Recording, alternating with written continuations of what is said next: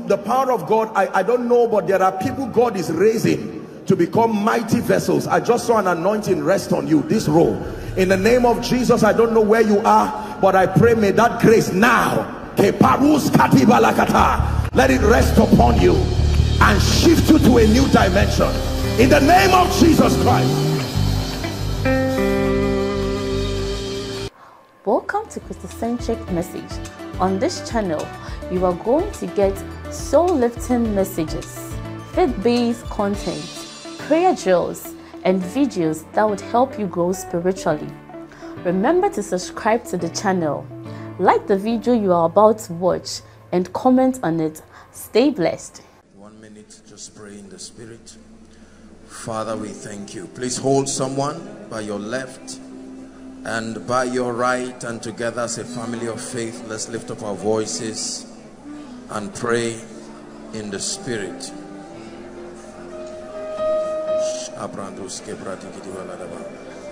But ye beloved building up yourselves on your most holy faith the bible says pray in the holy ghost. Pray in the holy praying in the Holy Ghost.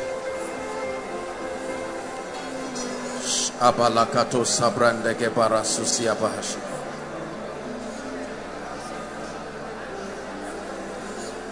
Are you praying? Sabrandes calabrado jatebrehese de bakatash.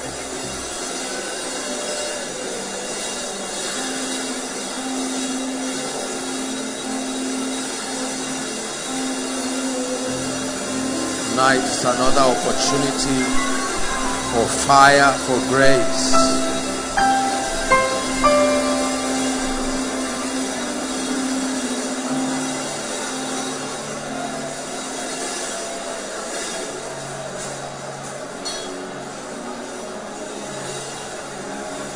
Hallelujah. Praise the Lord. One last prayer. Father, give me an encounter tonight. Please cry from the depth of your heart. Give me an encounter. Show me something I have not seen before. Open my eyes to see something I have not seen before. Let my ears hear something I have not heard before. Grant me clarity. Grant me illumination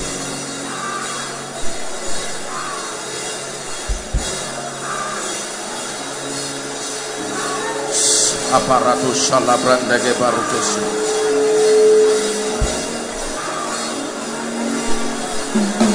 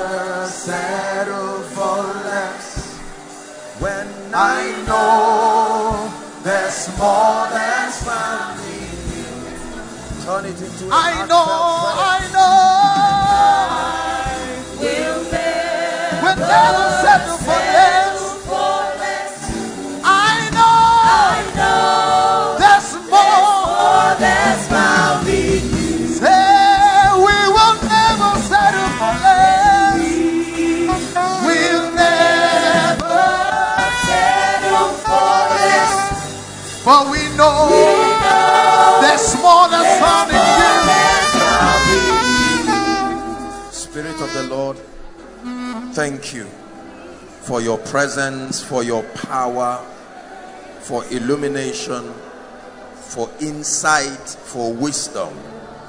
We bless you and we acknowledge you even tonight. Do mighty things in our midst. Let there be impartations. Let there be transformation let there be all kinds of encounters at the instance of your word we thank you we bless you we honor you for in jesus name i pray. Good evening. God bless you. Please be seated. It's good to have everyone around again. It's always always a blessing for me. Every time I have the opportunity to bring the word of God, you would think because I've been doing this for long, I should be used to it. It is always fresh, always new. My passion remains on fire, and I always long for the times when we share together in His presence. Just a few things, and then we'll get to the word. Um, number one, uh, please listen, everyone inside and online. Um, I want to encourage us particularly over the issue of testimonies. Now, truthfully speaking, we have seen the hand of God in remarkable ways. Uh, my, my phone is full of hundreds of remarkable testimonies. Um, and I got to find out that the challenge for many people is the system that allows them to come and share. There are so many people who would like to share their testimonies, some seated here, some online, but it seems like there's been a bit of difficulty, and I just want to simplify the process. It's pretty straightforward. We have our testimonies, please listen. Our testimonies are handled officially by the media department.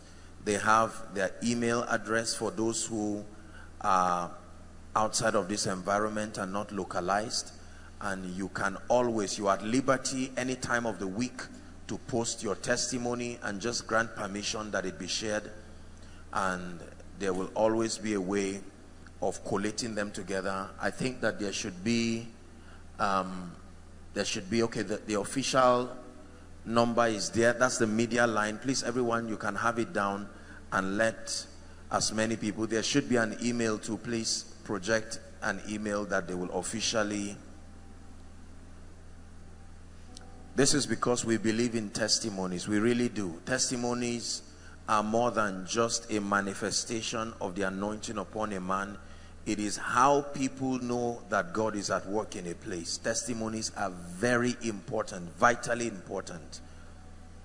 It's important that people know that not only that God is alive, but that he's at work bringing glory to the name of his son Jesus. The Bible says, and it was noised abroad. The things that Jesus did, it's important.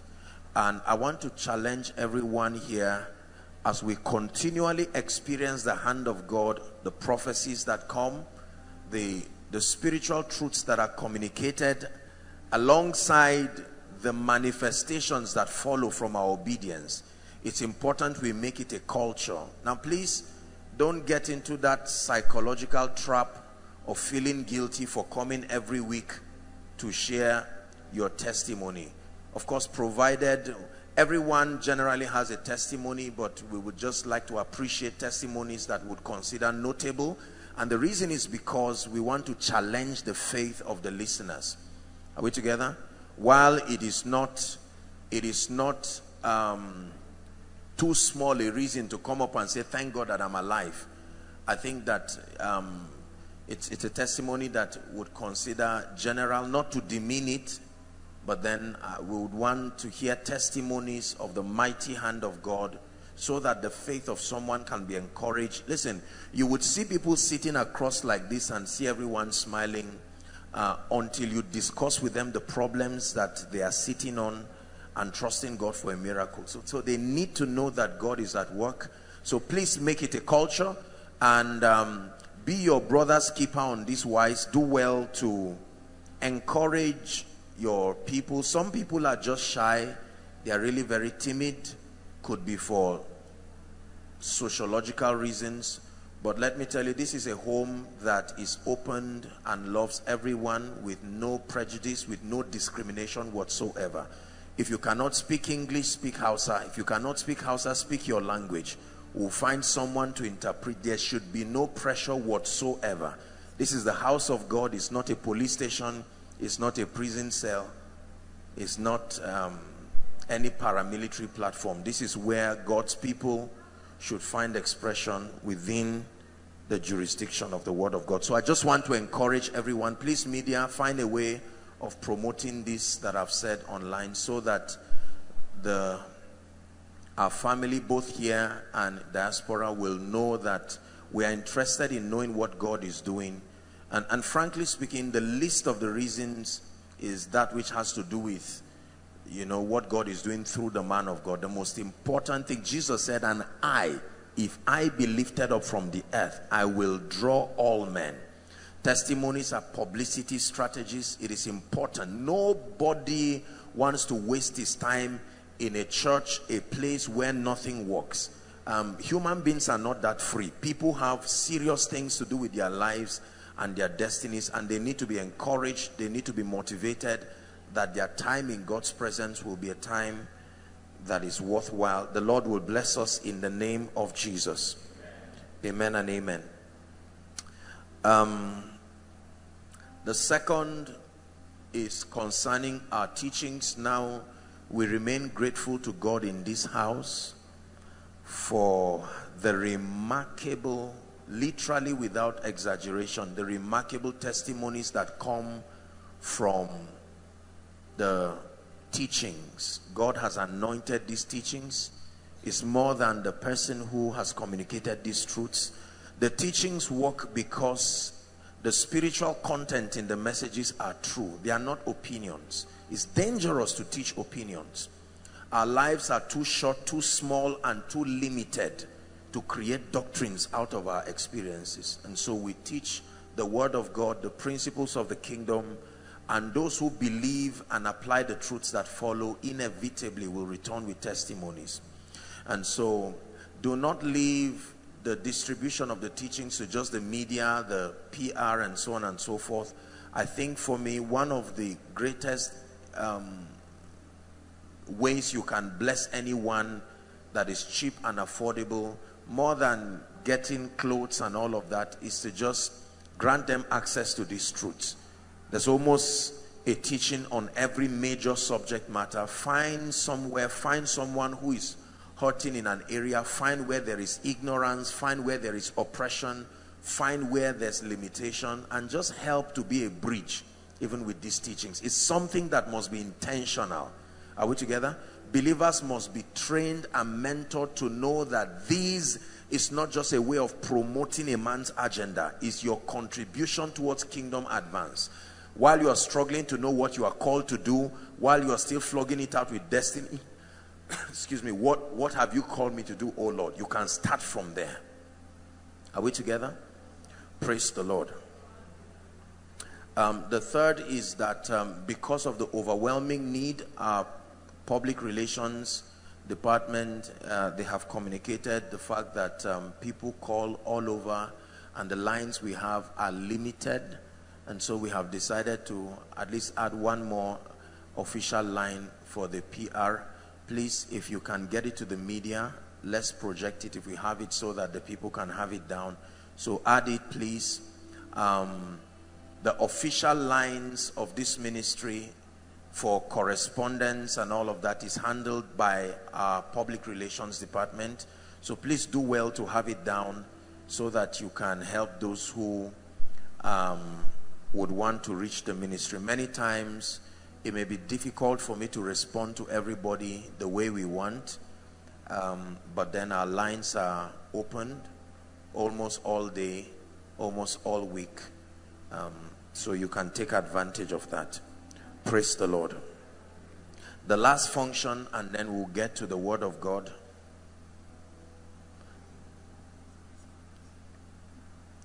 Mark chapter 16. We'll read 17 and 18. Part of the apostolic and the prophetic is to be able to understand times and seasons and to guide the body of Christ. Um, again, I've seen in the realm of the spirit the onslaught of the manifestation of the spirit of death. I've seen the spirit of death and the spirit of infirmity. And and this this is a plot. You know, death, there are times that death can come over people, but there are times that death can come over territories. It's not necessarily looking for a particular person. Anybody that comes under the influence of that spirit will go for it. Are we together? Um, so there are three things that we want to address and then we'll get to the word. Number one is death. Number two, very strange afflictions and infirmities. Someone will just complain, my head, my stomach, my leg, and the person is gone. This is how you know that a thing is demonic. And then number three, although it may not have come to our region, but the Bible says to pray for the peace, Jerusalem. This act of kidnapping people they just steal a human being. Now it's not only properties that are taken, you know, and this is not just an issue of terrorists again, it's becoming a lucrative industry. And so any, even friends steal themselves. Are we together? Yes, they connive with touts and pick up people and um, demand for all kinds of all kinds of uh, uh, uh, what do we call it? Ransom. You know, very ungodly amounts that they call. And then eventually they subject the people. Some people are raped. Some people are, are harmed. The psychology and all of that. Uh, it's important for us to fortify our spiritual borders and then as part of the larger family body speak i told you that bodies only execute what the realm of the spirit concludes upon. Are we together? If your hand steals, something told your hand to steal. The hand does not have a will on its own. The body without a spirit is dead. So everybody who is being inspired to do this, there is an ideology that is spiritual in origin. Are we together? Uh, and some of these things come as a result of the laziness of people. This is why we continue to challenge people to be productive. No productive person will sit down and begin to look at the options. Kidnapping someone is proof of how you have disbelieved your own destiny. That means you have concluded that on your own, wisdom cannot work for you, favor cannot work for you, relationships cannot work for you, and you settle uh, for kidnapping people. Mark 16, 17 and 18. The Bible says there are signs that should follow believers. And it says, in my name they shall cast out devils. Number two, they shall speak with new tongues. Let's read verse 18. It says, they shall take up serpents. And if, that means they don't intentionally go and drink. But if for any reason they drink any deadly thing, it shall not hurt them then they shall lay hands on the sick and they shall recover. But the tragedy is in Psalm 74 and verse 9. Please give us Psalm 74 and verse 9. Read with me, please. We see not our signs. There are signs that the Bible says should be seen. And the complaint now is that we see not our signs there is no more any prophet. The correct rendition is, is there no more prophet? It's a question. And then he says, is there not any among us that knoweth how long? That means we do not see the things that the Bible said should be seen. And where are the advocates? Is there no prophet? Is there no representative to tell us how long? To define the limits? Are we together? part of the ministry of the apostolic and the prophetic is not in titles. Habakkuk said, I will stand upon my watch and I will set myself upon the tower that I will see what the Lord should say. That means it is within the power of the Holy Spirit given to men to command darkness and say, thus far have you come and no further shall you go. Are we together? Please rise up on your feet.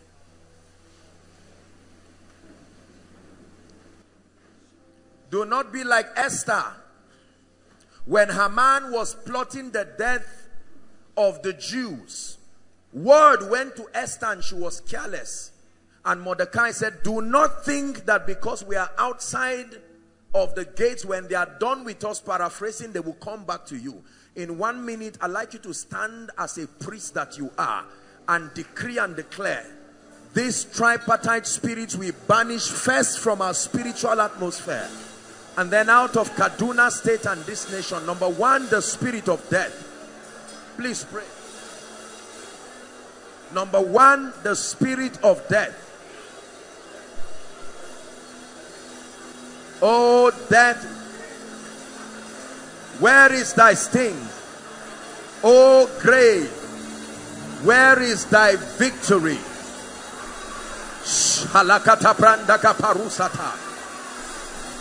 And to deliver them who through the fear of death have all their lifetime in subject to bondage.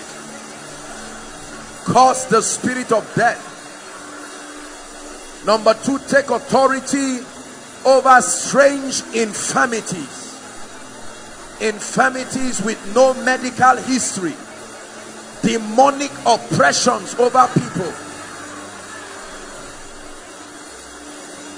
Number three take authority over the wicked spirit of kidnapping and all kinds of activities of terrorists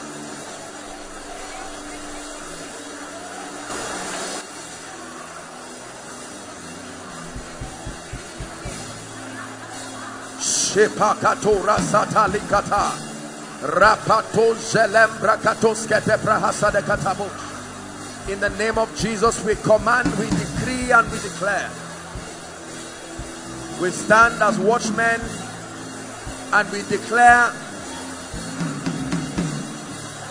our territory is sanitized from these operations, from these afflictions in the name of Jesus. Pray for your family. Pray for your loved ones.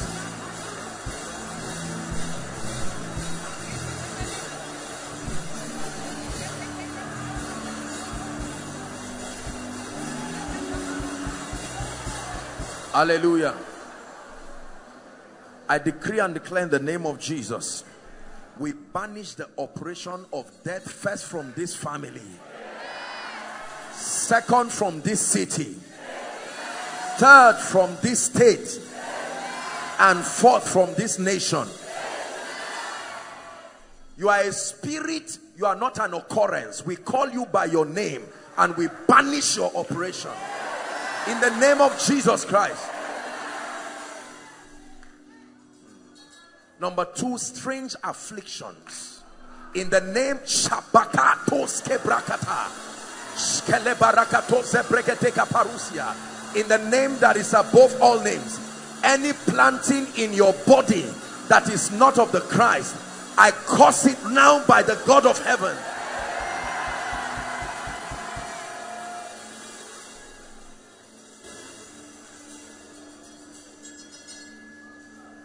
Number three we pray.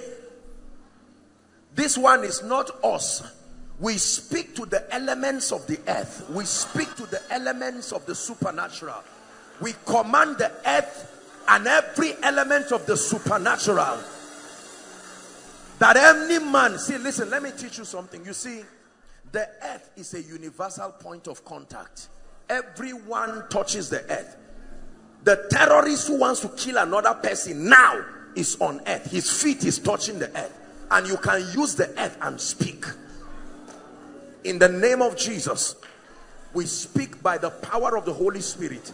Let the activity of kidnappers and terrorists within this region and around stop now. Stop now. The Bible says that he frustrates the tokens of liars. He makes diviners mad so that their hands cannot perform their enterprise. And if there is anyone, whether your loved ones or whoever, that is under the siege of kidnappers, we declare their unconditional release in the name of Jesus Christ. These are some of the ways, is more than terrorism, it's also how the spirit of poverty works. When you carry five or ten million and give to rescue someone, what if that's your life savings? Very demonic operations. Zaria, we speak to you. This is our domain. In the name of Jesus, we draw a line across these spiritual borders and we declare it sanctified in the name of Jesus. We decree and declare that any activity that is not the Christ, sponsored by the Spirit, we banish its continuity. In the name of Jesus, please be seated. God bless you. You see, please understand this. The believer is not a cause to creation. The believer is not is not is not a nuisance to civilization. The believer is not a luggage that our sociology is trying to manage. No, the ideology that we have been given is an ideology that transforms. It does not destroy. Are we together? So it's important that that we continue to emphasize believers please more than knowing who we are we must obtain grace from God to be the light and to be salt not to sit down and hope things change not to sit down and be careless and say it does not concern me. You see God has worked with us way past the issue of denominations and personal doctrinal affiliations and all of that. We are we are we are members of his body. What happens to one happens to all. It's an ideology that we must carry. It's an ideology we must sustain. Hallelujah. Praise the lord thank you thank you for allowing me to do that very quickly we'll get to the business of the night the keys of the kingdom we're on a revision series for some of you who are just coming, so many people we honor and we welcome and we truly bless you tonight. Let's get to the word of God. The keys of the kingdom. This is part two. We're on a revision series. Um, the way that God trains us in this place is very intentional. It's very meticulous, very defined. The, the exegesis of scripture here is not just meant to be part of the things that happen in a service but by the grace of God there is a portrait there is there is a picture of what God seeks that we become praise the Lord and as we strive by the guidance of his spirit and through the spirit of wisdom we continue to bring teachings that are spiritual in context that are balanced life applicable and are transforming again and um, every once in a while, before we get into another level, God would grant us grace to do um, somewhat of a revision. That means to go back and look at the things that we have learned by the Spirit, correct the gray areas, because you see, nobody leaves what works. Nobody leaves what works. And if our Christian lives um, if it continues to be unfruitful, we will be frustrated. The Bible says, Herein is our Father glorified, John 15 and verse 8, that ye bear much fruit. Not just fruit, much fruit. It says, So shall ye be my disciples. This will be proof that I mentored you. Your results will show that I mentored you. Are we together? Matthew chapter 16 and verse 19. We started off last week. Jesus was speaking about the keys of the kingdom. And I started just a quick recap how that there is only one key to the kingdom. One key to the kingdom. And that key is not an object, is the person Christ. Christ being the door, the authorized entrance point. We observed last week that um, there are not only doors, there are also windows. There are other illegitimate routes into a house, but the authorized channel to any house is called a door. If a visitor jumps through your window, he's not welcome, although he's in your house. Are we together? So Jesus said, I am the door. Jesus never said, I am the window. I am the door. There is only one key to the kingdom the Christ, the door. But when you get into the life of the kingdom through the experience that we call new birth, then the kingdom functions by keys. A key is a symbol for access. Access. So the keys of the kingdom are the truths that grants the believers access to function effectively to be in experience a true representation of the image the character of the Christ and to manifest the possibilities that are in this kingdom. And um, the keys of the kingdom are the access points that activate and deactivate possibilities. The faith life is a compendium of infinite possibilities. That means there is no end to how far, there is no end to the potentials that are contained in this faith life. My life and your life, no matter how yielded, cannot exhaust all the possibilities that are contained in the Christ. And so our life should become an like like an explorer's life. We continue to explore different dimensions of the possibilities contained in the Christ. I said something last week that I would like to say before we take off from there. The word of God is very important in helping believers know God and in helping believers become effective. And the word of God is important because it defines the boundaries of God's commitment to man. Please, you have to understand this. God is not indefinitely committed to man. There's no record in scripture that allows for God to be committed to you anyhow. He's committed by predefined conditions. And that condition is encapsulated in the word. It's important to know this. Now, his compassion can respond to any issue of your life, but it takes the word of God to define how far his hand can come towards you. It's very, very important. Compassion is the ability to be touched with the feelings of a man's infirmity. But he has exalted his word, the Bible says, above his name. I say this because many times believers think that God is committed to them and we continue to quote a lot of wise sayings, trado-African approaches and we believe that it will, it will draw sympathy and because God is love, he will respond. But then you will never see results until you bring yourself in alignment to the word of God. And that from a child, thou hast known the holy scripture that is able to make you wise unto salvation. This is very, very important. The word of God defines the boundaries of God's commitment.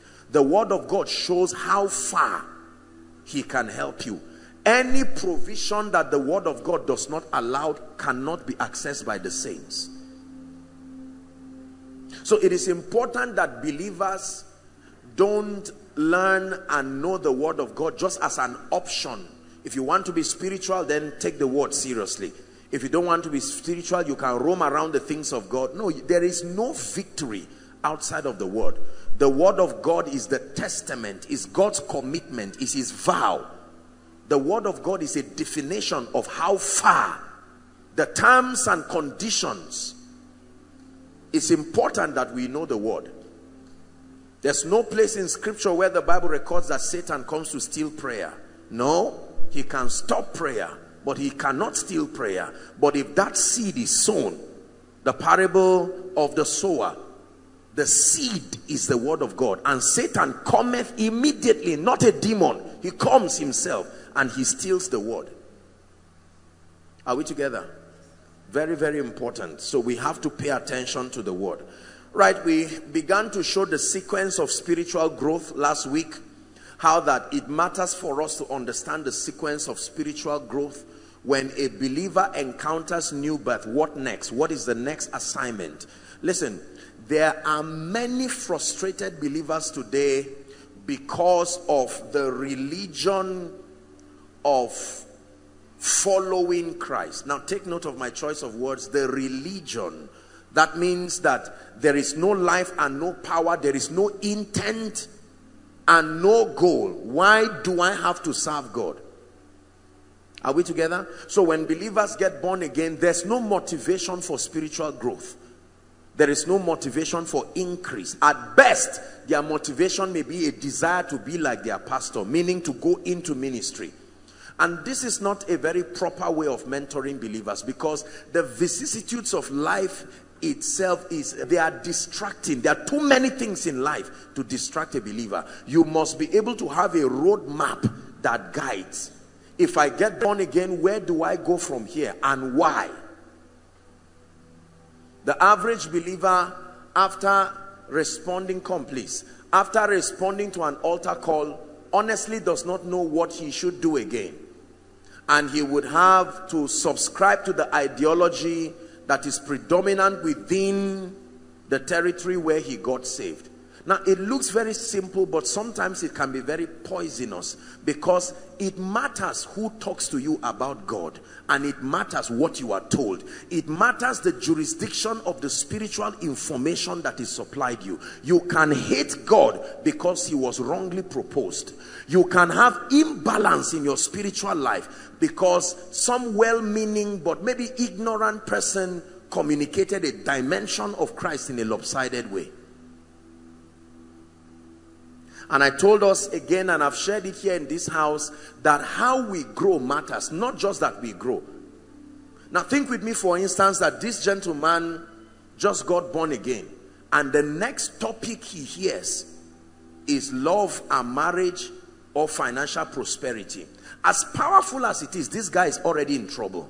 You see, there, there is a foundation of truth that he should be taught to make the issue of marriage or the issue of finance make sense. You see that now?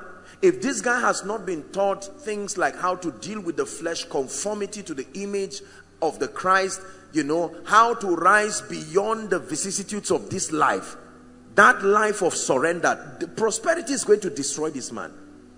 He will have the money because the principles work, but it will be at the expense of his soul. But the Bible says to prosper even as your soul prospers. That means while you are prospering in other areas, there has to be a check. If you find out your soul is not prospering, then you need to vet the system you are following. If it's God's system, you will prosper even as your soul prospers. Hallelujah. When a believer gets born again, this is the sequence, or gets saved. The next assignment of this believer is to be introduced to the ministry of the Holy Spirit. Remember Jesus from John 15, John 16, in fact, John 14. He began to talk about the ministry of the Holy Spirit. That he was on his way going, but the comforter, the comforter, whom the Father will send in my name. The Gospel of John, he began to introduce us to the Holy Spirit. When he gets to chapter 16, he says, I have many things to tell you, but ye cannot bear them now. How be it? When he the spirit of truth is come he said he will guide you into all truth. So you see his assignment. He will guide you into all truth. That means you have to be guided. Truth is not on the ground and you just pick anywhere. You have to be guided. And that is in the office of the holy spirit as a distinct personality of the godhead to guide believers into all truth. Studying scripture without his guidance will lead to error imbalance and religion when he the spirit of truth is come he said he will guide you into all truth. He will show you the things that will come. He will take of what is mine and give it to you. Are we together? So this man is introduced to the ministry of the holy spirit. And that encounter with the Holy Spirit first begins to open his organs of interaction with the realm of the Spirit. Because the Bible says that which is flesh is flesh and that which is spirit is spirit. Number two, the Bible says that the natural man cannot understand the things of the spirit, he cannot receive because they are spiritually discerned. Are we together? No matter how illiterate, no matter how educated, no matter how enlightened, the moment you want to start that spirit walk, you have to subscribe to the ministry of the Holy Spirit. It is very, very important. If you do not subscribe to the ministry of the Holy Spirit, you will, you will walk with God purely based on intellect or based on the sociological context of life and all of these things are within the three-dimensional realm you will not be able to walk with the Holy Spirit and walk with God outside of this realm if you're together please say amen. You can mechanically pick the Bible and just begin to read like any atheist would just read to know about the Christian faith but this book that you see has to be opened by the Spirit Isaiah 29 and verse 11. It's a popular scripture here. Please give it to us. Isaiah 29 and verse 11. Read with me. It's projected. Please. One, two, read. And the vision of all is become unto you as the words of a book that is sealed which men deliver to one that is learned saying read this i pray thee and he said i cannot for it is what Notice, it didn't say it is closed. It is sealed. So you can open it and yet it is sealed. Next verse, 12. And the book is delivered unto him that is not learned, saying, Read this, I pray thee. And he said, I am not learned. You see, there is a realm where both the learned and the unlearned come together and depend on the Holy Spirit. This is very important because the ways of God are not the ways of man. The methodologies of the kingdom sometimes are very ego stinging and insulting. And until you become spiritual by your submitting to the Holy Spirit, you will not be effective in your spirit work.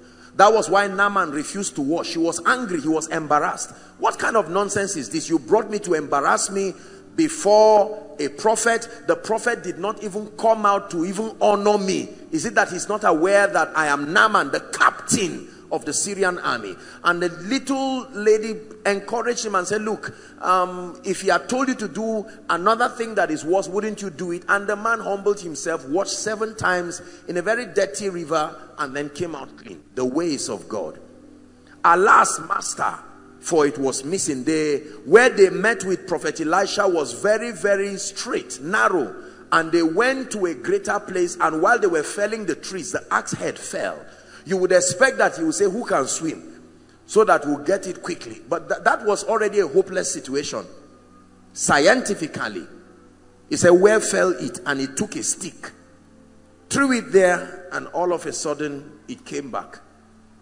The prophets began to eat and they shouted, There's death in the pot.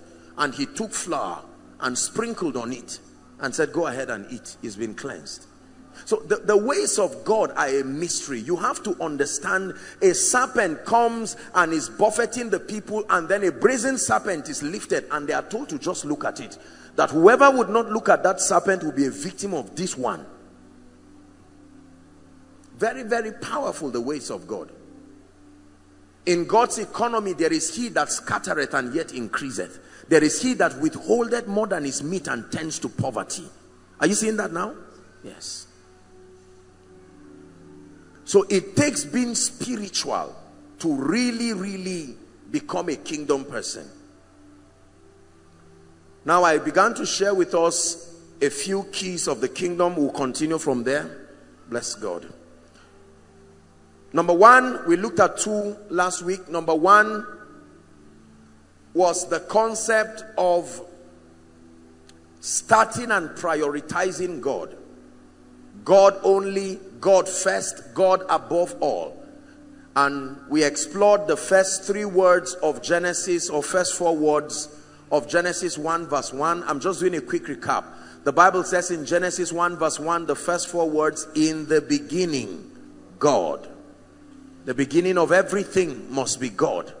You do not ask God to come and patch your life. You don't create your agenda, create your plans and ask God to endorse it. Uh-uh. He's Alpha, Omega, not Chronos, Omega. God will not join you on the way. He has to start. Are we together? The Bible does not call him Chronos. You don't call him to join the bandwagon of your will and your intentions. He's Alpha and Omega. And so we challenged ourselves that it's important that in this kingdom, those who excel in this kingdom are those who must exalt God and his purposes above their desires, above their intentions. I want it this way. But I acknowledge the fact that when God becomes above everything, he protects, he preserves. Two, we spoke about the concept of success, tying it with the law of the mind, is very important. That transformation is important in this kingdom. In this kingdom, we reign by light, we reign by knowledge, and that knowledge comes through transformation. Transformation through renewal and enlightenment. Take note. Transformation happens through renewal and enlightenment. Renewal because there are old ideas that are there that may not be consistent with the ways of Christ. Not everything in your mind is dangerous. Not everything in your mind is wrong. But when you come to Christ, the Holy Spirit Adam, before his fall, did not need renewal. There was no need for renewal. Are we together? The content in his mind and his understanding came directly from God. Satan began to sow a seed of an information. When Jesus came, the Bible says, um, God now came walking in the cool of the day. Adam, where art thou? He said, I heard thy voice, but I hid because I was naked. And he said, Who told you? That means you have captured in your mind an information that did not come from me. Who told you? Who told you? You have banked an information that is a seed that will grow. Are we together? Yes. I hope you know that it is not only God that is the sower of the word. It is not only Satan too sows. Remember in the parable of the wheat and the tares, while men slept, an enemy, whoever that enemy is, we know he's a farmer too because he sows. So you can wake up with ideas you did not sleep with. You can wake up with a harvest you did not remember sowing. This is why transformation is powerful. You look at a little child, a little baby that looks very helpless in the hands of the mother and give the child one or two years, the child will begin to pronounce words and you are wondering where it's coming from. The baby will wind his or her hand and give the mother a slap and while the mother is crying, the baby is laughing. Where did that come from? Certainly not from the womb, but where, for God's sake, did that come from? When has the child associated cry with joy? Are we together now? So you see the kind of world that we live in. He said, In iniquity did my mother conceive me. And then the way life works ensures that you remain um, a sinner in many ways. The anger from the boss man. I mean, what he would do, someone depriving you of your right, and you know, all of there are too many things within 24 hours that can destroy your understanding. And then the Bible says in Romans chapter 12, 1 and 2, I beseech thee, brethren. It's not a sermon, it's a plea. By the mercies of God, that ye offer your bodies a living sacrifice, holy and acceptable unto God. He calls it your reasonable act of service. Verse 2 says, And do not be conformed. Here it is. Do not be conformed to this world, is the Greek word aeon, the thinking pattern, the system of operation that comes with this cosmos. It says, But be ye transformed. How? By the renewing of your mind and that by that you will be able to prove what is that good and perfect and acceptable will of God.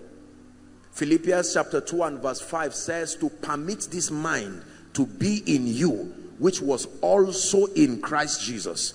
There was a mindset, there was a thinking, there was a body of conviction that made Jesus that flawless when he was on earth. And he's saying, allow. The word let there means allow. Allow this body of beliefs, allow these belief systems to also be enshrined in your understanding. Very important. Ephesians chapter 4 and verse 18. The Bible says, having their understanding darkened. Then it says, being alienated from the life of God through the ignorance that is in them because of the blindness of their mind. When your understanding is darkened, you are alienated from the potential, the experience of the life of God. It says, through the ignorance that is in them. Transformation is very important there is almost no hope for an effective Christian life for any believer who ignores transformation. And it's important because Africa is a very superstitious continent and in Nigeria where people who are very spiritual, we would, we would opt for wise sayings, we would opt for a mix of trado-African Christian approaches and would not settle down for the word of God that is balanced, truthful, intelligent and transforming. And this lopsidedness continues to produce the different qualities and the versions of Christians that we have. And all those species will all be credited to the wisdom of God. And it's not entirely so. Because there is a species of man that God cannot produce. So when you see that kind of man, you know that there was a corruption somewhere. Hallelujah. Praise the Lord. The mind is very powerful. I taught us about success, that true success in the kingdom is not something that we do. True success is what you attract by who you become. This is very powerful. There are so many people who continue to labor effortlessly to do things financially, spiritually. They want to do things. And there is a place of doing. There is a place of action.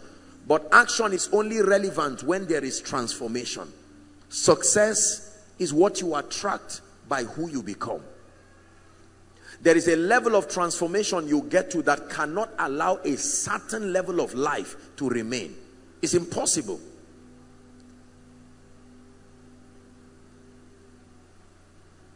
Are we together? You cannot see Papa Adeboye, for instance, at a restaurant trying to buy rice and fish. His transformation does not allow him to have that kind of physical experience somebody will be called. You will think it's because he's an elderly father of faith and you want to honor him. But someone will stand up and say sir please go back home. Give me the honor of cooking to bring for you. Because his level of transformation rejects that physical result. Are you seeing how life works? You don't say i hate poverty. You are transformed to an extent that it becomes unfair to remain at that level so this is a mistake that believers continue to make. We try to do things and the things we do are higher than who we are. So the results continue to boomerang and bring us back to our levels, our mindsets. Success is a product of growth. It's more than doing things. God can tell you you're going to have 5,000 members, but you have to grow. It's more than just prophecy. There are ethics that you honor at every level of growth.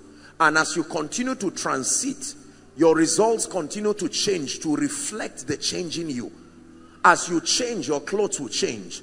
As you change, your honor will change. As you change, your communication, your understanding, as it's changing, your relationships will change. Everything continues to change to reflect the changing person. You don't go and look for friends. You attract them by your growth. Are we together? You don't go around hand picking people. This is the this is the labor that God saved us from through transformation. Look how painful it is to go and select friends. How do you know the person will not change tomorrow? Allow the wisdom of God to select them. Your assignment is to grow. Does not deep call on to deep. When you grow, it begins to change. You cannot be wealthy and have poor friends. It's not about driving them. The law edits itself. It edits your possibilities. The moment there is that transition, your one room starts pushing you out without an intention to leave. You don't have to say, I must, I'm tired of this place. No, that's not wise. Grow. There is a level to which you grow. Your one room will push you out and the laws of God will back your exit. They remained in Egypt until Moses started bringing an information. Moses said, Thus said the God of the Hebrews, your 430 years is exhausted. He didn't preach in one day. They kept hearing it while they started believing an Exodus. There was, there was, no matter how bound they were, uh, they were forced out of the place. Listen, it is frustrating. This is why a fake life, and oh dear, God bless and help our generation. Gathering physical things that are not reflected in your growth is a waste of time. It was authorized to live and it must live. There is no power in existence that can keep it with you. If I bless you with one million, your mind and your mind has not grown to that level. Your mind will interpret that one million as an attack and will fight its exit until it returns to the value that reflects your growth. It's not the issue of a spirit of, of, of uh, poverty. No. Satan is an opportunist. When he comes, he looks at a man's mental construction and uses it to build the strategy. Satan does not come to a man with a default strategy. His strategy is bespoke. It's made to your mindset. He will study your mindset from it, study your vulnerability and carve out a strategy from it to bring you down. Satan cometh to me, but did not find anything. Satan comes to men and check, where is darkness? What gives me license? What gives me access? If your prayer life is on fire, he can't attack your prayer life. He will check your understanding of the word of God. They are called rulers of darkness. Their domain is when there is ignorance. Are we together? The law of the mind. When I learned this law, it changed my life. I knew that there had to be an easy way. It's difficult to give God glory the way many people seek success. Your assignment is to grow. When you grow, from the intelligence of that growth, you will be guided on what to do circumspectly. The Bible says to walk circumspectly as wise and not as unwise. And he says the way you walk circumspectly is by applying time redemption strategies to your life. Redeem time. You don't redeem time by refusing to walk in time. Time is automatic, but that your life becomes circumspect when you take pathways that have time redemption advantages on them. Like following the path of favor, like following the path of mercy, like following the path of growth rather than seeking things. When you seek things and get them in five years and then by the sixth year it leaves you that's time wastage. But when you grow in two years and attract what stays for life that's time redemption. So the bible says to walk circumspectly as wise and not as unwise. Say i'm growing. The third spiritual law we're doing a revision. Thank you jesus. Halus kapratuskia the law of faith. Let's run to the laws and see how many we can touch. The law of faith. Numbers chapter 23 and verse 19 please. Numbers 23 and verse 19 read with me. It's projected. One to read. God is not a man that he should lie neither the son of man that he should repent. Hath he said and shall he not do it? Or hath he spoken and shall he not make it good the law of faith is a very powerful law. The Bible declares again and again in this kingdom, I'm doing a revision, that the just, the believer, one who has been justified in Christ, that you will live by faith the only assurance of your victory, the only assurance of tomorrow, the assurance of success is faith. There is no earthly guarantee given to any man, not by any uncle, not by any auntie, not by any certificate, not by any platform. The authorized platform of confidence for the believer is faith. And this is the victory that overcome, even by faith. Are we together? What is faith? Faith is your conviction. Your conviction. Your conviction. The name given to your conviction about God and the integrity of his person and the corresponding action that is taken to honor that conviction is called faith. Faith is not some laborious doctrine to explore in and out. It's as simple as that. But I know whom I have believed, and I am persuaded that he is able. He has an ability, and I know him. I'm persuaded. Are we together? Very important. Come, Sheun. Look at this, please. Now, if I look at Sheun now and I say, Sheun, I'm going to give you 1,000 naira. The first thing he's going to do is to draw from his understanding of who he thinks I am. My ability, my integrity, everything comes under pressure at the instance of that word. He would have to verify whether, number one, I have the integrity and the willingness to give him a thousand naira. And then number two, whether I have the ability I may have the willingness, the integrity, but not have the ability. So God allowed his word so we can vet him. He's not afraid of being vetted. God is saying, probe me, probe my integrity. I've worked with people under any condition through different dispensations. So that your conclusion on reading this is that God is not a man that he should lie. Are we together now? It's not something you just believe. He tells you, go through it. I allow you to have this the chronicles of my integrity so that you will believe me when I say I can lift a man from a dunghill and sit him with princes vet it did I not raise Joseph did I not raise Esther ah it's powerful to believe God there are people in ministry waiting for uncle or auntie to hold some ceremony and to assure them of some support system. Um, there will be one building that you'll be using and will be giving you 30,000. You will never rise. You will never move. Listen, if it is God, he will prove himself. Faith. Powerful. Find a believer that has faith and understands faith. Now, faith is not just blindly believing. Faith is conviction. Are we together? And that conviction comes through understanding. You have really understood God and his ways when you know where how you contribute in terms of your partnership, your participation. Listen, Bible faith does not leave everything to God. There is always man's role in that equation. Please understand this. Bible faith will never allow God to just do everything. There is always the participation. And your participation is your believing God and then subscribing to the terms, the conditions that guarantee for that outcome. This is where many believers continue to miss it. Faith is more than just confession. Faith is more than just receiving, as important as they are. They are all equations in that, I mean, variables in that equation of faith. But Bible faith is not Bible faith until you find the condition allocated.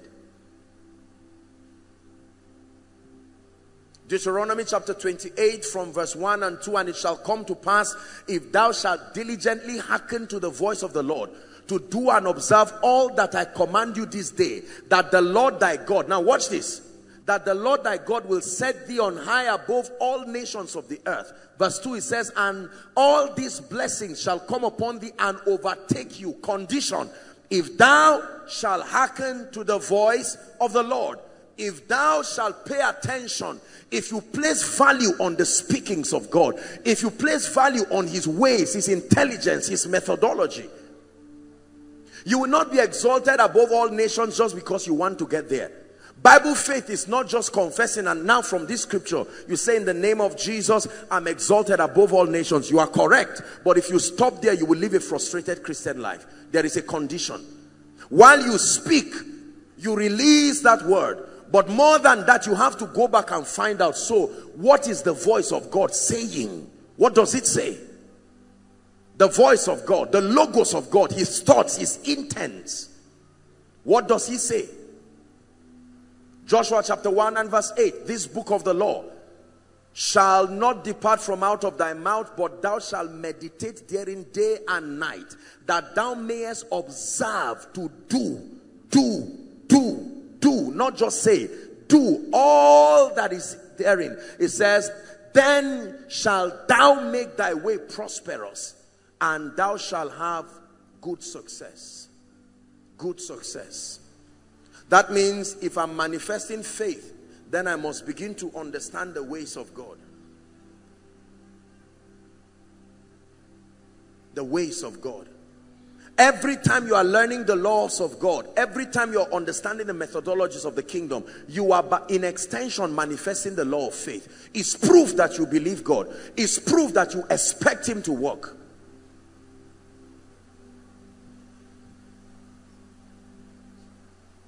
Are we together? Yes. The law of faith. You must believe in God. This life will come with so many things that will threaten you. When David stood before Goliath, he said, you come to me with your bows and your spears, but I come to you in the name of the Lord God of heaven, um, uh, the, the, the, one, the, the one whom you have defied. He was speaking to Goliath. You have to stand and look at life and say you may look like a mountain but faith deflates mountains it is true it is true time will fail me he says to talk of Gideon, Jephthah, Barak, men who through faith subdued kingdoms, wrought righteousness, shut the mouth of lions. Listen, let me tell you the truth. There is nothing in your life and around your life that is new under the sun it takes faith to subdue say in the name of jesus by the faith of god at work in me i subdue every mountain. Don't approach challenges as if it was uniquely no no no. There is nothing special about challenges. It is defeat that should be a surprise. Don't be embarrassed by the mountains that stand before you. Find out the provisions that make for your victory and engage it as though your life depends on it. And let the God of heaven who is not a man that should lie come and prove himself in your life. Every testimony here is faith. The equation of faith completed. Trusting God. Please don't doubt God.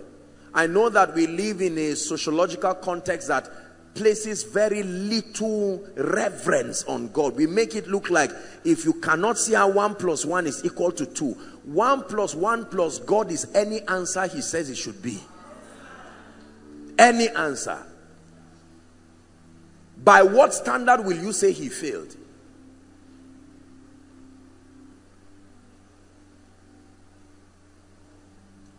If a house is my own, I can choose that the back door becomes the main entrance. It's my house. So you don't say because I entered here, yes, this is my house. You are a visitor. Anywhere I show you that the door is, you follow there. Kai, this God. Hmm. God can decide to say 2018 plus 2019 should be equal to 2001 to 2017's result together. This is God for you. 10 years in one.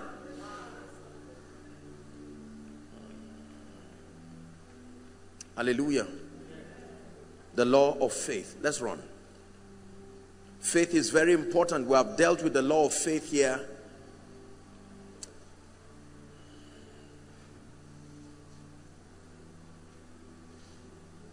We have discussed the law of value as one of the kingdom mysteries for an effective Christian life. The law of value. Proverbs chapter 18 and verse 16, the Bible declares that the gift of a man will make room for him and bring him before great men. This is a very powerful scripture because it does not lie. Sincerely, let me tell you, this is one of the, I, I, I can't use the word truest scriptures, but this scripture you see, please have a lot of regard for it. The gift of a man truly can make room for him it didn't say we'll show him where his room is. Until then, there is no space for you. The gift will make room for you. Like a visitor comes to your house and there was no space. And because of your honor for that visitor, the children will come out to sleep in the parlor and you quickly make room. So where there was no space for you, that your gift can come and say, what is going on here? The table of greatness, where is my space? Sorry, there's no space. No, it will shift until it creates a chair for you and a throne. The gift of a man. The gift of a man can make room. Can take a man out of a life of mediocrity and pain and shame and bring you to a place of greatness. It's very important. Classic um, story is the story of Joseph. Genesis chapter 41, when you read 14 and then from 33 to 46. I don't want to go into it. Forgive me, I'm rushing because we're just, this is a revision series. I'm reminding you that these are the keys of the kingdom. These are the truths we engage. If you don't engage this, you will fail. I tell you sincerely, they are not opinions. They are not doctrinal perspectives. When Jesus came, he began to mentor the disciples in what we call the Beatitudes, teaching them the ways of the kingdom. It's, it's important that we understand the methodologies of God. It's not the discourse, it's not an invention of one man. Please understand this. J Jeremiah 6, I believe, verse 16. Let's go there and then we'll return here. Jeremiah 6, 16. The Bible says to ask for the ancient path. It says, stand in the ways and see and ask for the old paths. Wherein is the good way? It says, when you find it, walk therein and ye shall find what? Rest. Another word for rest is Sabbath. The Sabbath of a man comes. The Bible says labor to enter your rest. That labor is not a labor in the flesh. It's a labor of understanding, understanding, understanding that there is a belief system, there is a construction. When you hold the keys of the kingdom, they can bring you in experience to your Sabbath. So two people all saved by God can walk on earth commanding different dimensions of results. And the difference is not the love of God for them. For the same Lord is rich unto all. The difference is their understanding. Psalm 82 and verse 5. They know not, neither will they understand. They walk on in darkness and all the foundations of the earth are out of course. Verse 6 says, Have I not said ye are gods? And all of you, not some of you, are children of the Most High. Verse 7 says, But ye shall die like mere men and fall like one of these princes. So your destiny is not just left to God. Sharia. Whatever will be, will be. Those wise sayings are poisonous.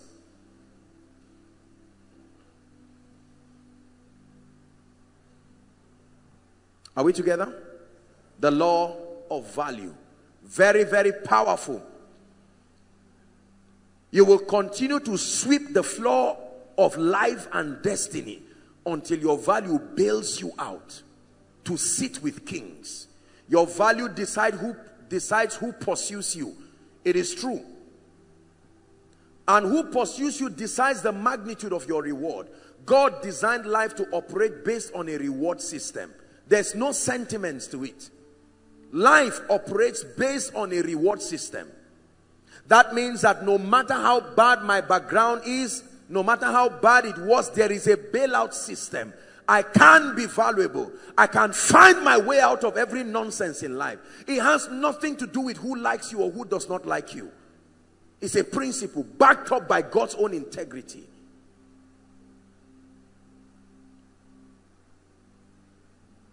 When you discover and you develop problem solving abilities, when you become fruitful, when you become productive, it's impossible to be ignored.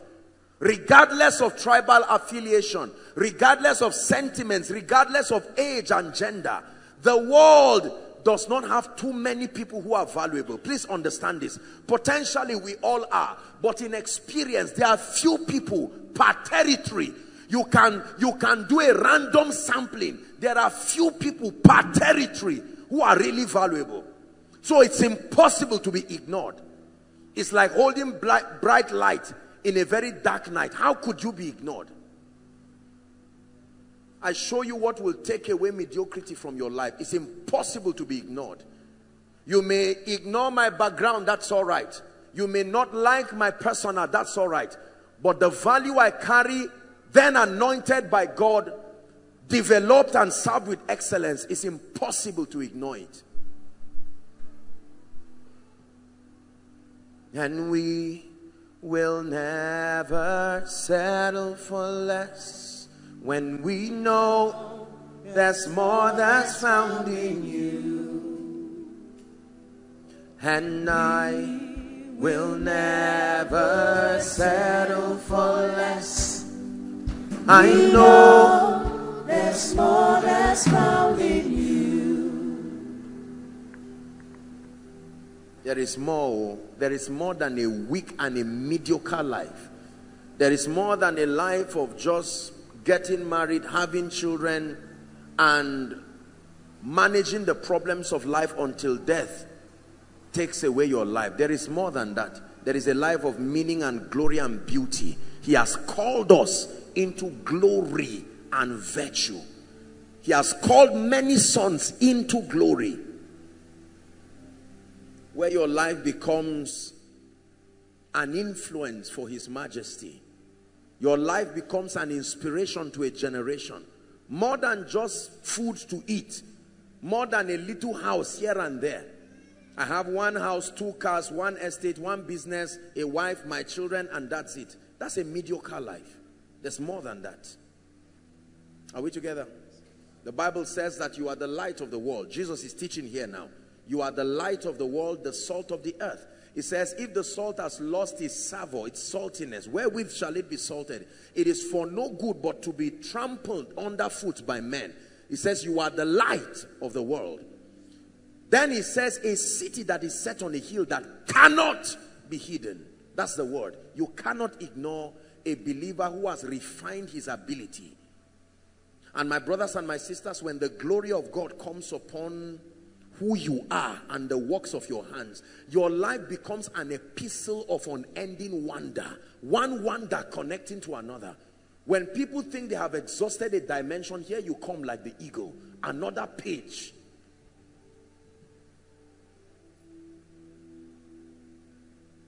God does not select a few people to be great and a few people to follow and scrounge in mediocrity. No, it's a very poisonous proposition. He desires that all men, the Bible says, Revelation chapter 5 and verse 10, that we have all been made together unto our God, kings, or a kingdom of priests, kings and priests. And he said, we, not one person, we shall reign on earth. Please believe the word of God. It's not a scam. Believe the word of God. It may take time. And while that is happening, different people can argue about what they think or know about your life, but just allow the word of God take you like a lift. It will take you to a mountain that you will stand and wonder. And all you will see from your life is an effulgence of praise. It's called doxazo, the flaunting of a king's glory. Now, thanks be to God, he says, that causeth us always to triumph. Are we together? Yes. And Isaac looked at his son and blessed his son and he said that his smell was like the field that the Lord has blessed. A man's life can become a fragrance that is perceived by a generation. Value. Value. Don't say my family came from this. Nathaniel said about Jesus, can anything good come out of Nazareth? And Jesus did not turn and say, ah, Nathaniel, so much you. No, no, no. He was right. There was a history to it. Hmm. But he said, Nathaniel, just because I did this now, you, ah, you will see greater things than this. That Nazarene that you laugh at, you will see something out of him. That rejected stone. Listen, there is an advantage being in Christ. There is an advantage that your tribe, there is, there is a limit to the advantage that being a Yoruba person gives you being an Igbo person gives you, being a northerner gives you, being a middle belter, a, south, a southerner. There is an advantage that being an American citizen, a British they all have their advantages, but they are still limited. Ah, but now are we the sons of God, and it doth not yet appear. Do not underestimate the power and the potentials locked up in one who has been a benefactor of the grace of God.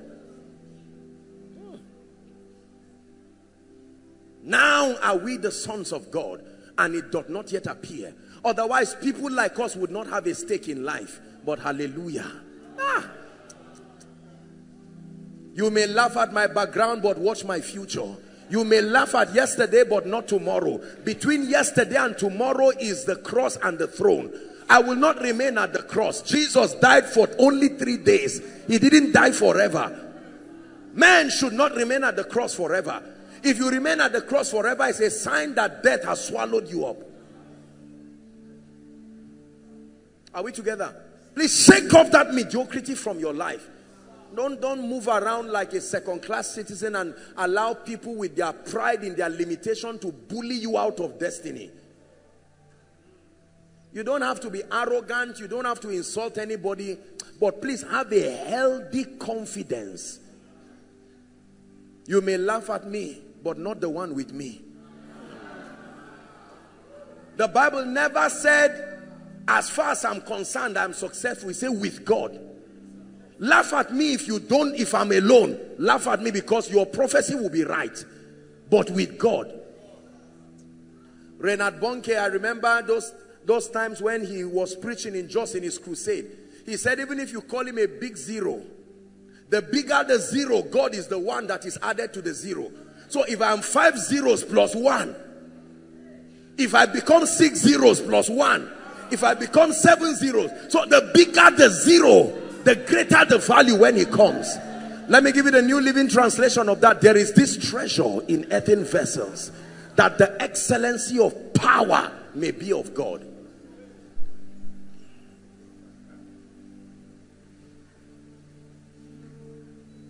When God wanted to humble the fallen angels, he used clay to make man. You see, the fallen angels were not made from dust. Their material was light. And now God decided to make mud and put his image that they so died for to get in that earthen vessel. And they said, this is not fair. Even Lucifer, that was the light bearer, an effulgence of the light of God, did not have the privilege to carry the image of the Christ. The Holy Spirit never came inside any one angel, never came inside one cherubim. But he made clay and breathed upon that man the breath of life. Please don't just be motivated alone, be angry. You know, we have these funny ways of looking at people in society. You are not beautiful. You are ugly. You don't speak English well. Don't worry. My result will correct any error in my English. Abba! Don't allow life defeat you like this cheaply. You know, and this is a world of arrogance. Even one minute to a man falling inside a pit, he will act as if he still has control. Let me tell you, the days that will come will reveal a dimension of the glory of the church. It will be impossible. The church will not just be some kind of fanatical people who are, who are close within a religious sect. No, the social economy will see the intelligence of God. Was it not prophesied by prophet Micah that in the last days the mountain of the Lord's house will be exalted above every other mountain and the nations will float with they will come and say come let us go to the house of God to the God of Jacob for he will teach us his ways. It says for from Zion out of Zion shall proceed the law. Not into Zion out of Zion.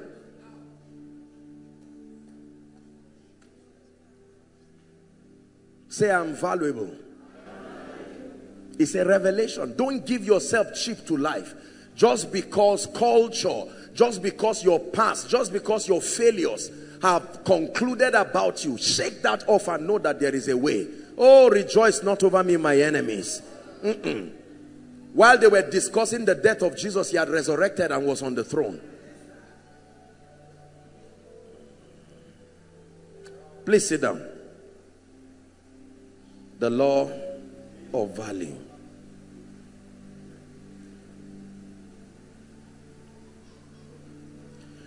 Be a master at providing solutions and you will never be ignored.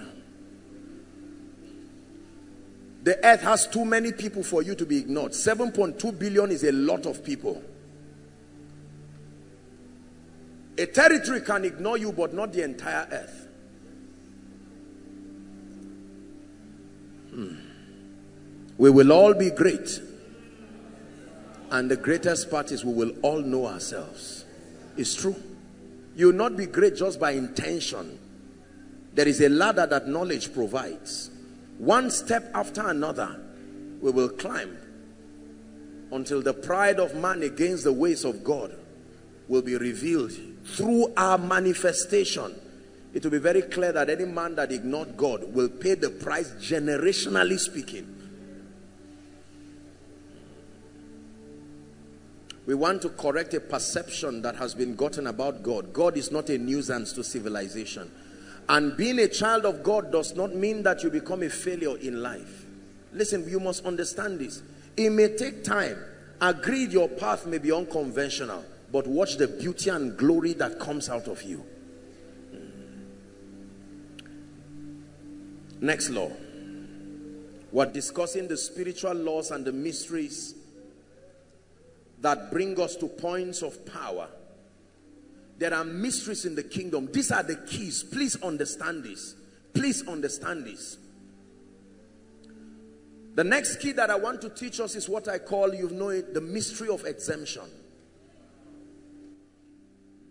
Ah. that there is a key allocated by which the saints can exempt themselves. The first time we see exemption in scripture officially was when the angel of death was about to pass over the entire land of Goshen and even in Egypt. They were asked to bring a strategy and it was a strategy of the blood on their lintel. Are we together? And that when the angel of death saw the blood he would pass over that is a revelation that everything should not meet you and destroy you passing over is a possibility in this kingdom the Bible says a thousand shall fall by your side and ten thousand by your right side. He said none shall come nigh thy dwelling but only with your eyes shall you see and behold the reward of the wicked. Let me tell you, the part of scripture you choose to believe is the part that works for you. Forget about your current result. Just focus on believing it. Sometimes when you believe certain things, at the point of believing, your results will negate it, but just continue. Remember the things that are seen are temporal. It is the things that are unseen. Superimpose your possibilities. Your life. Don't sit down and say, now that I'm talking, am I not broke? Mm -mm. For our light afflictions, the Bible says, which is but for a moment, it says it worketh in us a far more exceeding weight of glory. Why we look not at the things that are seen, but the things that are unseen. For the things that are seen are temporal, meaning a possibility exists for them to change. Exemption. Man can be exempted and I've shared with us that there are three keys basically. Number one is the mystery of praise. That praise is a deep mystery that can exempt men.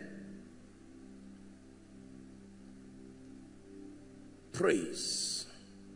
Praise. I'm just touching it. We're not going into all of the details. Praise. One of the, the, the mysteries of exemption.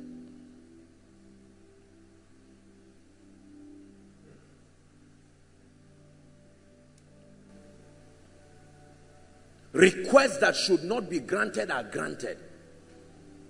It was a young lady who danced before Herod danced before Herod until a prophet's head went.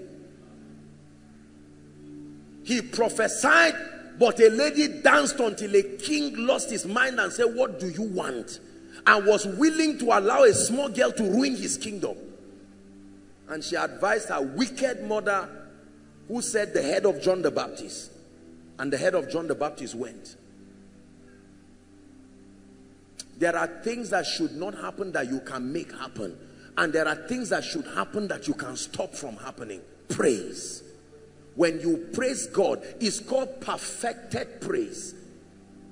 Praise that is intentional Praise is a weapon of judgment. It's a weapon of warfare. Let the high praise of God be upon their lips and a double-edged sword in their hands to execute vengeance upon their kings and to bind their nobles with the fetters of iron. It says that to execute upon them the judgment written. This inheritance, this blessing has the saints. Let me tell you something, my brothers and my sisters. When you take out time to praise God, you can praise tragedy out of your life You can praise limitation out of your life. You've heard many people's testimonies here. They lock themselves and sing and dance like fools. The songs of Miriam, I will sing unto the Lord, for he has triumphed gloriously. He said, The horses and his rider, not the horse alone.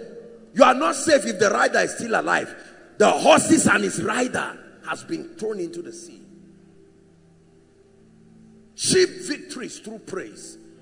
It was in the days of Jehoshaphat when three nations came together to throw them. And he said look this one is not you find it in second chronicles chapter 20 there's no time to read everything. And they raised their voices and began to sing you are good and your mercy endures forever. And there was fight in the camp of the enemy.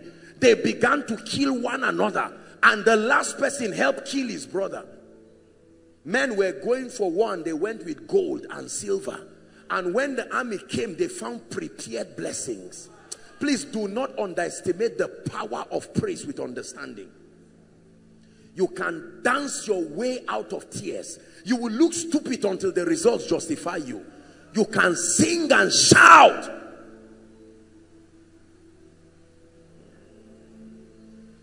Praise is very powerful. It's not a psychological way to motivate yourself. No. Are we together? Praise. You exempt yourself through praise. You have to know this. I've also taught you that one of the ways that you can exempt yourself is through the mystery of sacrifice. Sacrifice is very powerful. Psalms 50 and verse 5. I'm just doing a quick recap. We have all these teachings. You can go and listen to them. Gather unto me my saints, the Bible declares, they that have made a covenant with me by sacrifice, by sacrifice, by sacrifice. There are covenants that you can enter not even knowing it's a covenant you entered. Sacrifice. The Bible says that Solomon sacrificed a thousand burnt offerings. And that night, not the next day, that same night, the Lord came to him and said, Solomon, ask what he will. And then he asked, not for the life of his enemy, but for wisdom to govern the people. And he said, you did not ask for the life of your enemy, nor riches, nor this. Because of that, I will give you an understanding heart, he said. And with it, I will give you riches, I will give you wealth and honor, and so on and so forth. Sacrifice is powerful. Unfortunately, I know that it has been abused, you know, especially by women of God who try to manipulate people to just get a lot of money. But just because something was was abused, the word abuse comes from two words, abnormal use. That means when you take the use out of its, its boundary of relevance. Just because something has been abused does not mean you throw away the baby and the bathwater. Sacrifice is powerful. You can sow your way out of realms. You can sow your way into realms. Sacrifice that is done with understanding, not manipulation, not coercion.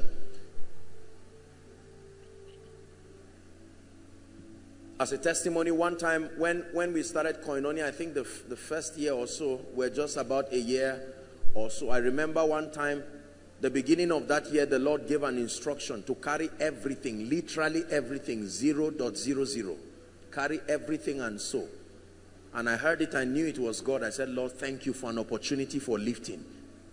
Not thank you for being a robber. God does not rob as we carried that seed and sowed in seven days, seven days, God did a miracle that is only in heaven we all know what God did. But it's a, it's a mother of miracles to this ministry, even financially.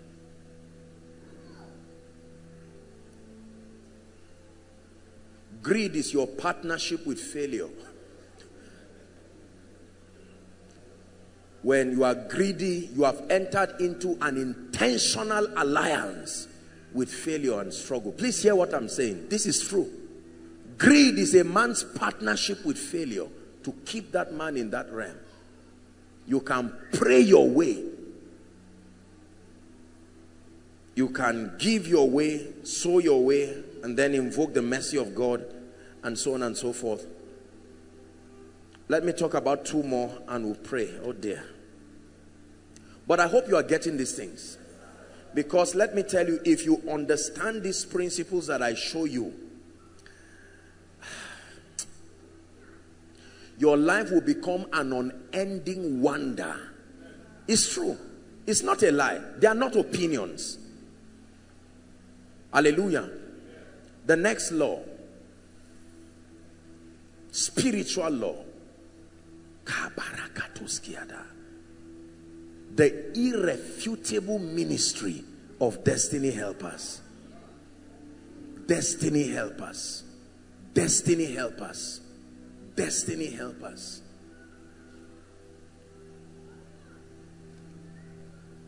These are some of the ways of the kingdom that you must learn passionately.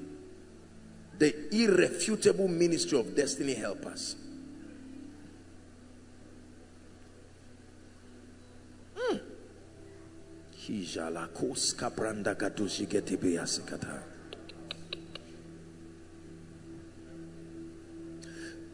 Everything on earth multiplies on the basis of relationships. Please understand this. Everything on earth multiplies on the basis of relationships. We are relational beings. In fact, the faith walk starts with a relationship. A relationship with Jesus in an experience that we know to be the new birth. Relationships matter in this life. Please listen. When you master relationships, you will tame life like a dog. I wish I had the time. But let's look at just one scripture. Second Samuel chapter 9. It's a long reading. I don't know if we can look at it. Second Samuel chapter 9, we'll start from verse 1. Destiny help us. There is, there is a teaching. And David said, ah, I answer amen for this, for even myself. And David said, Is there yet any that is left in the house of Saul? that I may show him kindness for whose sake? Not for his sake. For Jonathan, because you are related to Jonathan. I want to change your life. Next verse. And there was in the house of one Saul a servant whose name was Ziba. And they went and called unto David. They called him unto David. And the king said unto him, Art thou Ziba? And he said, Thy servant is he. We're reading, please. Go ahead. And the king said, Is there not any in the house of Saul that I may show him kindness? And so on and so forth. And Ziba said unto the king, Jonathan had yet a son, but this son is lame on his feet. Is a son, but it's a son that cannot help himself. Next verse. And the king said unto him, Where is he? And he said, Behold, he's in Lodebar, and so on and so forth. Verse 5. Let's hurry up. I just want us to get the, the central message. And the, and the King David sent and fetched him out of the house of Machir, and the son of Ammiel from Lodebar. 6. Now, when Mephibosheth, ah, the son of Jonathan, the son of Saul, was come to David, he fell on his face and did reverence. And David said, Mephibosheth. And he said, Behold thy servant. Seven. And David said unto him, Fear not, for I will show thee kindness. Not the Spirit of God. Man can show man kindness. A man can decide to use his influence and change your life. Please understand what I teach you. Every blessing comes from God through man to man. There is no blessing that comes from God to man. No, it comes from God through man to man. Every good thing lives from Satan through man to man or from men. For Jonathan thy father's sake, and I will restore thee all the land of Saul thy father, and thou shalt eat bread at my table. How long? If he ate only one day, it to be painful. It's painful to enter some realms and go out. He says continually, continually, continually. And he bowed himself and said, What is thy servant that thou shouldest look upon such a what? A dead dog as I am. Ah! Water you turn into wine. Open the eyes of the blind. There's no one like you.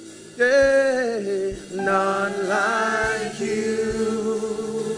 Water you turn, say, water you turn into wine. Open the eyes of the blind. There's no one like. We're talking the God of heaven here.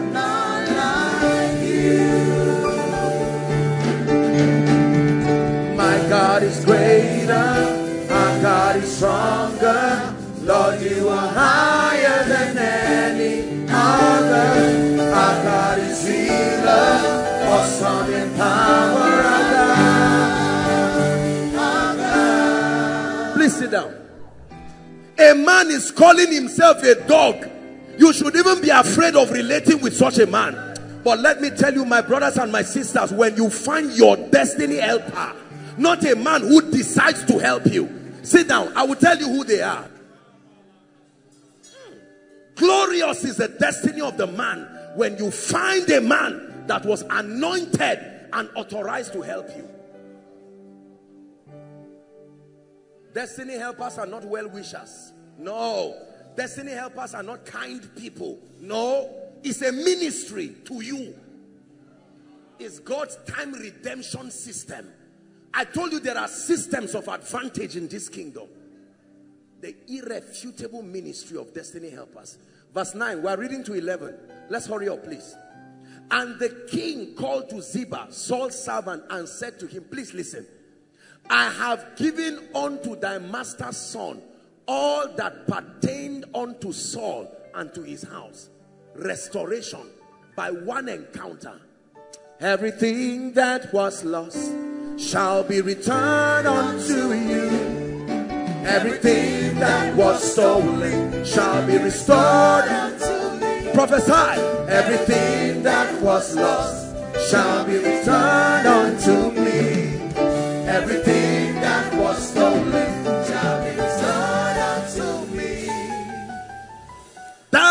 Therefore and thy sons and thy servants shall till the land for him. Now listen, and thou shalt bring in the fruits that thy master's son may have food to eat. But Mephibosheth, thy master's son shall eat bread always at my table.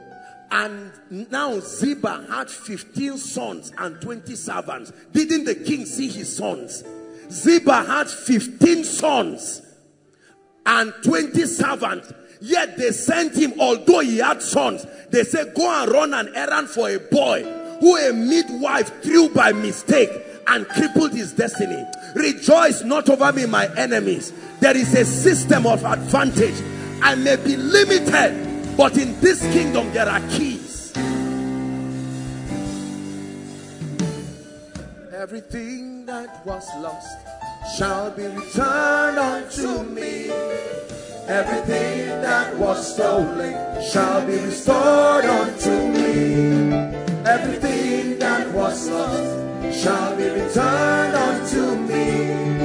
Everything that was stolen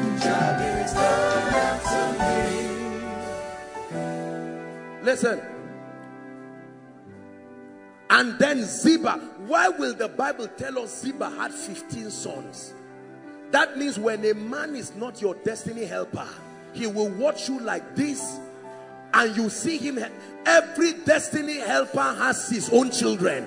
He has his own relatives. He did not even say, Ziba, take two of your sons. Let me help you while I help this guy. Every disadvantage, you don't take blemish before the king. Did you not read Malachi? You call me a king. Why do you bring me animals with blemish? The guy already called himself a dog. The king said it doesn't matter. May you find the man anointed by God to lift you.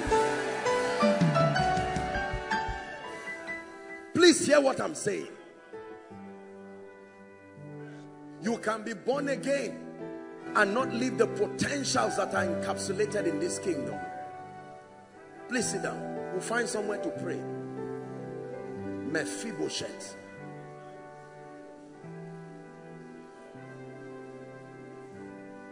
There are four kinds of destiny helpers. Let me run it quickly in two minutes. There is a teaching, please get it. Number one, they are called divine connectors. Divine connectors don't have the power to help you, but they know who can help you. An example is the little slave girl. The Bible talks about Naaman, the captain of the Syrian army. He said he was a valiant man in his battles, but he was leprous. As valiant as he was, he could not meet Elijah, but there was a little girl who connected him. The young man cannot give you a job, but he knows which job is, is, on, is on application right now. The young man does not have the power to write you a check, but he knows how to connect you to someone who honors your vision. Divine connectors. Number two, the second kind of destiny helpers are called men of access. These ones are people who have influence. They are gatekeepers of industries.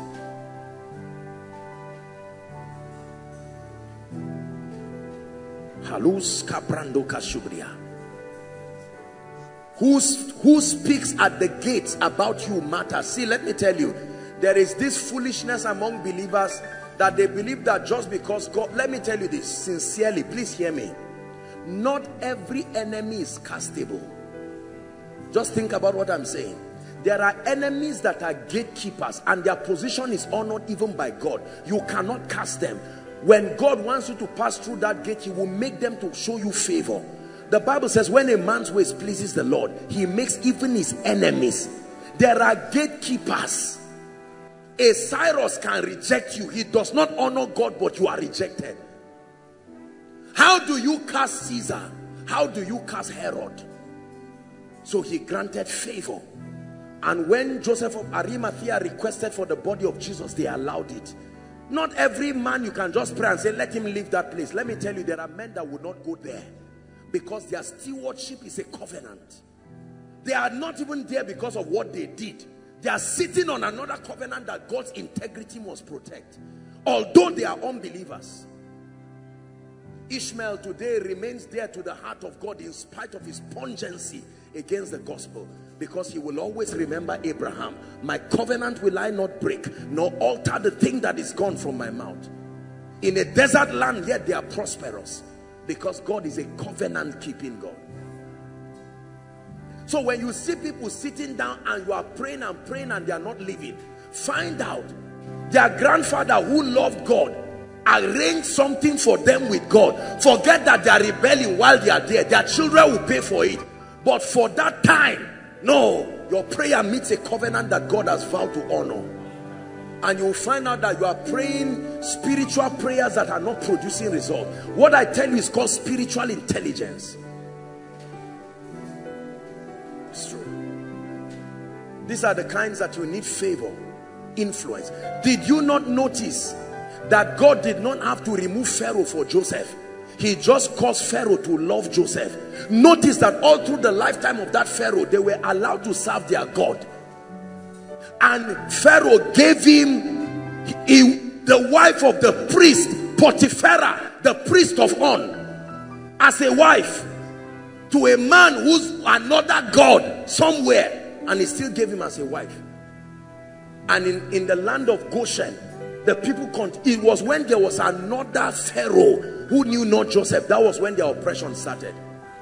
So even in a land that does not seem to favor you governmentally you can reign favor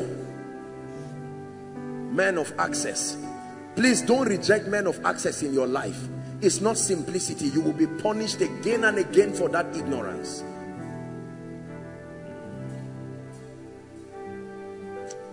hallelujah number three the third category of destiny helpers are called gifted people. Gifted people. These are people who are an asset to you. Every pastor needs these people. Every father needs these people. They are the people that make work easy. They are the Aarons and the Hurs. You need gifted people. They must be sent by God. You will see a big church of 5,000 people and only one person is trying to learn how to play the keyboard. You need to cry for gifted people.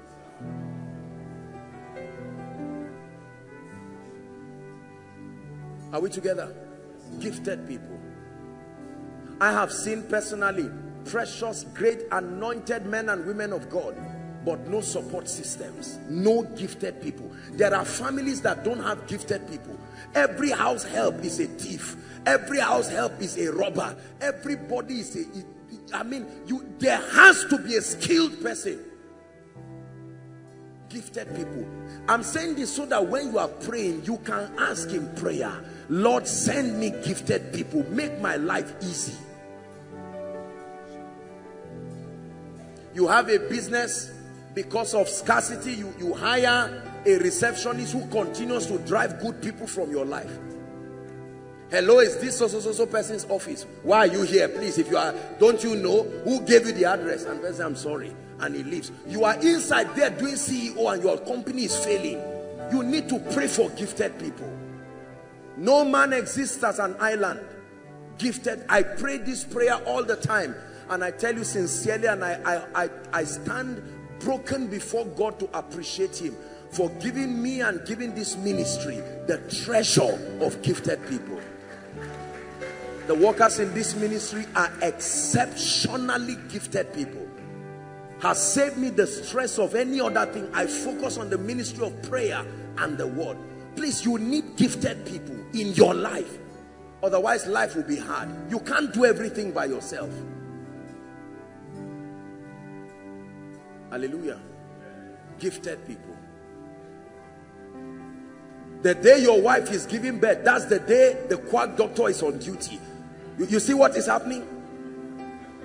The day your child is sick, that's the day the serious doctor wants to give an injection and he experiments around your child to make him like Mephibosheth. The midwife that threw Mephibosheth, she was called a midwife. What happened that she threw the guy down? Do you know the kind of fall you have to throw a child to break the legs and scatter the child? Lord, send me gifted people in the name of Jesus Christ. And the last of all, very quickly, they are called burden bearers. The last of the destiny helpers are called burden bearers. During the, your down times in life, you must pray that God will send you people who don't love you because of the throne. They love you because of who you are. The flattery of success can kill. People can clap when there is a crown on your head. But when you are at the cross you will need burden bearers. And Jesus was on his way to Golgotha the Bible records.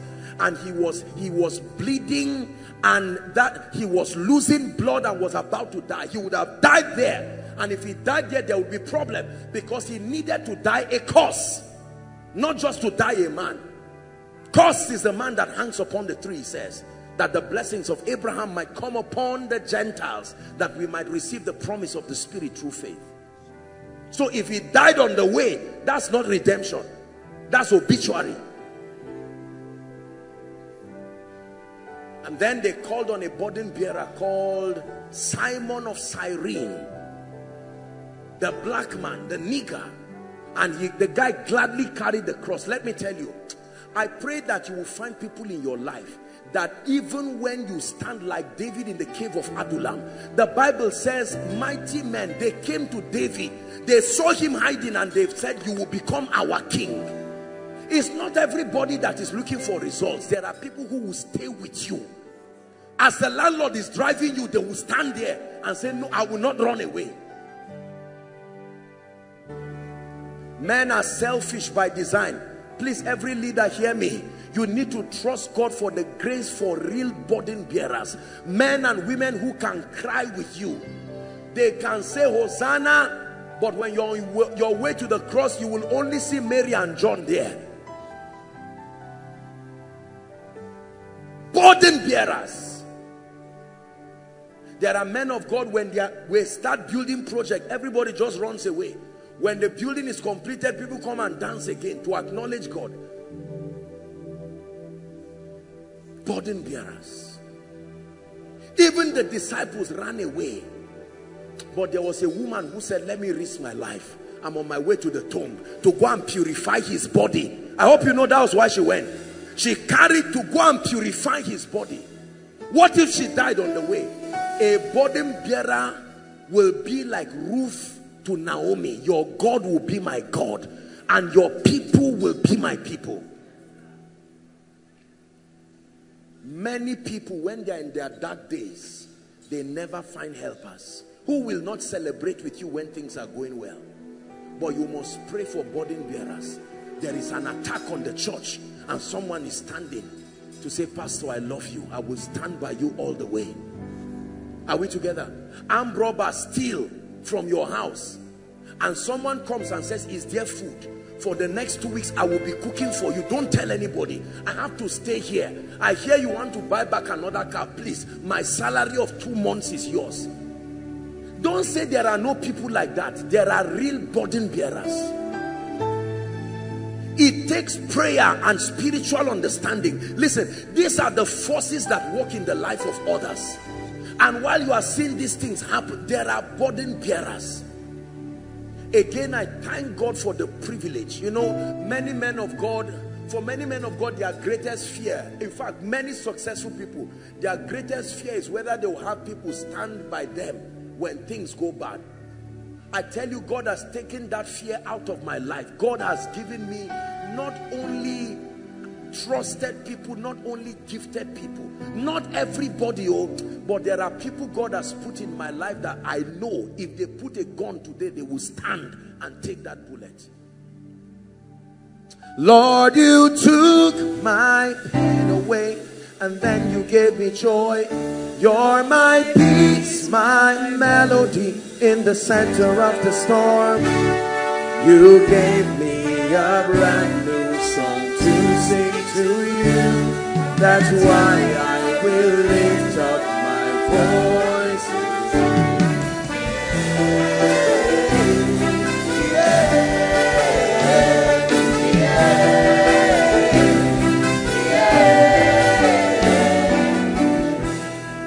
You've taken the pain and the sorrow away. You've given me peace undeniable. There's no need to cry cause you're always with me. You're my father, my everything.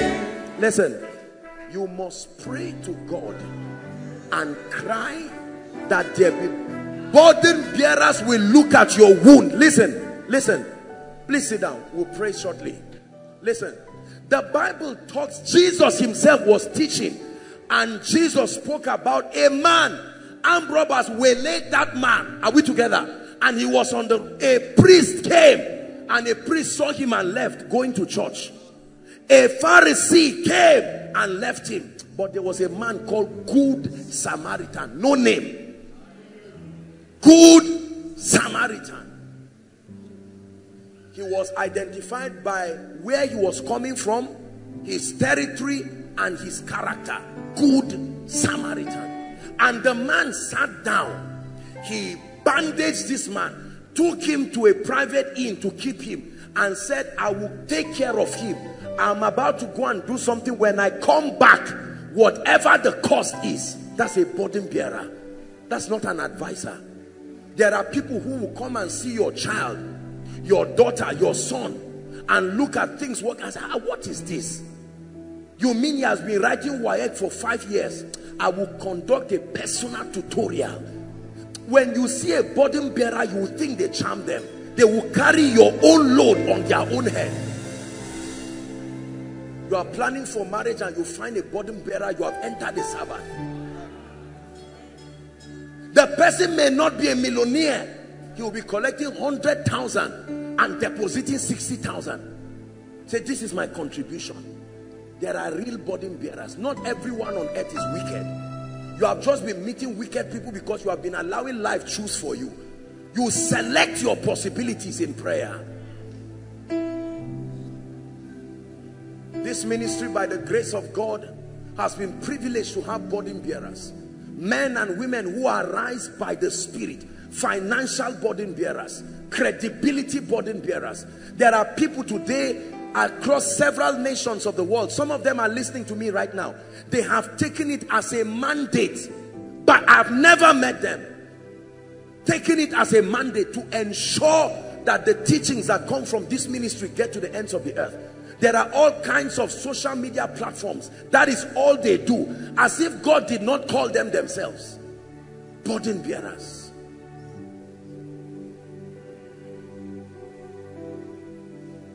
It is painful to be alone.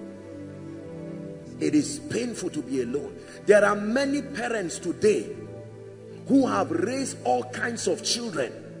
They had just five or six of their own children but they raise up to 50 children of other people and these people in old age will be in the hospital are we together now looking for one million for a treatment and all those 40 people they raised not one person can stand up to be responsible to say no i remember history. I will never allow mama die like this. Some of them will have private hospitals. Some of them will have schools. You need a burden bearer in your life. A burden bearer in your life. I've had the privilege by the grace of God in my own capacity to be a burden bearer to certain people and I'm happy doing it a burden bearer will go all out to turn your crying to weeping. That's his assignment. To insist till you laugh. Why are you about to go away? So I'm in 200 level. My father just died. My mother just died. They don't sit down and say I will from the same village. That's not a burden bearer.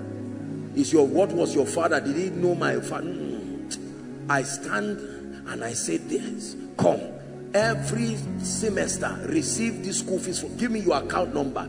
I will be putting 10 10,000 until you graduate. And when you are about to graduate let me know so that I will ensure that you have a job. Now you have a job you are doing well. Sir this is the wife I want to marry. Oh really?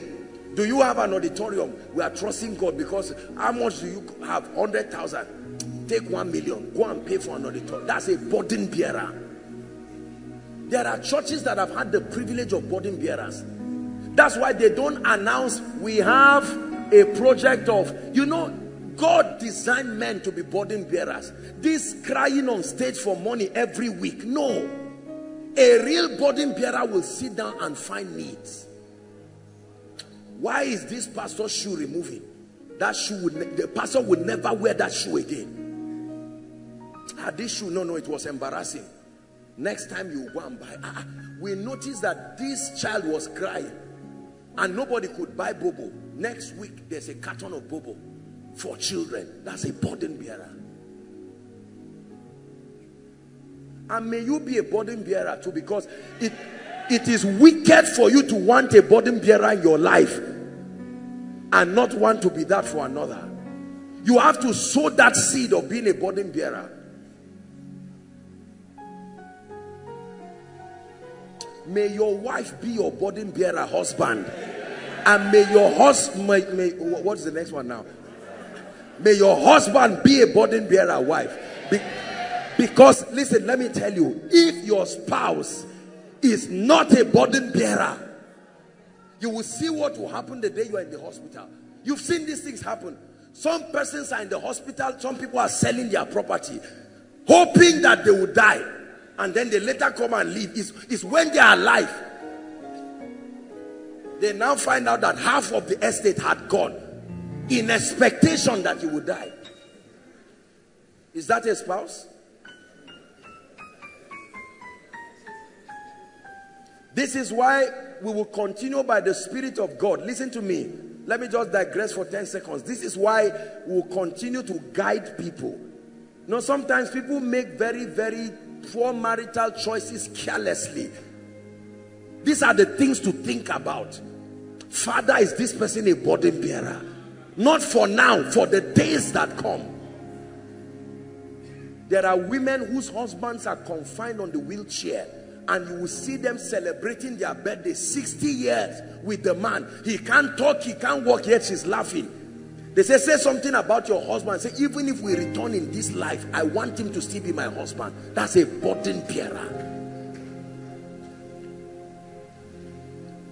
My generation, hear me. Open your eyes and your spirit and your understanding and not make a catastrophic mistake that would destroy your life. burden bearers. In my life, I have seen this. There are men of God who have taken it upon themselves to ensure that every platform that can afford me the opportunity to teach the ways of the kingdom is there. I am amazed at the invitations that continue to come from around the world and you hear that one pastor went and he took his time and sat and said, look, this and that and that and burden bearers. The Lord gave the word. He said, great is the company of them that published it. If you don't have a burden bearer, you will pay for everything. The one who will help you drive your car, you will pay. The one who will help you cook, you will pay.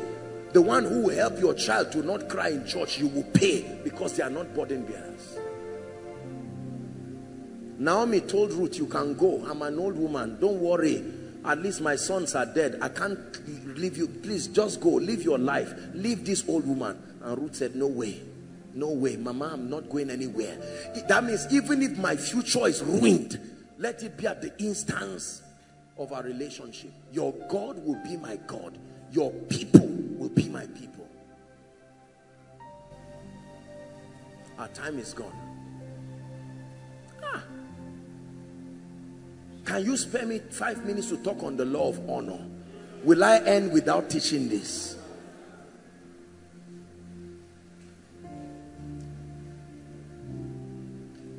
As you are agreeing to give me five minutes, it also means you are agreeing that if you don't have a legitimate reason to see me, you will go home after the grace.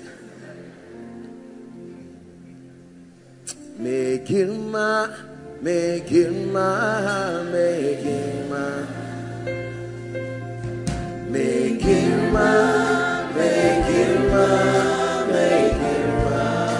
Make him ma, make him ma, make him ma. Make him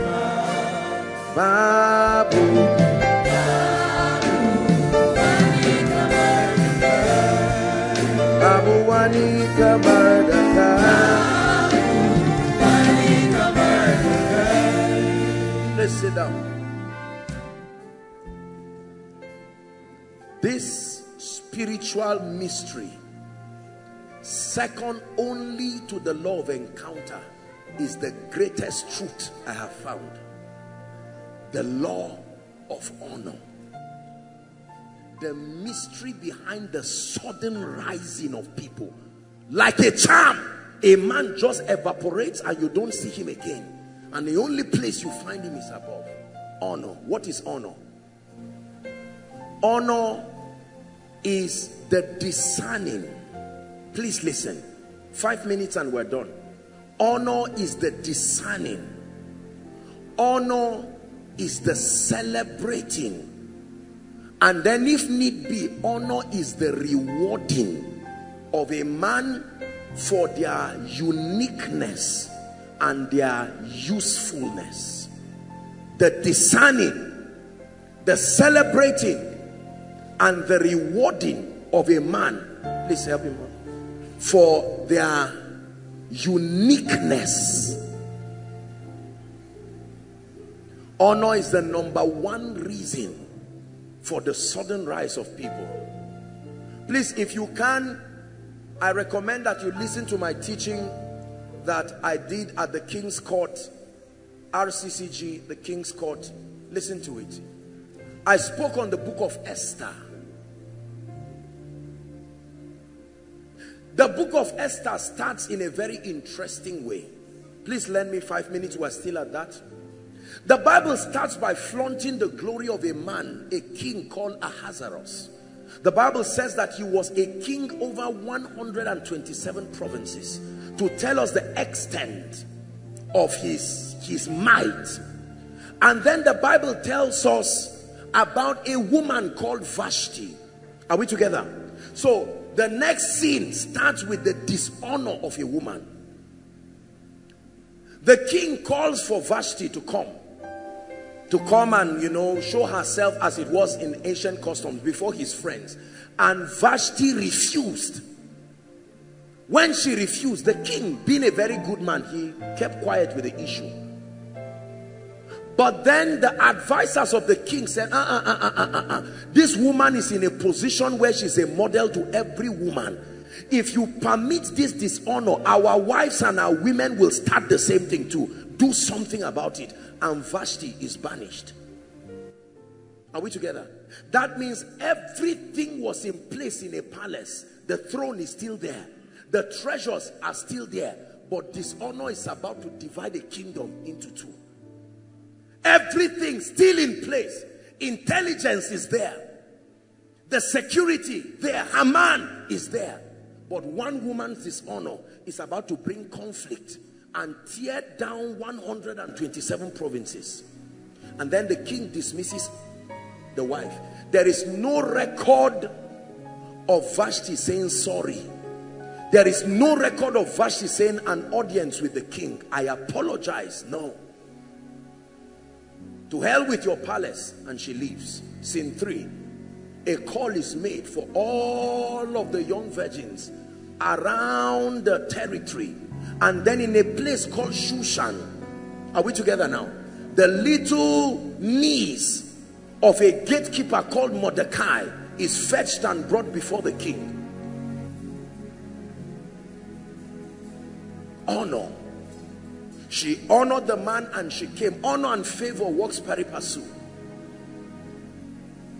There may not be time to talk about favor, but if you if you if you practice honor automatically, you will find favor. Favor is the reward for honor. Are we together? So when she came there, the Bible says in Esther chapter 2, please give us verse 15 and then we'll go to verse 17. That there was a grace for favor that was upon her. Now when the turn of Esther came and so on and so forth, she went to Hegai, required from him the last sentence. And Esther obtained favor in the sight of all them that looked upon her. Favor is a grace that works with sight. When, when the grace for favor is upon you, only a blind man will ignore blessing you. Provided there is a man that has the eye that can see, they are compelled to bless you. Verse 17.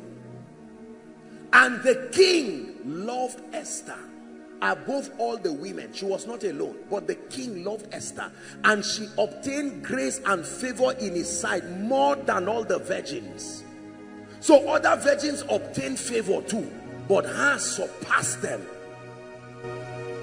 so that he set a royal crown upon her head and made her queen instead of Vashti. Are we together? And then when you read on, you will find out that a lot began to happen. And she declared a fast because of the threat of Haman, his plot to destroy the people of God. And she went to the king and he lifted the golden censer the scepter and invited and said what should i do? A wise woman look at honor. Honor is a weapon. In that in the book of esther there is no priest. In the book of esther there is no prophet. In the book of esther there is no apostle. In the book of esther there is no war. There is only a woman. But she defeated everybody with a tool and a weapon called honor. She honored her man to his grave honor is a weapon. It not only lifts it can kill. A wise a foolish woman would have told the king and said king her man wants to destroy us. Will you watch your beautiful bride go? See that? But a wise woman, when he gave her an opportunity, her honor, she discerned his mood and she said, Oh king, I want to give you what the first wife didn't give you. It was her not honoring you that took her out of the place. Grant me the opportunity to present a banquet. And the king said, finally, I find a woman who understands that with all humility, I am king over 127 provinces. Talk about my province first before my request. Don't before your don't come before me and request. Talk about the province.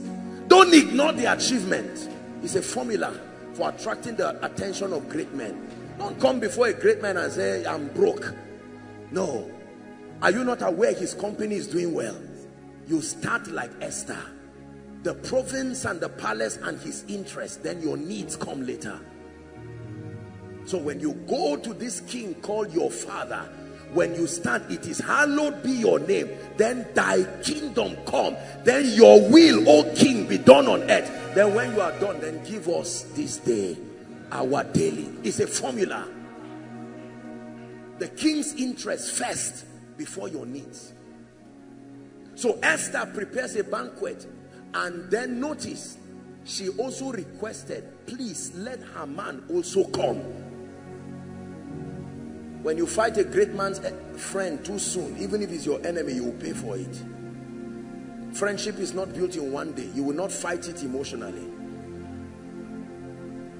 Haman had done many good things for the king. For one woman's plea to make him destroy the man. No.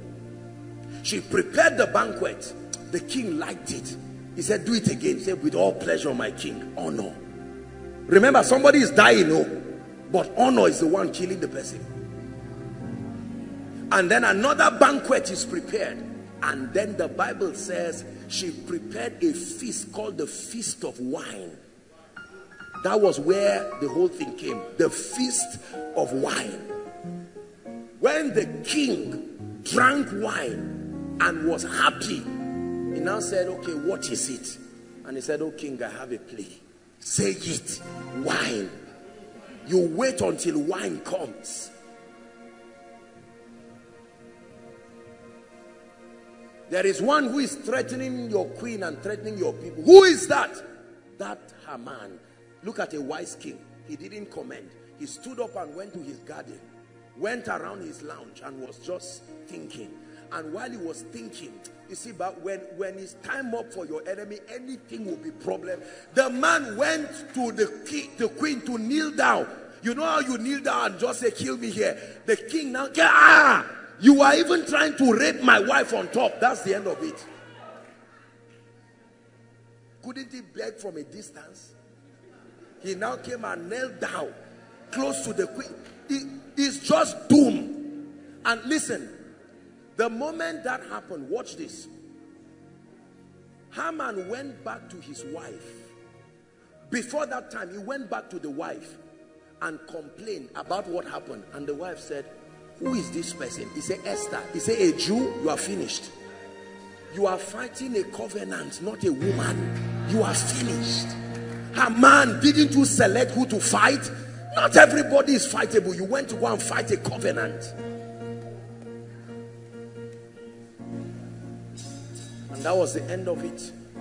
Haman is hung on that same gallows. Mordecai occupies Haman's position. Esther occupies Vashti's position. So who said God cannot replace men? Who said God cannot lift? Please hear me. Honor is powerful. Dishonor is dangerous. There is only one reason why men fail in life. Carry this message. Dishonor to God, dishonor to men, dishonor to principles. One more time. Dishonor to God, dishonor to men, and dishonor to principles. This is why people fail in life.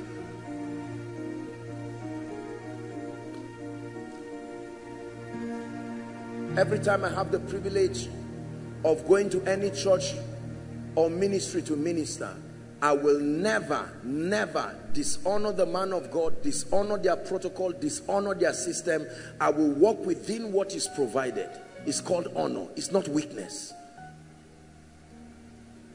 Honor your father and your mother that your days may be long. I tell you why many young people are dying like chickens. Dishonor. Dishonor dishonor.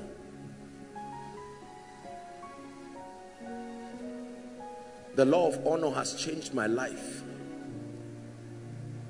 The law of honor has lifted me, lifted this great ministry. You can earn a living practicing honor. Honor is a stream of income. When they say mention your streams of income, don't just mention real estate and shop and poultry say honor a wise man will clap for you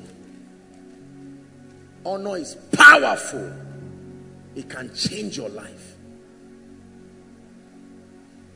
In this kingdom, who hates you does not matter, but who likes you matters. Honor is powerful.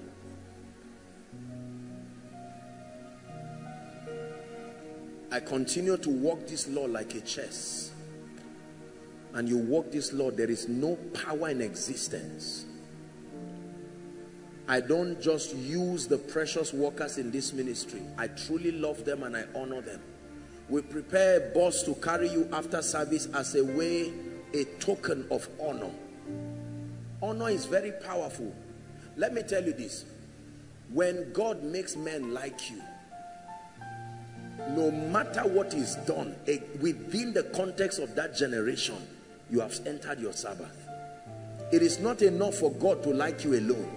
The men he uses must like you. God can tell Pastor Femi, come Pastor Femi, I'm rounding up. God can tell Pastor Femi to bless me.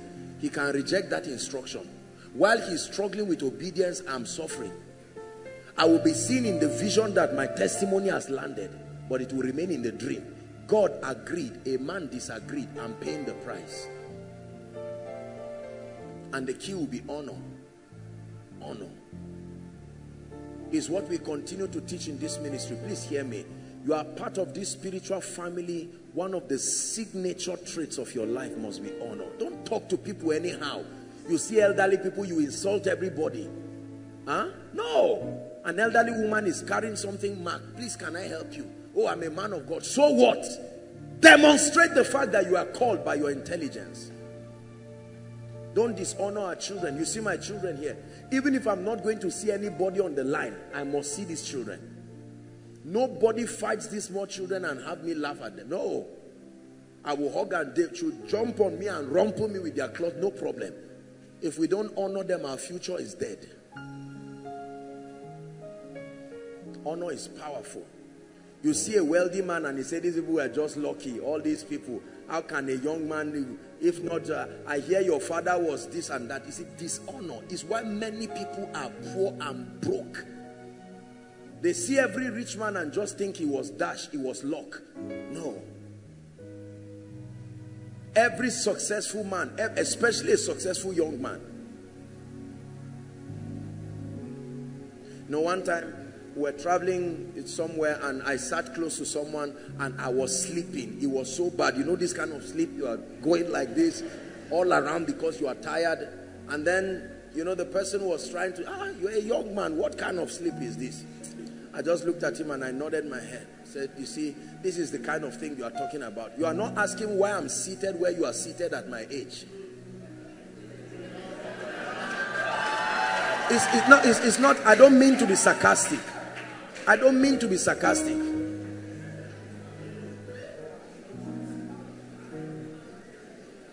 The first question is, how did you get here? Listen, please don't dishonor anybody. You have a job and someone does not have a job. The person who does not have a job, you can honor your way. I've taught it commanding result. Listen to it. One day, get up in the morning and polish the shoe of the one who has gotten a job. Don't say it's my younger brother, it's my younger sister, it's my. Uh, when I was in in, in SS uh, um, uh, SS3, it was all those all those superstitious trado African approach to life. You, you you will be punished again and again. I have a great deal of respect for people who honor me sincerely. If you if you if you trivialize what I represent, I will not fight you. But I will never prophesy to you. You will not be, you will not be close. You will not be around my life again. Because I'm going to waste my time. I don't love, I don't hate you. I will not do that. I will never dishonor or despise any man called young or old. No, I honor all men. Beware of people who have mastered the art of trivializing what you represent. They may be sincere, but they are dangerous to your growth. Not to flatter you, but please, if you have 127 provinces, it is not a bad thing to have a feast. Oh, Ahasuerus. 127 provinces is not a kiosk. Let us learn to practice honor. Some of you need to go back and appreciate your parents. Your father is a prof. Your mother is a prof. You are there sweeping the ground in life. You can say, Daddy, mommy, please. Whatever I've done, whatever needs to come on my head, how much is chicken that you cannot buy and prepare? I'm telling you this. There are parents who never went to school, but they raised 10 children. Not one of them is an armed robber. You think it's just, there is a grace there. One child is about to kill you. Go and meet them. Buy something they like and say, please, place something on my destiny. When I was about to start ministry, I met my father and my mother. And I told them, I said, I told my mother, I said, you're a pastor's daughter. Your father was a pioneer. My grandfather was the first cooking president. The first cooking president.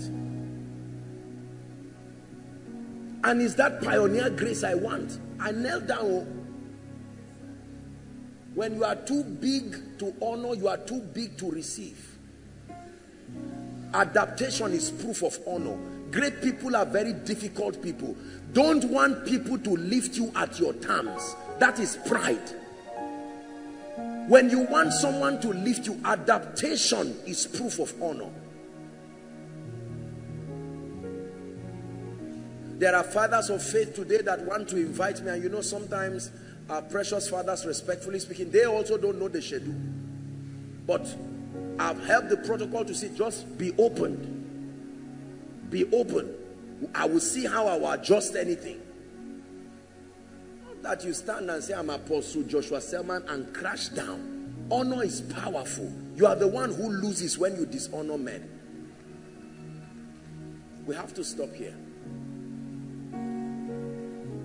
Teach your children to honor. Don't see a stranger and come and slap him. You spank the child and, and, and prophesy to the child and say, I did not give birth to this. In the name of Jesus Christ, you must change. You must become like your father. Pamper your child to have something, some produce something that would destroy you. There are people about to start ministry and will meet everybody like a colleague. They are failing. They don't, they don't have the influence and the credibility and they will not listen. They come to everybody, ah, I'm just one of those. I hear you are the Femi Abi, the, the Femi, uh, Pastor Femi, sorry. You see, already, even if he prays for you, I assure you, even if you fall down, you didn't get anything. Yes. Falling down has never been the requirement for reception. It is honor. The door you dishonor closes towards you. I never find a man that carries something I need and I will keep quiet with it. No. One day God will give you an opportunity to see how I honor the fathers. You will be surprised. It's just that honor at that level always happens in the secret.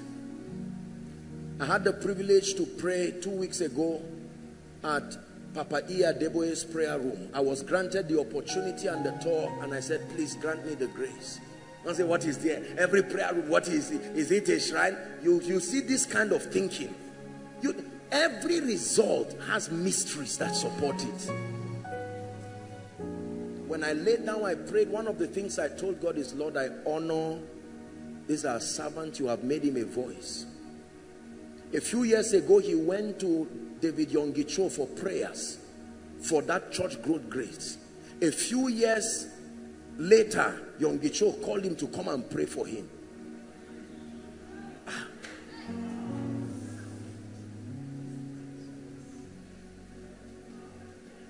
I made sure that I treated every staff there. The staff were there, ah, apostle, you are the apostle, pray for me. I said, no, I know that I will pray for you, but I came here to carry a grace. Honor.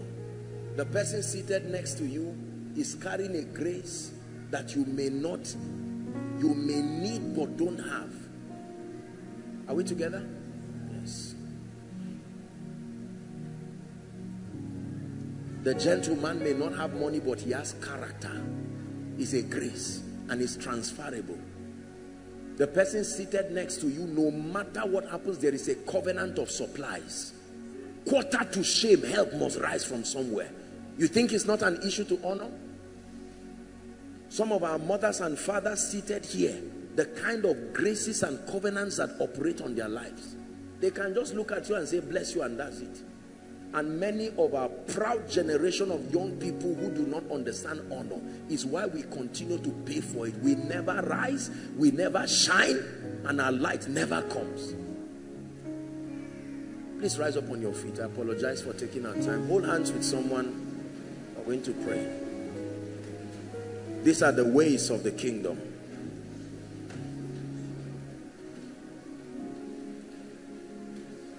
Just one prayer and we are done tonight. I apologize. Our time is up. I don't know which of these laws I have shared with you. I don't know which of these mysteries. Please hear me.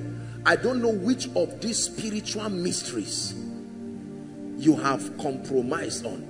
But it's time to cry to God. I have said, there are many of them. This is a revision. Just come hold him. Please help him so that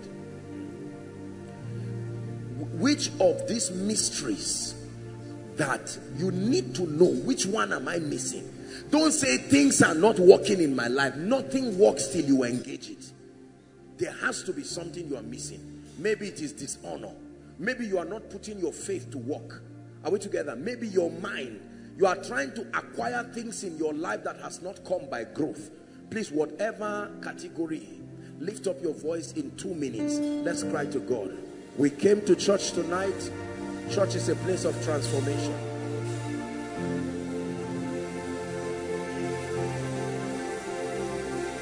The Lord has declared by his spirit that this is our year of extraordinary fruitfulness.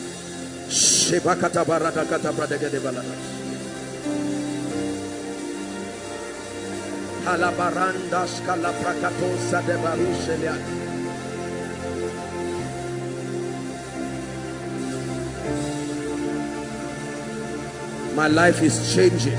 Prophesy to yourself. I'm rising by the Spirit, by the power of the Holy Ghost. In the name of Jesus.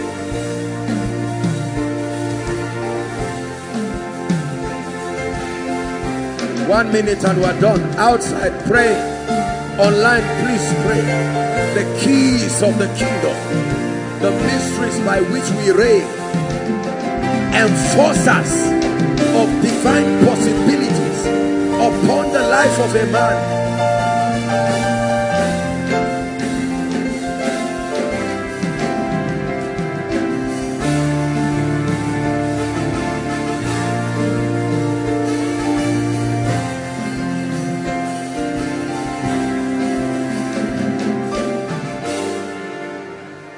Hallelujah. Father, we desire to bear fruit. We love you and we want to attain unto that height, that image, that stature. We want to be a people very spiritual. We want to be a people very transformed. We want to not only be ambassadors of the kingdom, but we also seek to be agents of national transformation. That our lives will not be a nuisance to civilization. Our lives will not be a nuisance to any society. We want to be prosperous. We contend for kingdom influence. We want to walk in superior dimensions of the gift of the Spirit. Quicken our understanding, oh God.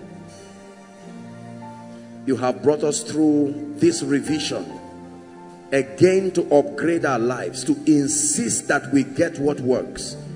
I pray that you break every stony heart in the name of Jesus Christ. Give us a heart of flesh. Give us a heart that is compliant in the mighty name of Jesus Christ. Father, we decree and declare that we meditate on these things. We give ourselves wholly to them and we declare that our profiting will appear unto all. Everyone who has come under this grace and this influence tonight is blessed. In the name of Jesus, we thank you, we thank you and we bless you. In Jesus' name I pray. Yeah. Lord Jesus, we thank you for tonight. Oh, what a privilege. What a privilege.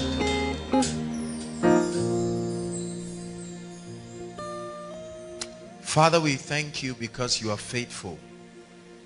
We bless your name for this opportunity again to be gathered together and to worship, to learn, to be built, to be established in truth. Lord, we thank you because you are faithful. He leads me and guides me to the city up above. He leads me and guides me to my place of destiny. He leads me and guides me to the city up above. He leads me and guides me.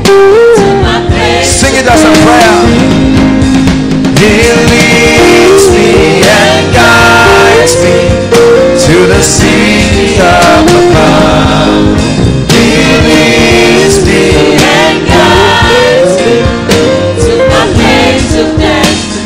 Hallelujah.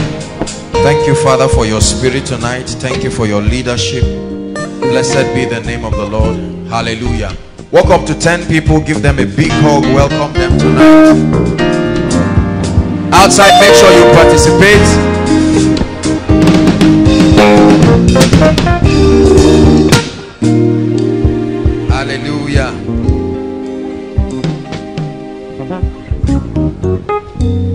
God bless you. Please be seated. It's good to have everyone around. Hallelujah. Now, some of you, this is the moment you like when we say hug one another. Hallelujah. Praise the Lord. Good evening, everybody. Very quickly, I'll just perform a function quickly and then we'll get to the word. Hallelujah. Praise the Lord. Uh, now, as a few of you might have heard, on Tuesday, one of our dear sisters um, transited to glory. Praise the Lord. Um, she died in a motor accident and um, she was buried this morning. Praise the Lord. Our dear one, Sister Lillian Isa, the head of department of um, decorations. Praise the Lord. And um, we followed up with the family. We followed up with the um, members of the department. We thank God for one thing because the Bible says, precious in the sight of God.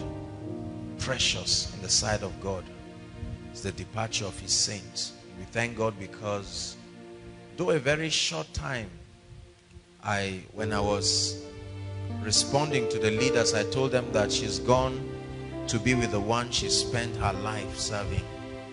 Hallelujah. The Bible tells us in the book of First Thessalonians verse 4, when you begin to read from verse 13, the apostle says that I do not want you to be ignorant, brethren, concerning they that sleep, that ye grieve not. Hallelujah. Or that ye sorrow not. Really, that's the word. There is a difference between lamentation and the human expression of pain over a departure of someone.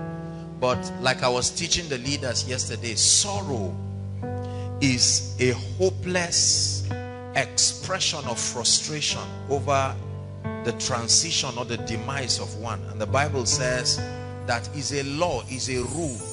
Believers don't sorrow. Hallelujah. She's, she's been an instrumental blessing to us in the house. Lovely person. And um, we thank God for the opportunity that we had with her around. She was buried this morning in Kogi State. And um, we're strong. The members of the department are strong. And it's my responsibility to perform this function. We're going to, this is just a tribute to her.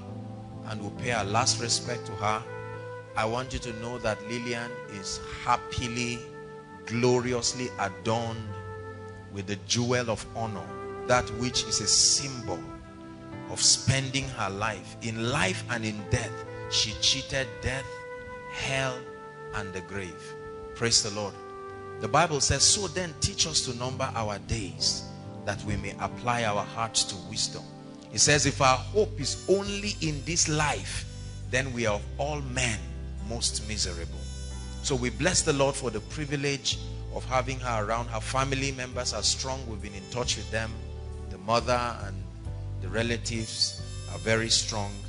And uh, in one minute, I'd like us to please stand up, everybody inside and outside, just for a few seconds to pay our last respect to one of us, our finest, who has gone to join the cloud of witnesses.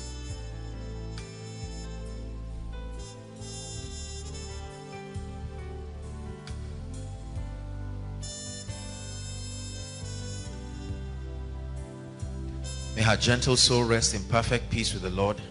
In Jesus' name. Amen and amen. God bless you. Hallelujah. Praise the Lord.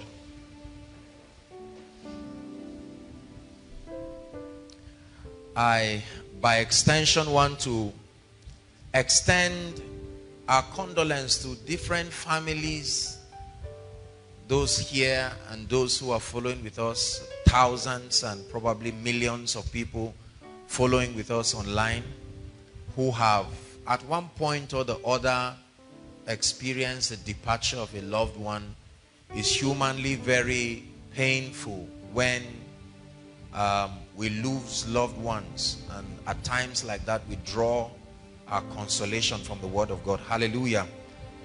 While having my retreat in the course of the week the Lord gave me an instruction to teach us um, a few things that I'll be sharing with us. And so I want us to please pay attention in the name of the Lord to what I'm about to teach us. Um, permit me to temporarily suspend the financial series will continue next week so that I can just communicate that which God has put in my spirit. Hallelujah. Praise the Lord. I'm going to be teaching tonight on the biblical keys to longevity. Biblical keys to longevity. Please make sure you're writing. It's a very important teaching, especially at this time.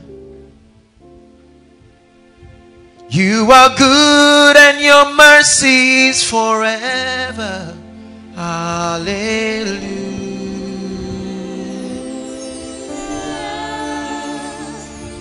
You are good and your mercy is forever. Hallelujah.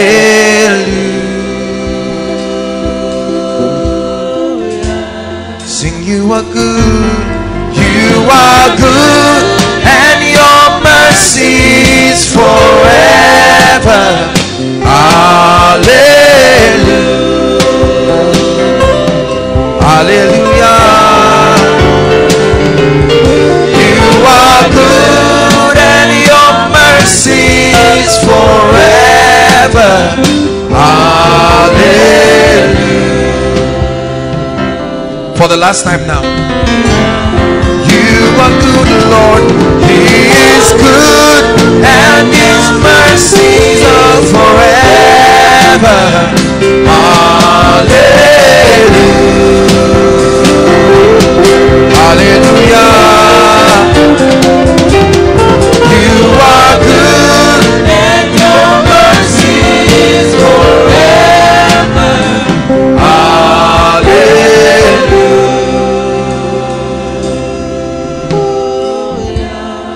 Hallelujah. The subject of death and the issue of longevity and um, the concept of life has for many years and centuries been a subject of debate and a subject of concern because it's something that seems to happen to the entire human race. Death is something that seems to have um, a power and a force that looks like it cannot be restrained. When it comes upon a person or a family or a territory it seems to just take them. And human beings have tried to negotiate with death and they found out that you cannot buy long life you cannot lobby yourself into long life. And so that that inevitable reality of this system of death has forced mankind to respond in different ways. Others through fear others through all kinds of mechanisms. And um, particularly for the church it's been a subject of concern. Is there a formula for long life. Is there a principle? Is there some sort of guarantee? Please pay attention tonight. Can a man actually make a bold claim about longevity? Or are we to just walk and hope that someday death will just come and whenever it comes it can take us this has been a great source of confusion in the body of Christ. There are those who are of the opinion that um, you know this is what the Bible says and this and that. And there are others who have all kinds of stories you know of well-meaning loving believers pastors ministers of the gospel who have died and um, in all kinds of things. Sicknesses have claimed the lives of people accidents acts of terrorism and so on and so forth. And so this the complexity of death is something that in spite of the civilization of mankind and the many centuries of evolution it's a question that has been at the heart of almost everyone. What is the guarantee that this may not be my last night? What is the guarantee that I can plan for 20 years and successfully execute it this has led many people for instance into being irresponsible because they feel there is no point laboring going to school paying the price getting a job getting married having kids and then dying and leaving people and so on and so forth.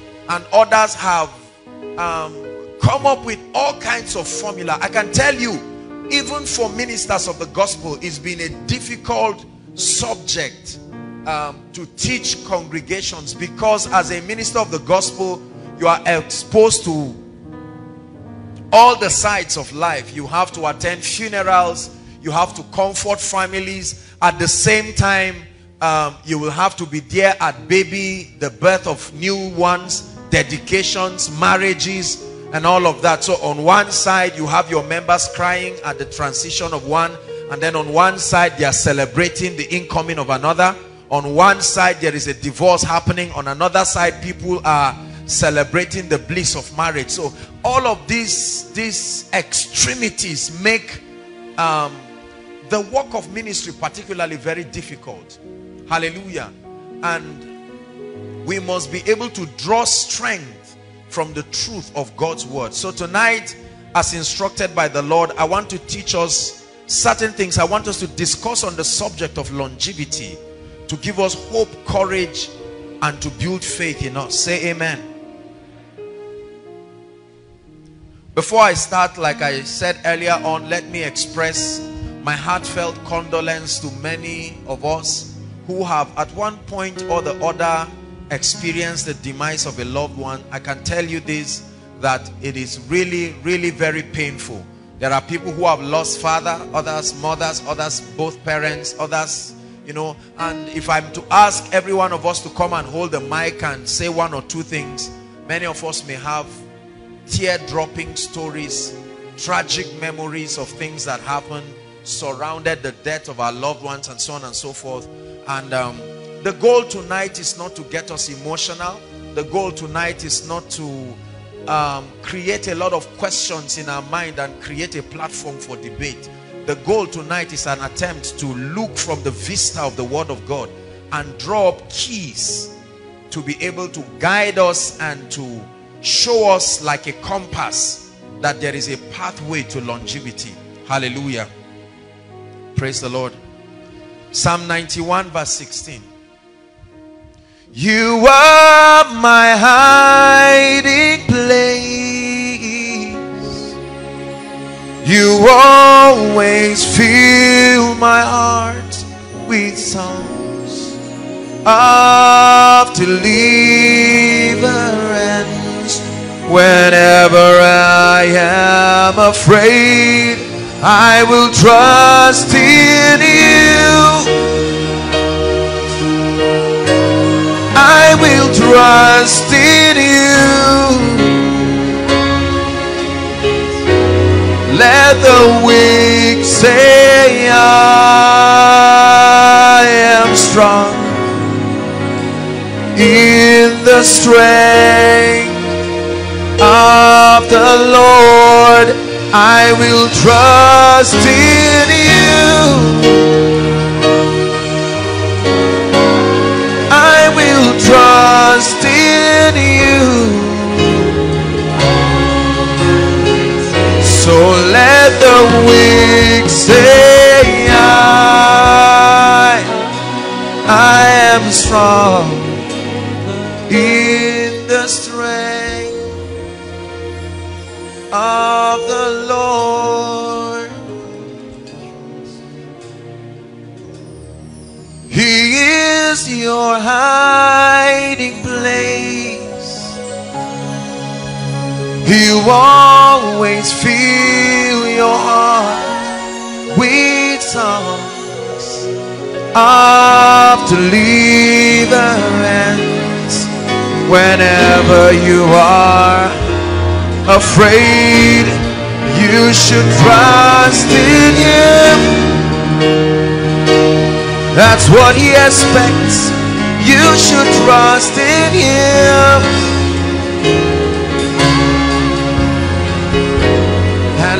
the weak say I am strong in the strength of the Lord. Hallelujah. I want to share a few thoughts. Number one, the first thing I want us to know about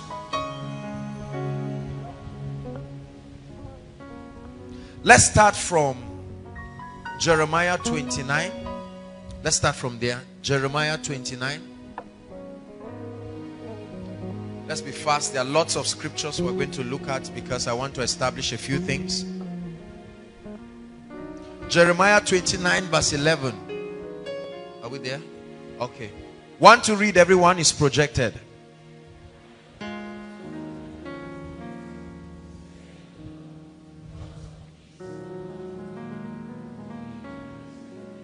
This is the part that I want us to focus on tonight. To give you a what? An expected end.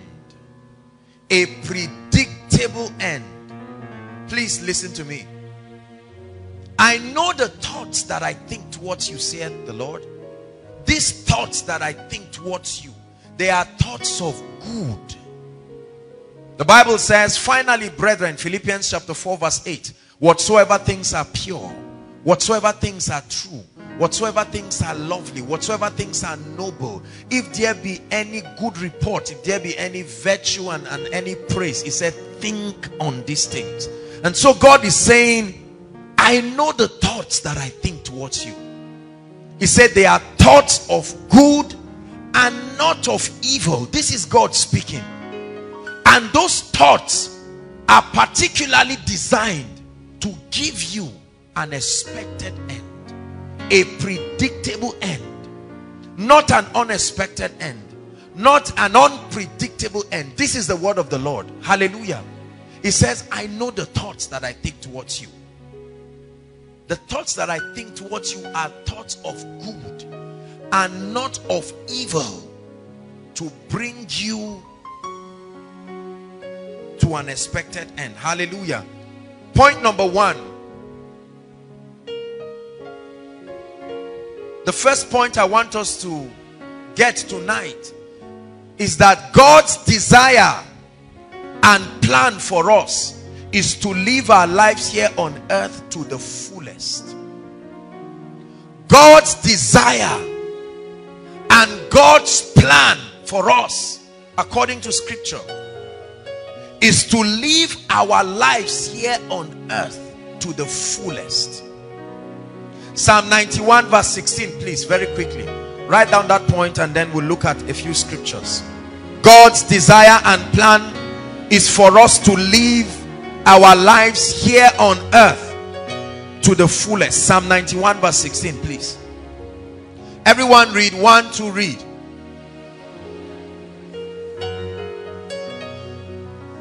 One more time. This is the Bible. This is the truth of God's word. It says, For with long life will I give him. Did he say, Will I give him? That means there is a satisfaction that comes when a man enjoys longevity. Are you getting blessed? It says, For with long life will I satisfy him, and in it I will show him my salvation. Number two, Exodus chapter 23, verse 26. Please, media, you'll be really fast. You help us. There are lots of scriptures to look at, and all of them are important. We're establishing the first point tonight that it is God's desire and plan for us to live our lives here on earth to the fullest. Exodus 23 verse 26. 23, 26. Hallelujah. Everyone read.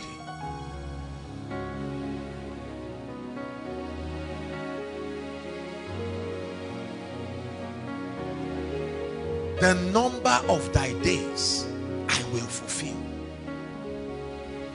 The number of thy days. There is an appointment with long life. There is an appointment from the throne. From eternity before you came. And it says the number of your days I will fulfill it. So that's the first point I want us to establish tonight. And listen, people, I want you to realize that um, I'm a human being. I understand that many of us are receiving this point with heavy hearts because you are comparing this truth of God's word versus the reality that for some of us have happened in recent times and for all of us as a house having to mourn the transition of our dear one but the Bible says forever O Lord thy word is settled a believer is not just one who has given his heart to the Lord. A believer is one who has submitted to the authority of God's word as the final say. Regardless of your experience, this is what makes you a believer. Is you are not a believer just because you were born again. You are a believer because you have come to a point where you have chosen willfully to allow the word of God take precedence and become the final authority over your life. Say amen. Do you believe what I'm teaching you? You must realize that you are not just a believer because you got born again and you are going to heaven. You are a believer like a wife who submits to her husband. Even if she does not like the way he's behaving, even if she does not understand her covenant of marriage, her covenant of being with him will force her to submit Sometimes he may beat her. He may be a foolish man, but she has chosen as a submissive wife that I will submit to his authority and I will bear his son name. That's what it means to be a believer. To be a believer is not to love God when you can explain things. To be a believer is that in the midst of your joy, in the midst of your tears, in the midst of your clarity, in the midst of confusion, regardless of what happens in your life the word of God stands irrefutable and unarguable in your life. Is God speaking to us? Are we growing as believers? This is a very mature teaching tonight if you do not come to a point where you exalt the word of God above your life you will backslide and you will run away from God. That's why we have many atheists today. Many of them were church children. Many of them were folks in Baptist and Presbyterian churches. But their lives were surrounded by so much confusion.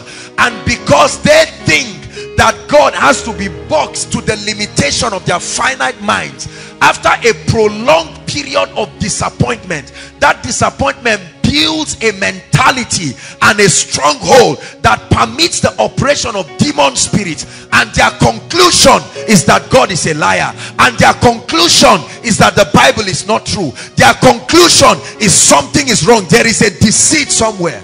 But the Bible says the Lord is gracious and compassionate. Slow to anger rich in love. From everlasting to everlasting he says thou art God hallelujah it is God's desire for us to live our lives here on earth to the fullest. Do you believe that? Point number two. Make sure you're writing. Point number two. The Bible shows us clearly that we can die before our time. The Bible did not hide it from us. It didn't leave it as a secret is clearly stated in the Bible that it is possible that although this is the desire, it is absolutely possible, supported by scripture, that a man can die before his time. Open bracket and write this. Especially if we do not diligently engage the keys that guarantee long life. Open bracket and write this especially if we do not diligently engage the keys that guarantee long life. This is a very hard teaching for many of us tonight but it will test your love for God. The Bible shows us clearly that we can die before our time. Ecclesiastes 7 17 quickly. Ecclesiastes 7 17 and Psalm 55 verse 23 we'll look at those Ecclesiastes 7:17. The Bible also teaches us under this point that the life of a man can be added and can be subtracted. Not only can the life be cut short, the Bible shows us that someone's life can be added to and someone's life can be subtracted. 7:17 Ecclesiastes.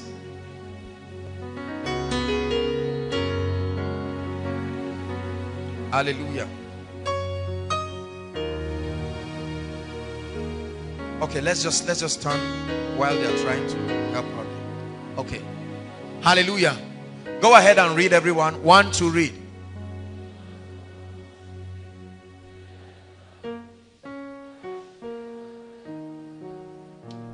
Why should thou die before your time?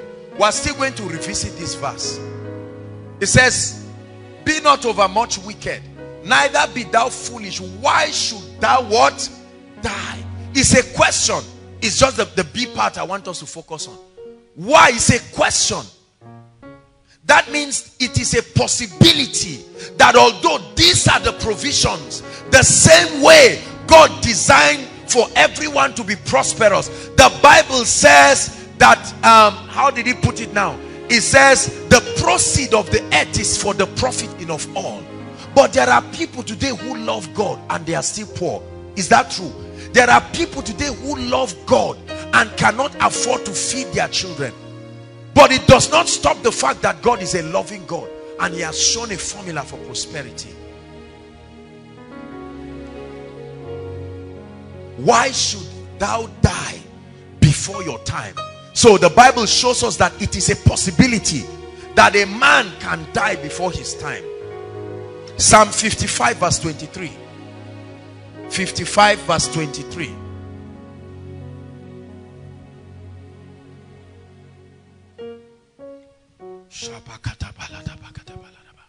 are we there? All right go ahead and read everyone. Those outside we apologize. Looks like they are not seeing the projection but just follow us very carefully. One to read. Shall bring them down into the pit of destruction. Bloody and deceitful men shall not live out what half their days. They will not even live up to half their days.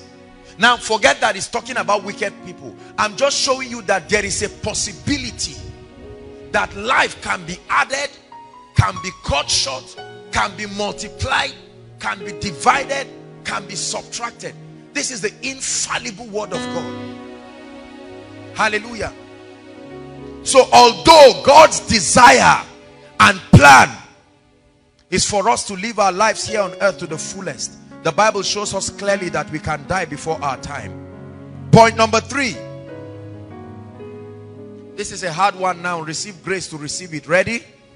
The Bible reveals that God is never behind us dying before our time.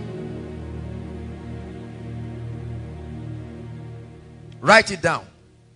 The Bible reveals that God is never behind us dying before our time. Isaiah 65 verse 20. Hallelujah. You have won the victory.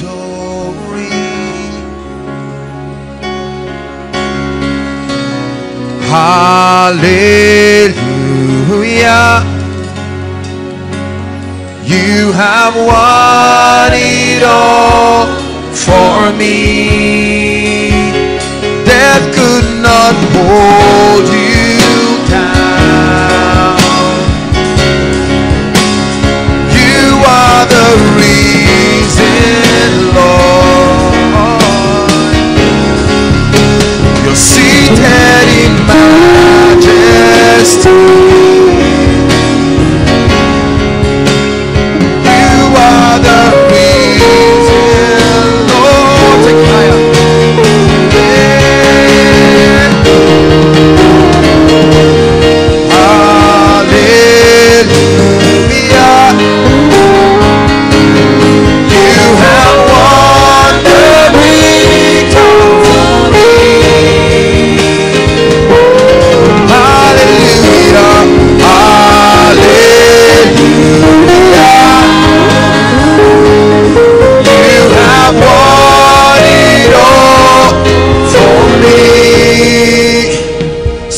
Sasa kibuchi.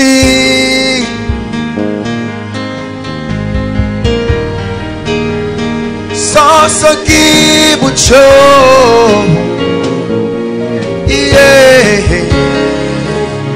Sasa kibuchi. Eh.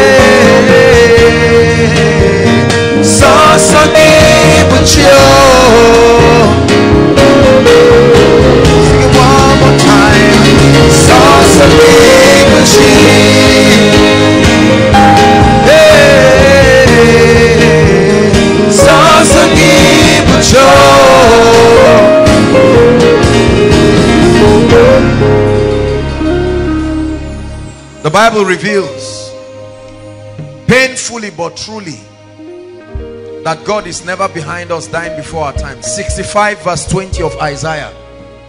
Go ahead and read. One to read. Nor an old man that had not what? Go ahead and read.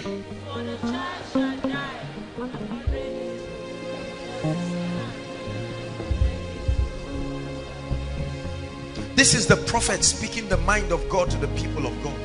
He says, There shall be no more infant of days, nor an old man that had not filled his days, for a child shall die a hundred years old. Brothers and sisters, the Bible says, But as many as believed him, he gave them power to become. As many as believed him, he gave them power to become. Hallelujah. One more scripture. Ezekiel 18 verse 32. Ezekiel Shibakata Baroto Go ahead and read. One to read. Stop. For what? One more time. One more time. This is God speaking. One more time. Read on.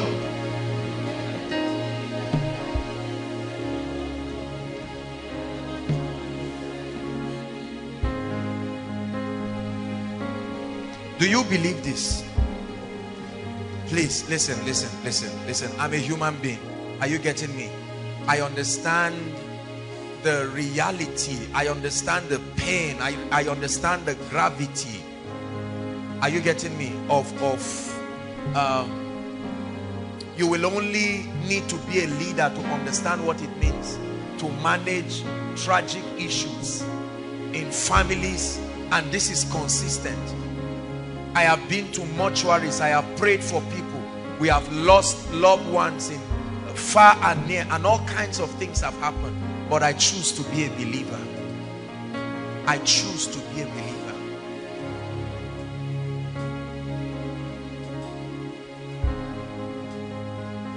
I lift my hands in worship as I sing praises to your name.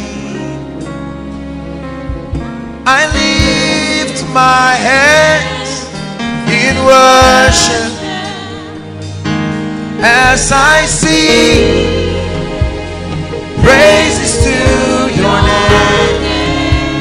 It says, For I have no pleasure in the death of him that dieth. Saith who? Saith prophet Ezekiel. Saith the Lord God. Wherefore, as a result of the above, turn yourselves and leave ye. Next point. This is a very serious one, and I want us to pay attention to it. Ready? Satan, comma, the thief is identified from scripture as the one who steals, kills, and destroys. John 10 10, please. Satan, the thief, is identified from scripture as the one who steals, kills, and destroys. Write this before we look at the scripture in continuation. He has strategies through which he achieves this mission. Satan the thief is identified from scripture as the one who steals, kills and destroys. He has strategies through which he achieves this mission. Continue writing. Topmost among the strategies are sicknesses, suicides, accidents. Write it down.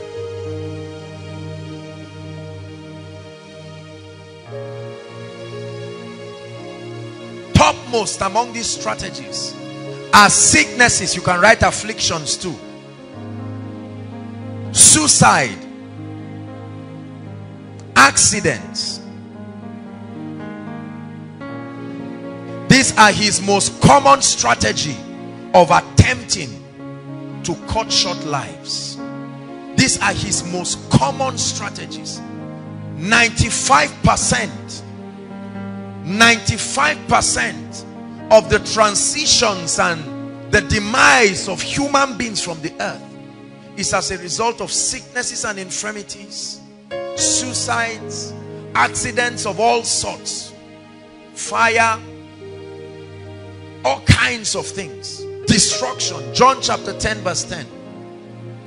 The thief cometh not, meaning you never see him in a place until there is need for this mission the thief cometh not meaning he has no business coming to a place except to do this to steal and to kill and to destroy but jesus the son of the living god said i am come that ye may have life and that they may have it more abundantly the thief satan there are many names that he's given in the bible He's given the serpent. He's given the dragon. He's given the thief. He's called the accuser of the brethren. He's called the adversary. He's called the destroyer. And Satan has a strategy. Please let me have your attention now. Satan has a strategy. There is a series by the grace of God on angels that we're going to be teaching subsequently. And under that series of angels, I'm going to be teaching us on the origin of angels and we are going to examine this man or this entity called Satan. Praise the Lord. I want us to look very carefully in that series. There are a few things about Satan we cannot discuss it today, but just a teaser. Do you know? Now, many of you are going to be surprised. But do you know that of all wicked spirits, Satan is not the most dangerous?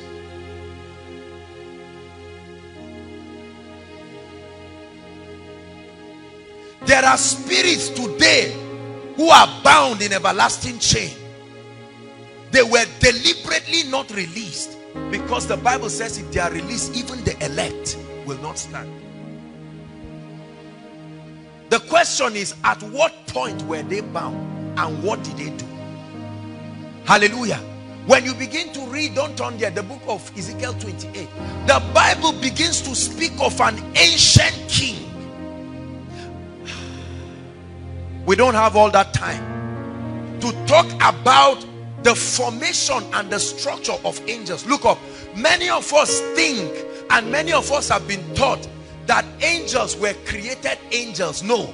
No the word angel comes from the greek word angelio and it means a messenger let me tell you a few things look up please when ezekiel the prophet was shown this guy called lucifer the Bible begins to talk with him in a similitude of a mortal man that was a king over nations and over kingdoms. Is that true? Is, are, are you a believer? You believe the Bible? Is that true? It raises up a lamentation against a king that ruled over a place called Tyre and says thou which subdued nations talked about the making of Satan. And then he said how that he ruled nations and territories. Inhabitants in the earth. Present at that time. Watch this. Let me just give you a quick analogy. Everyone look up.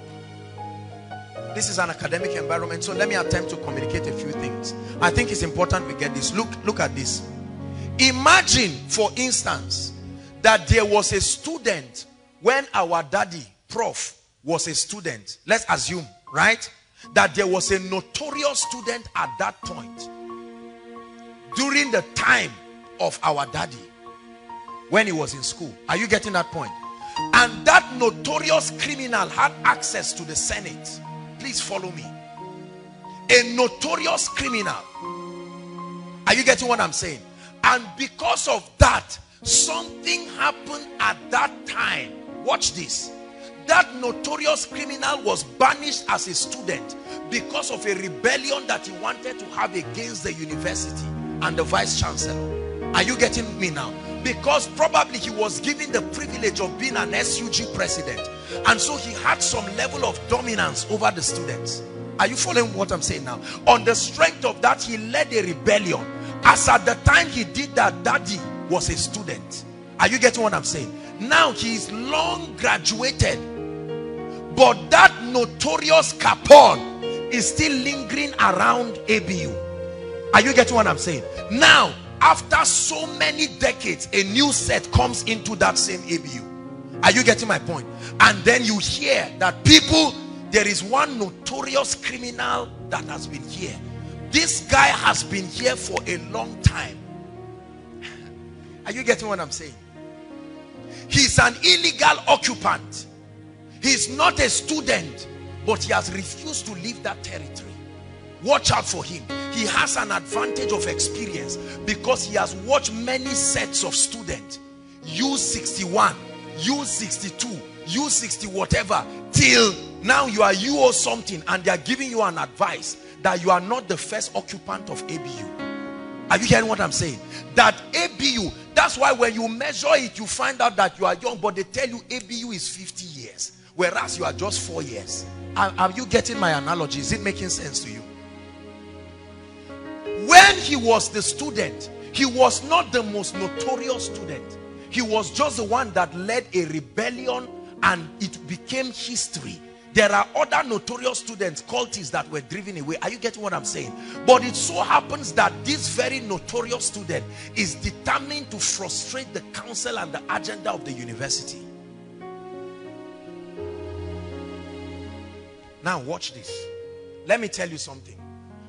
I don't know if this is the right platform to begin to teach us, but we'll have that series by the grace of God. Did you know that angels were once mortal beings?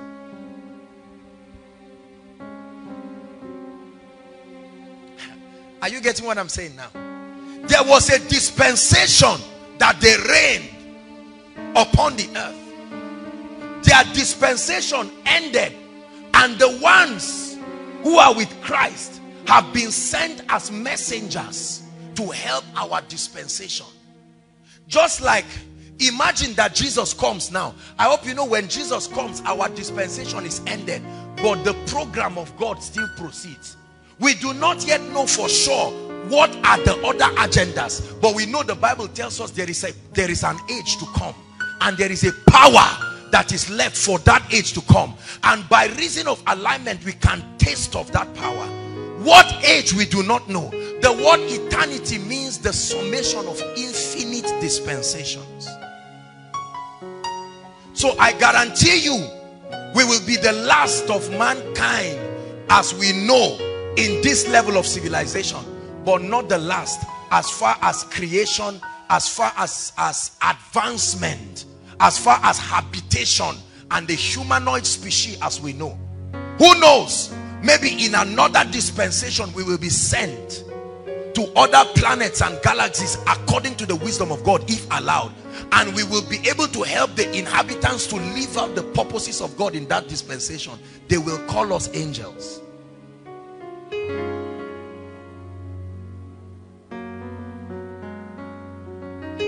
I will sing of the wonders of your word. I will sing out for joy. I will sing of the wonders of your word. And I will forever sing your praise. Now watch this. When we get to heaven, there will not the bible does not record. The concept of marriage does not exist again in heaven. Is that true? So if in the earth in my earth life for instance this was my wife these were our children. When we get to heaven we all become brothers and sisters. Are you getting what i'm saying? We all become brothers and sisters. I can appear in another dispensation to help the inhabitants and they can look at me and say wow who is this strange being? But they do not know that there was a dispensation that you walk with human life. It is this aberration that was that was cornered that brought what people call the mystery of reincarnation. This is what some of the fallen angels taught people and taught our forefathers and said forget the people you are seeing now they have been before. Listen the dispensation before our own there was a tremendous degree of power that was given to them. There was nothing called invisible and visible. That concept did not exist. Are you getting my point? The dispensations before us you could access the heavens and access the earth. Now it so happened that our dispensation disobeyed right from the beginning. So adam did not stay long for us to see the possibilities that were put in our dispensation we never had the opportunity to see what we could do. For instance there was no dispensation that recorded reproduction. They recorded rulership and they recorded who knows if adam did not fall and eve would have had the opportunity because he still would have given birth. You understand? He would have given birth in his perfected state. We would have seen the son of adam a womb that has not been corrupted by the fallen nature that's why in all of the dispensations it's only our dispensation that brought Jesus, the son of the living God, to come and die.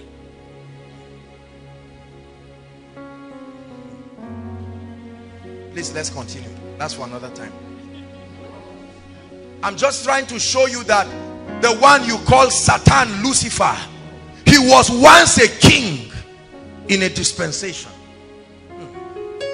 The king of Tyre that ruled upon nations.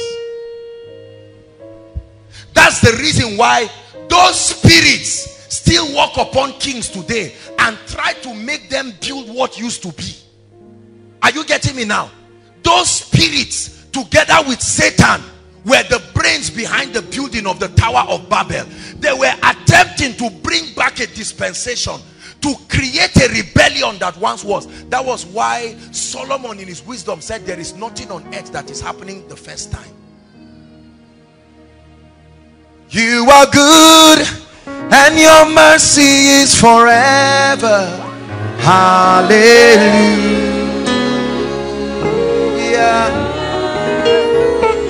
You are good and your mercy is forever. Hallelujah. Geography today, geography, they have found castles thousands of meters under the earth. They have found ancient castles. Did you know that there was a dispensation where where we are standing now was water, not land? The same way that place, where is the mount of Ararat, where the, the ark of Noah rested? Where is it in the earth today? We know Everest to be the highest. Where is Mount Ararat?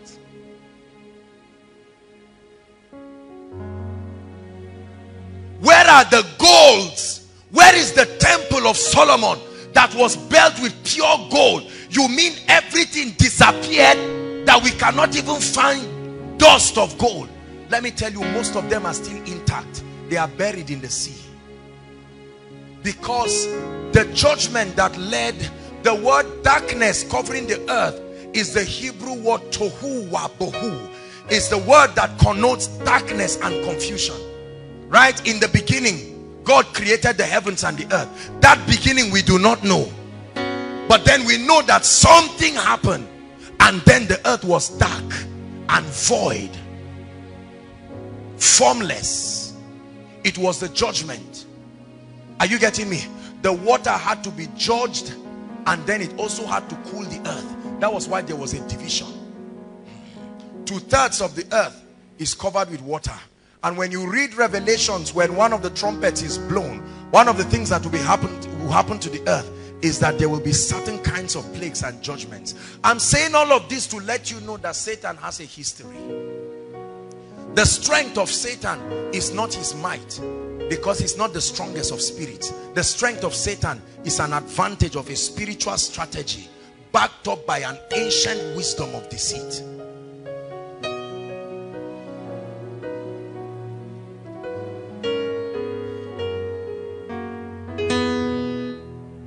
Are we blessed? Very quickly. Keys to long life. The first thing I want you to know about the keys to long life is you do not choose one and leave the rest. They all complement themselves. You don't choose one key and then allow the rest to go. No. There are keys. There are keys. Number one, the first key to long life that the Bible reveals is speaking, choosing, releasing words of life. Psalm 34 verse 12 to 14 and then we'll look at Proverbs 18 verse 21. Psalms 34 12 to 14 and then Proverbs 18 verse 1. The first key to long life is to speak it. The first key to long life is to choose it. The first key to long life is to release it. Hallelujah. Ready? Look up. Let's read Psalm 34 verse 12. One to read. What man is he that desireth what? Life and loveth what? Many days that he may see good. Read on. Keep what? there is a relationship stop between your tongue its communication and your life the bible says who is he that desire long life it says keep your tongue from evil and your lips from what? Speaking guile. 14 depart from evil and do good. Seek peace and pursue it. The emphasis is 12 and 13 who is he koinonia that desires long life? I don't die oh. The Bible says who is he that desires long life? Don't just laugh about what I'm saying because whether you think you are joking or not the Bible says and let it not be said before an angel I made a mistake.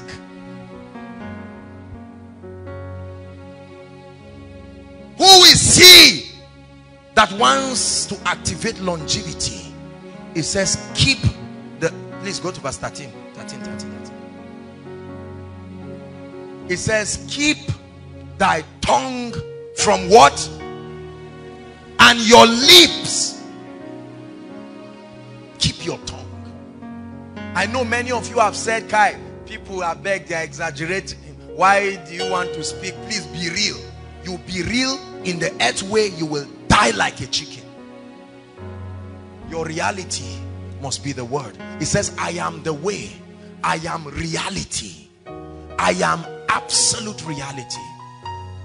Hallelujah. Proverbs 18 21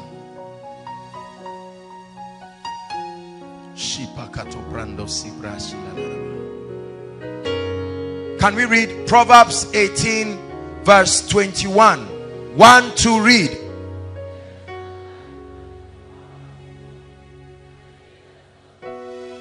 What will they eat? The fruit of what? No no no no it's in your bible. It says they that love it shall do what? Death and life this is solomon a man who received wisdom from God. He's teaching us from the abundance of the mysteries that he was granted access to. And he said, in my exploration of spiritual mysteries, I found something. Death and life are left in the power of the tongue. They that love it shall eat the fruit thereof.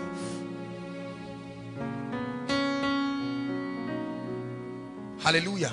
Are you blessed? The Bible says, I set before you this day blessing and cursing. Is that true? Death and life. Here's my suggestion. I can't force you, but this is my suggestion. Choose life that you may live, not wish it. Choose life. Koinonia. Choose life that you may live. Are you still a believer? Choose life that you may live. Choose life. I set before you blessing and cursing. I set before you death and life. But this is my advice for you. Choose life. I speak life. Oh, my brother. I speak life head and not the tail. You will prevail. I speak life don't give up the fight for your life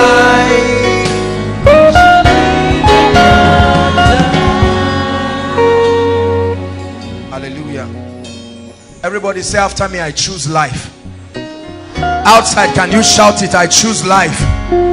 Those standing at the back the back there can you say I choose life don't let the devil tell you I hope you know what you're saying. Say it. I choose life. He said let the redeemed of the Lord say so. Let the redeemed of the Lord say so. Conquer fear. I choose life. When you speak you release it. This is a voice activated planet nothing happens until sound is released. I choose life. Send it to the atmosphere. I choose life. Send it ahead of your tomorrow. I choose life. The will of man cannot be compromised. Hallelujah. Listen.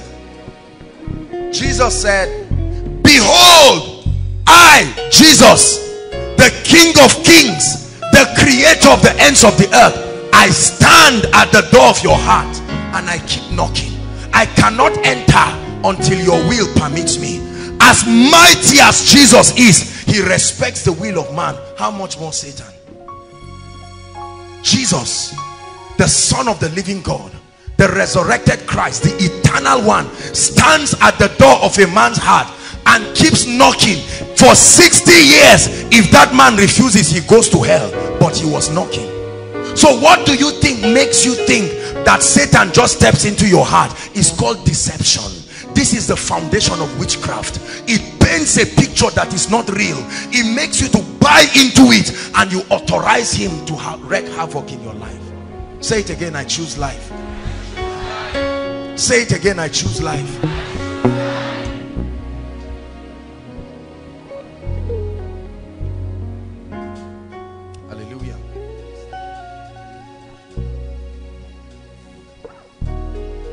Death and life are in the power of the tongue. Key number two.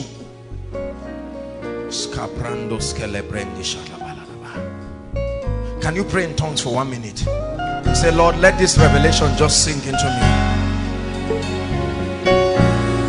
If the devil brings the memories of your past loved ones, tell him, Satan, the Lord rebuke you. I know they are in heaven. But right now, I'm making my choice and my decision.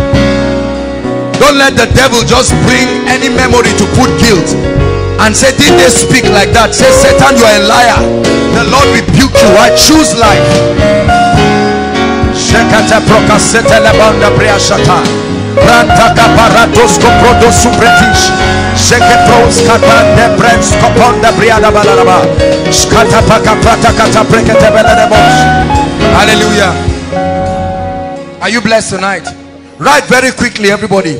Key number two to longevity the fear of the Lord.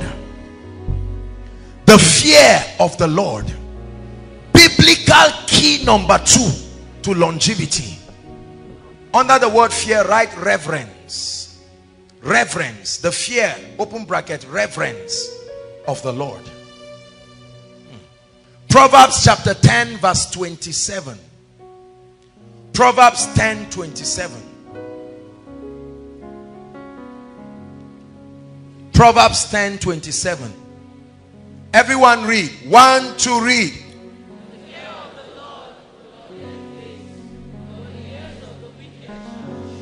The fear of the Lord Yirat Adonai. Reverence for God. Respect for him. Honor for him and his ways and what he represents prolongs days but the years of the wicked shall be shortened the Bible says the fear of the Lord there are two indexes given in the Bible to measure the fear of the Lord in a man's life. Number one, obedience to his commands. And number two, service in the house of God. Obedience and service are two keys that demonstrate whether or not you fear the Lord. Obedience. Obedience. Oh, I love him. I obey him. Proverbs chapter 9 verse 10 to 11. I just want to praise you. I lift my hands to say I love you. You are everything to me and I exalt your holy name. I exalt your holy name. I exalt your holy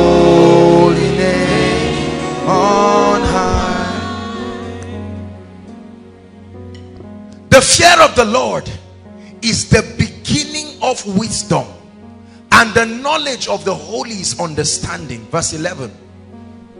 For by me days shall be what? And the years of thy life shall be increased. And so the Lord spoke to Isaiah he said go and tell Hezekiah you will not recover from that sickness. You will die. And Hezekiah turned his face to the wall and said oh Lord remember how I have walked diligently before you. And the Lord sent Isaiah again. He said uh, uh, uh, uh. I remember my faithfulness. And he went back and said the Lord says I have added for by me Joshua Selman's days shall be multiplied and the years of his life shall be increased. Obedience and service. When we talk to people about obeying the principles of God many people think that I can live my life the way I want. Longevity brothers and sisters hear me. Don't let westernization deceive you. Longevity is tied to your fear of the Lord. Service there are so many people seated here inside and outside. You're not serving in any unit. You're not contributing in any way to the advancement of the kingdom. I shall not die but live to declare the works of the Lord. That's a scripture there. You will live live to promote. You will live to frontier his kingdom. Let me tell you this. My passion under the apostolic ministry is not just to produce miracles in people's lives is to create a sense my passion is to institutionalize God consciousness in people to make it an institution that everything in your life brothers and sisters is secondary to the pursuit of his agenda. I don't care whether you have discovered your assignment or not. I can tell you an assignment. Start serving diligently in the house of god. Don't you let people fool you to think those who serve in the house of god are just weak people who are desperate for husband. Say kai you serve eh? the way you are behaving don't let anyone cheat you. There are people who live their lives as though you control your life by yourself. Hallelujah. When five minutes without your breath, you are gone. It doesn't matter what your agenda is, it's over. The greatest part of a man's life is that part that is invested in serving God. That's how you cheat death. That's how you cheat the grave. That's how you cheat death. You don't cheat death by being afraid of it. You cheat death by serving God. Victorious in life and victorious in death. Paul says, for for me to live is Christ. And if I die, it is still gain. There is no loss. Hallelujah. As you're sitting here, the Lord is speaking to you. You are living your life as young as you are you think you are too busy there are many of you outside as you are looking at my face the lord jesus is speaking to you tonight i'm saying you are the one i'm sending this man of god to talk to when will you begin to serve god with the active years of your life say i'm not a man of god i'm a pilot so what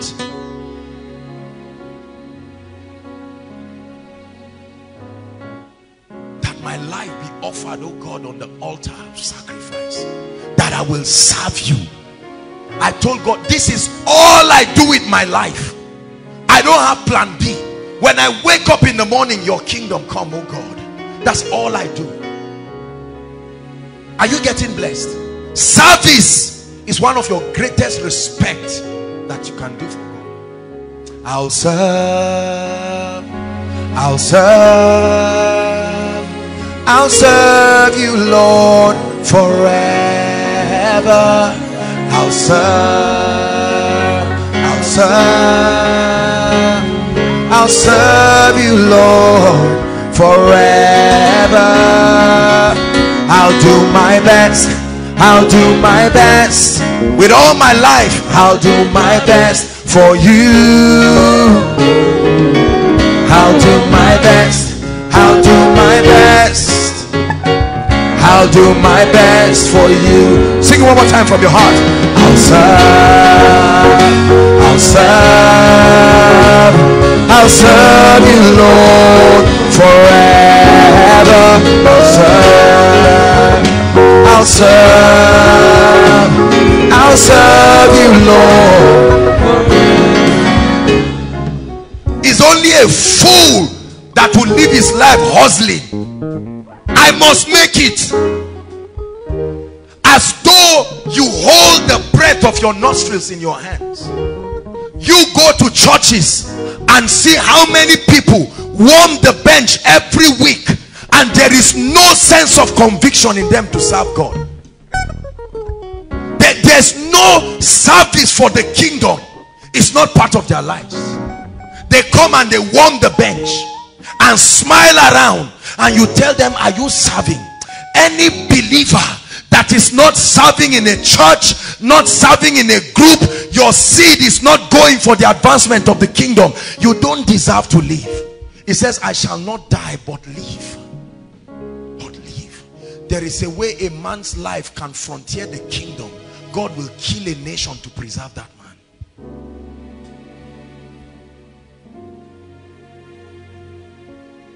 I travel all the time. Don't you think I don't know what I'm saying? Tomorrow we're on our way again to be there All the time. I've seen all varieties of accidents. I've seen all kinds of things.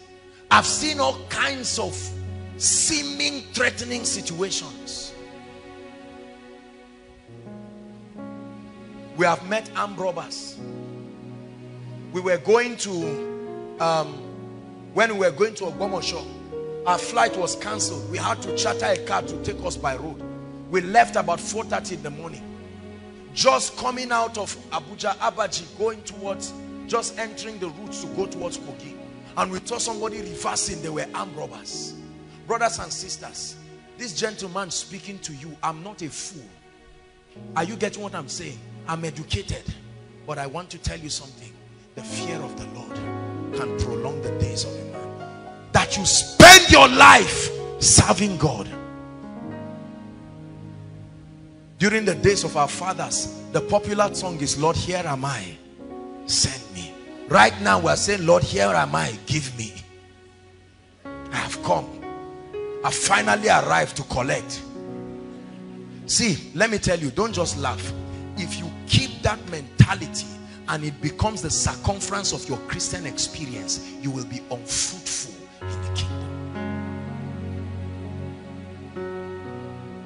I want to stand before my maker. Hmm. Ay, ay, ay. I can only imagine what it would be like. Ah, what's the song? You know the song I'm trying to sing, right? Surrounded by your glory, what will my heart feel? Will I dance for you, Jesus? Will I be able to speak at all? I can only imagine that on that day when I stand before him, when we are finally done and we have conquered the earth, depopulated the kingdom of hell, and brought, turned the hearts of many to righteousness, that through faith, after we have subdued kingdoms and wrought righteousness, we will stand upon the mountain and salute creation and say, Lord, I am ready. And you appear before him. To be absent in the body, the apostle says, is to be present with the Lord. And he looks at you and says, well done. You tried. And they take on that crown. And you see all the Matthias saying, we watched you all the while. While you were in that crusade, we watched you. While you refused to give up, as you were casting out those devils, the family in heaven was watching. For some of us, while you were roaming around gossiping, and all that was your passion was oh god husband time is going. God said we, we were watching you too. I am a life that was changed. Thank you for giving to the lord. I am so glad you came. We were in your life a few weeks ago and when we went there, the organizer of the, the campus crusade, when he met me, I saw the way he was saluting me. And I said, I was wondering, what was this for? And he called me and he said, sir, about three years or thereabout when you came into this campus i was just a fresh student when i came in and when you preached i got born again i got filled with the holy spirit and today i'm still standing and doing many things every time people call and say koinonia messages are changing people i say lord thank you.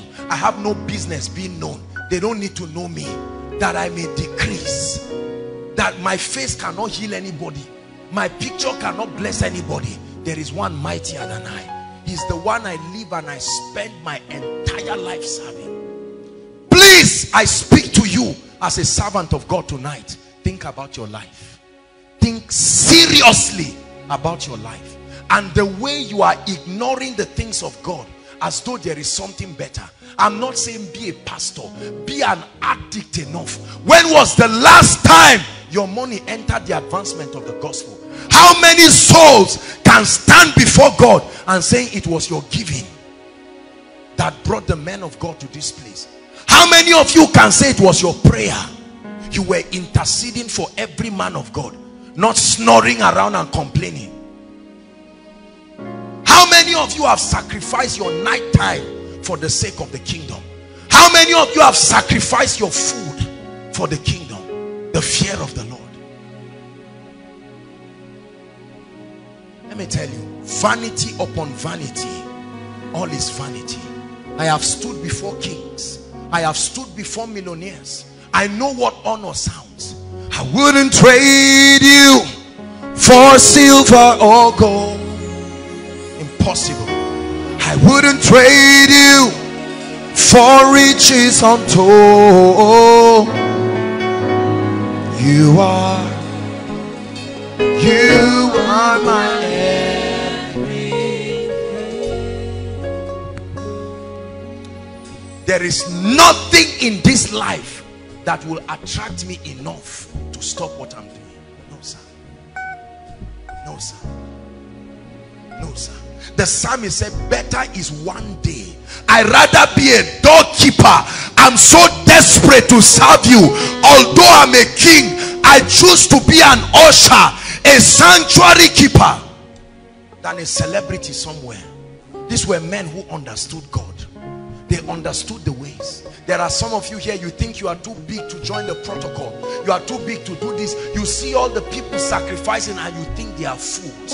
Unfortunately most preachers have preached service not as a proof of love for God but as a way to get things from God. It is true that if they obey and serve him there are benefits. But brothers and sisters hear me. Beyond getting things it is a proof of love. So if your work is to bring this water you bring it with all sense of honor. Not just like you are worshiping a man. Oh it's a privilege to serve in the house of God. It's a privilege. If you are to clean the chairs you are cleaning the chairs and say Lord it's a, it's a privilege. It's a privilege. You can do without me. You have chosen to do with me. You are supposed to bake the cake. You are seated and you know you have grace. You say no i need to join the welfare department i must spend my life. I, I need to contribute. You are excellent in graphic. Oh the media needs me. Service. Service. Service. Whether you are in zaria or not find a church find a group find a fellowship find a, a congregation of believers. Many of us are looking for GO and mama. That's the only condition you have given God to serve him. Lord, I will serve you if I will be the mama of the ministry. I will serve you if you give me the name of my parish. The name of your parish is nothing. Let it be your passion. Hallelujah.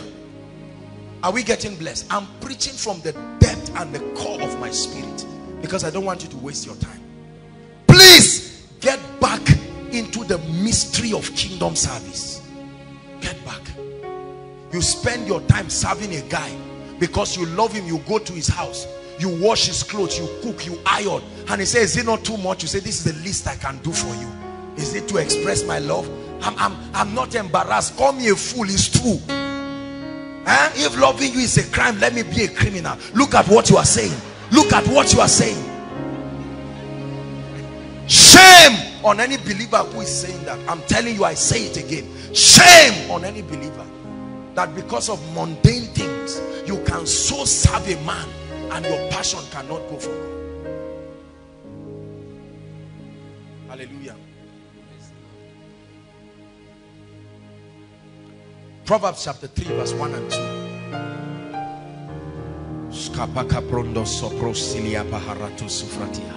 Proverbs chapter 3 My son forget not my law but let thy heart keep my commandments. Verse 2 for length of days obedience length of days and long life together with peace shall they add to thee commandments. He that loveth me is he that keeps my commands. John 14 21 he that keepeth my commands is he that loveth me and i will love him and my father will love him and we will come and manifest ourselves to him. The commands of God. His commandments are not burdensome, brothers and sisters. Let's hurry up. Key number three to long life. Engaging the mystery of the blood. Key number three, let's hurry up. Engaging the mystery of the blood with understanding.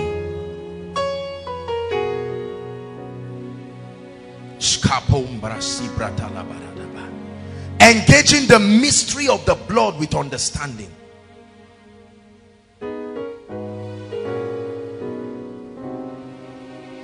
There are three ways that the mystery of the blood was used in scripture to bring preservation and deliverance. Number one,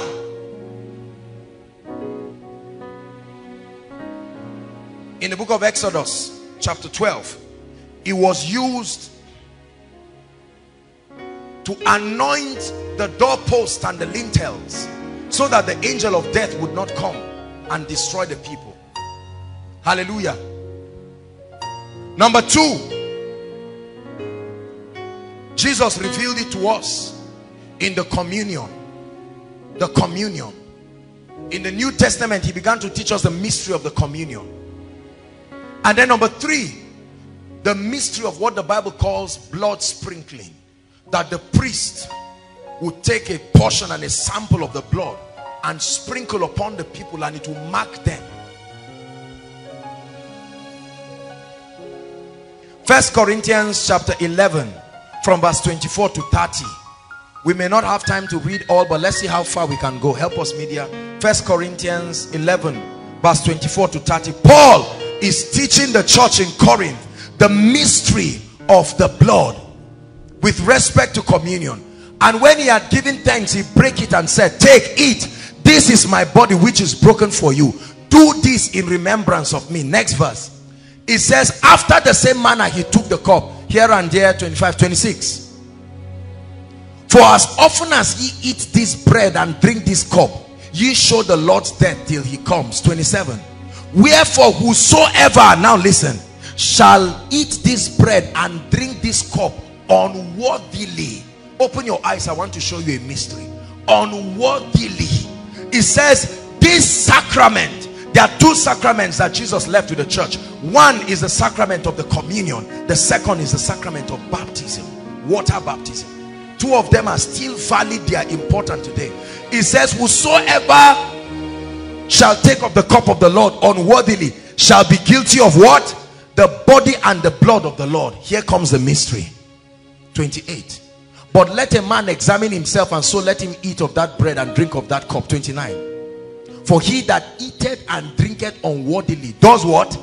He can eat and drink unto damnation because he did not discern that the body and bread of Jesus Christ relieves life. And because he's, he's eating it unworthily, he will get the opposite of it.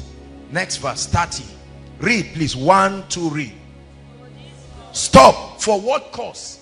For the cause of partaking in the communion without discernment. For this cause. How many people? How many?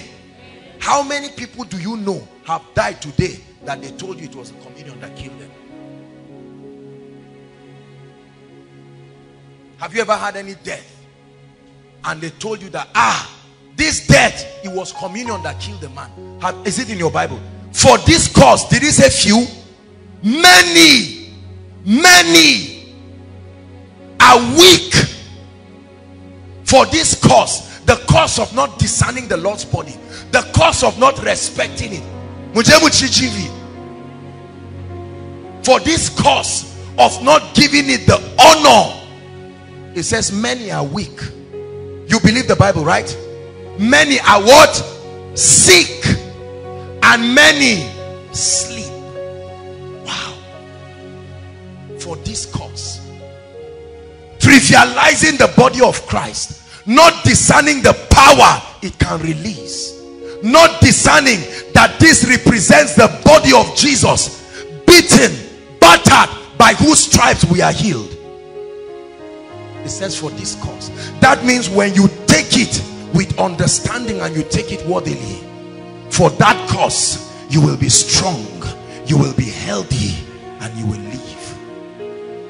You will be strong you will be healthy and you will live.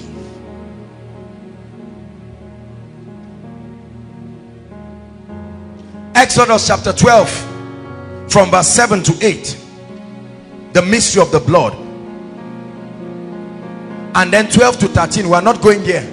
We don't have the time. We have to move on to other things I'm just giving you references. Exodus chapter 12 7 to 8 and then 12 to 13 and also verse 23 these are all scriptures that show how the blood upon the lintel and the doorpost when the angel of death the bible calls it the destroyer that when the destroyer comes and he sees that blood upon your lintel it will leave and trouble you not. Hallelujah. Praise the lord key number four honor to parents. Key number four let's be fast please. Honor to parents. Open bracket both physical and spiritual. Ephesians chapter 6 from verse 2 to 3 honor to parents both physical and spiritual are mystery keys to long life one to read is projected. One to read. Honor thy father and thy mother which is the first commandment with a promise. Verse 3 what's the blessing? That it may be well with thee and that thou mayest live long. Where? It told you you will live long and it told you the location where you will live long. For honoring parents. How many of us have dishonored our parents? Yes they are foolish yes they've acted stupidly. Yes they may have behaved in a way but do you honor them? Some of us beat up our parents. Some of us beat up daddy and mommy. We think i'm a big boy i'm a big girl i'm now married i have children i'm driving a jeep. Let no level of madness ever get into you that you will insult your father curse your father or your mother. Let me show you this. Proverbs 20 20 a grave consequence follow those who can curse and dishonor their fathers. Read it please. One to read. His lamp shall be put out in obscure darkness. Whosoever can dare to curse the father and the mother that brought him to the earth. Now get this. I'm not saying that they lead you to perdition so as for as long as what they are doing is not leading you to death and leading you outside of salvation no matter what it is look at me david twice had the opportunity to kill saul is that true are you Bible students? David had the opportunity to kill Saul. He cut his robe and went away with it. He said, I will not be the one to kill. How many times have people run their mouths talking about men of God? You sit down where you are and you are just lambasting men of God, just talking and smiling. The Bible says, honor your father and your mother, whether spiritual or physical. He said, they that rule well among you deserve double honor honor them that rule well when they have proven a life of integrity not human worship not fear but a sense of honor respect. I honor my parents in life and in death. Hallelujah. Some of you have elderly people come around. You can see an elderly person standing in a meeting in your house and you just cross your leg and you are just balancing and smiling and say you came late please. I don't want anything to inconvenience me. You are there shaking your weave up and down. Instead of you to stand up and say mama please you can sit down. And she say no no no no my daughter insist. Insist say mama sit down. It's not about being a virtuous woman. It's about life and death. Life and death. It's in your bible. I'm not one saying it. It's in your bible. Say i choose to honor my father and my mother. How many of you pray for your men of god? How many of you pray for ministers? You stand here criticizing and shouting when you hear that a minister has a scandal instead of you to get to the place of prayer you stand there saying i always knew i always suspected the way i've been looking at that man. You see that? Continue. The bible says he that cursed his father and his mother his lamp his life will be taken away to obscure darkness. How many have died as a result of dishonor? When a father fights his son he loses his honor. When a son fights his father spiritual or physical he loses his life. That's why many people sadly to say many people who just break out foolishly because they want to start their churches or ministries break out and jeopardize the life of the Jew thinking God called them. Notice very few of them ever last. Because he that dishonored his father his lamb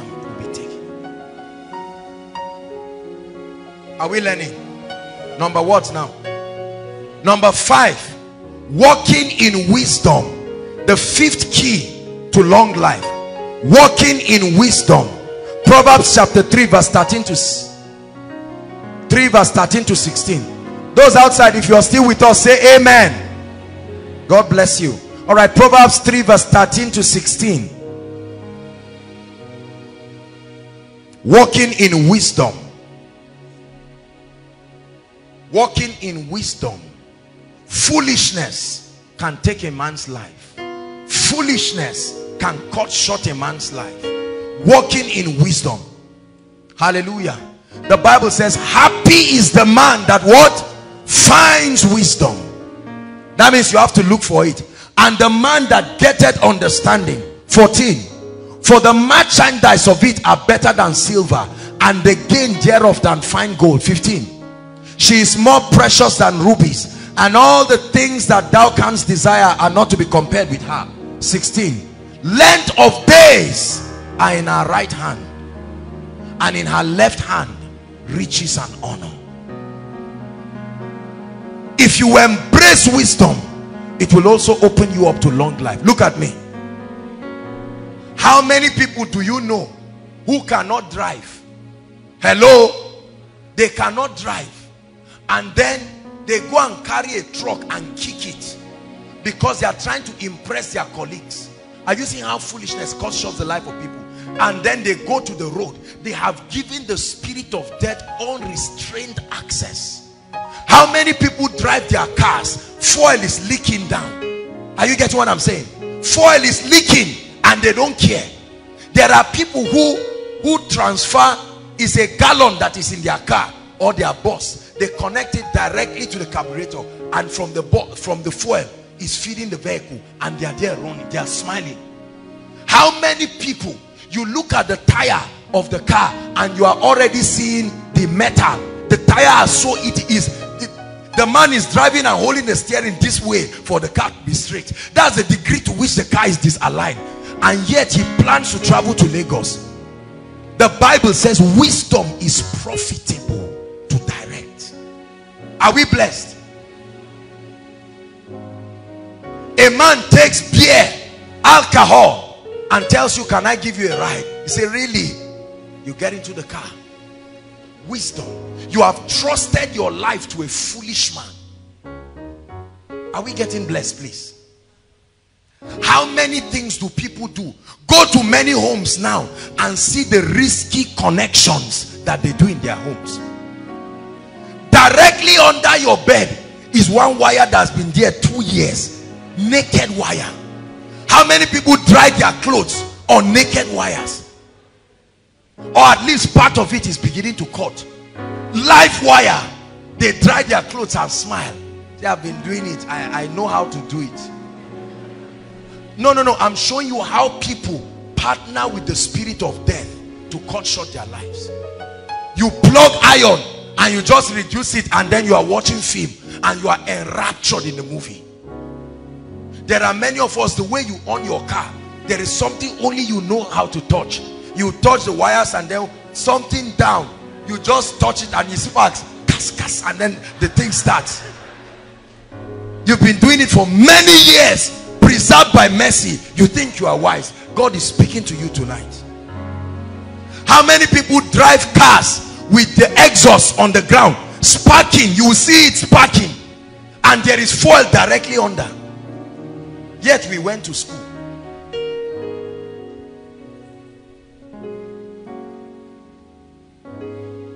Is God teaching us wisdom?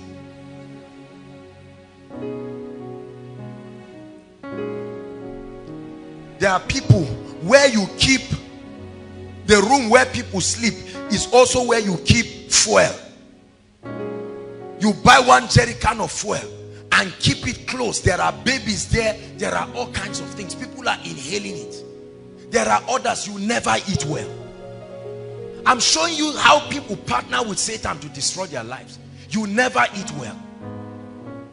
There's no difference from the day god you were in poverty and now that god is even helping you. There is no difference. Look at mechanics. Look at what they eat same thing one lady comes with with with with alele or something and serves them. That's what they eat every day every night. They take tea in the night. See that kind of unhealthy that's why the life expectancy level of africa is about is it 30 or 40 scientifically proven.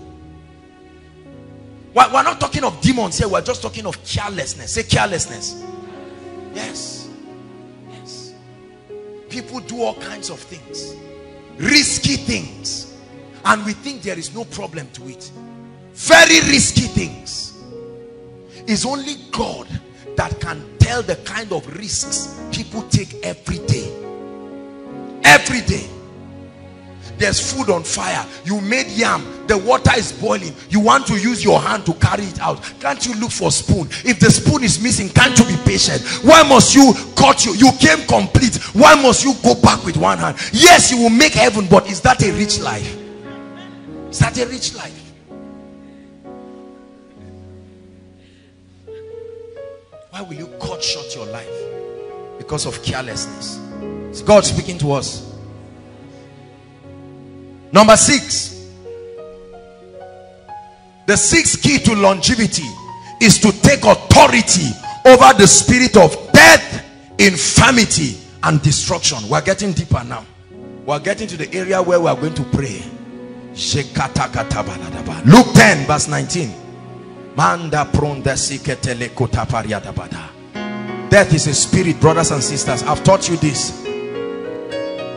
Behold see don't be ignorant.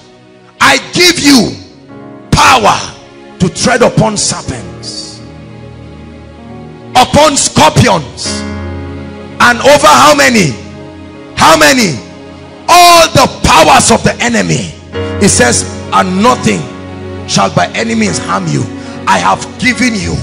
If you take advantage of it and you use it appropriately he said with wise counsel make war. With wise counsel make war. I have given it to you. Death is a spirit. Infirmity is a spirit destruction is a spirit. The spirit does not just work by default. When the spirit of death is in an environment what happens is it waits and finds people that partner with its activity. This is the standard operation. There are a few exemptions however but the standard way the spirit of death the spirit of death is like a lion waiting for a prey. Are you getting what i'm saying now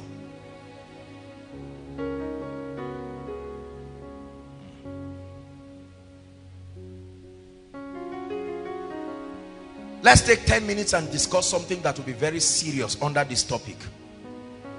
A subtopic under point six the reality of witchcraft. Deuteronomy 18 verse 10 to 12 may i remind you ladies and gentlemen if you are yet to believe that witchcraft is real. Are you hearing what i'm saying? If anyone has deceived you into the illusion that you are living in a world where there is no witchcraft i just gave you a teaser with wicked spirits please listen to what i'm saying because it's very important. The reality of witchcraft. Deuteronomy 18 from verse 10 to 12 let's hurry up.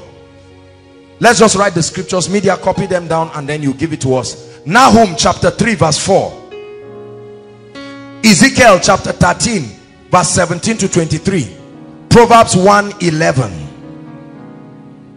and then psalms 10 verse 8 there are many more but we'll just stop here give us deuteronomy 18 verse 10 to 12 let's hurry up. Everyone read. Want to read. There shall be not found among you anyone that make his son or his daughter to do what? Pass through fire. Or that uses divination.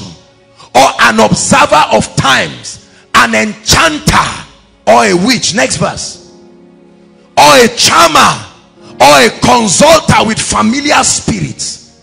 Or a wizard or a necromancer. Next verse. For all that do these things are an abomination to the Lord. And because of these abominations the Lord thy God doth drive them out before thee. God himself identifies that there is a dark side to our world. There are enchanters. There are stargazers. There are men that manipulate the constellation against the destinies of men the church has been so ignorant or we have exaggerated the reality and the existence of Satan. Nahum chapter 3 verse 4 just look up so that um, since it's projected one to read. Because of the multitude of the whoredoms of the well-favored harlot the what? Mistress of witchcraft that sell what? Look at what she sells. She can she look at her goods. The way you sell pure water. The mistress of witchcraft. And say you can come and meet me and i will give you africa. I can give you this village. I can sell that soul to you. It's in your bible. It says she sells what? Nations through her whoredom her fraternity with human beings that means human agents come to meet her. I want access to a territory. And what does she sell again? Families. Is that in your bible? Is that in your bible? That there are witchcraft activities that sell families.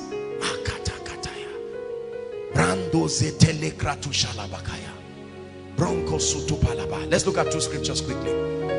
Ezekiel 13 17 to 23 is a long reading. Let's rush are you still with me?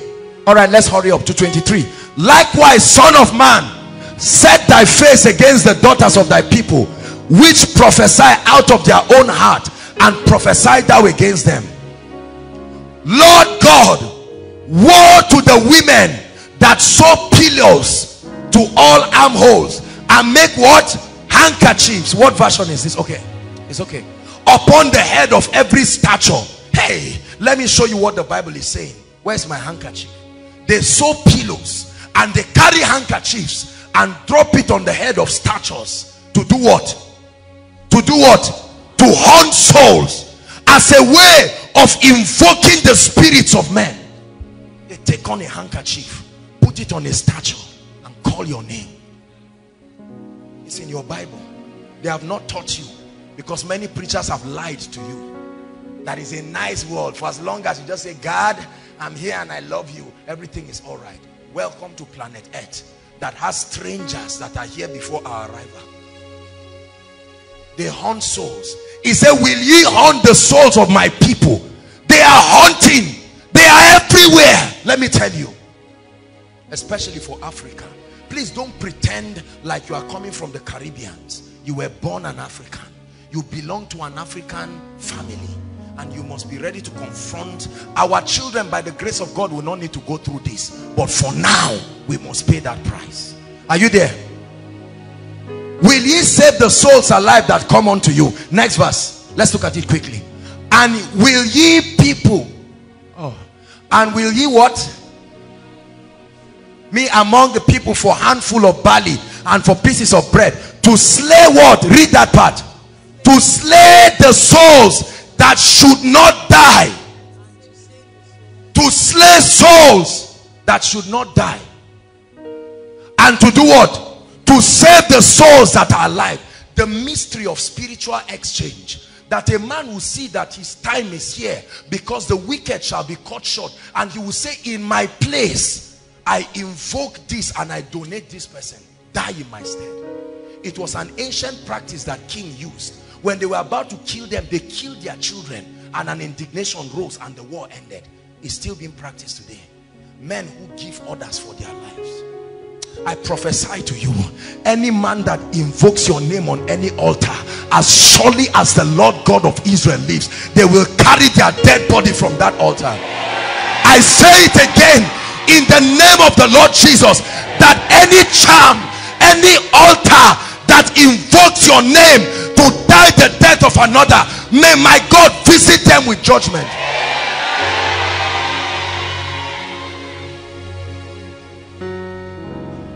Next next verse. Lord god behold i am against your pillows wherewith ye were there to hunt the souls to make them fly. Watch this. Look at the mystery of witchcraft and i will tear them from your arms and will let the souls go even the souls that ye hunt to make them fly. We're in verse what now? Two verses left.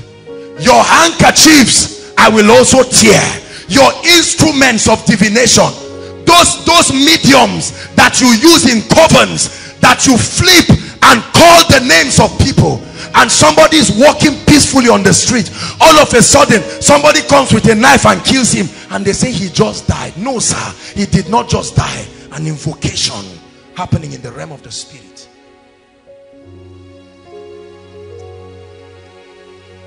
And deliver my people out of your hand and they shall be no more in your hand to be haunted. Say amen.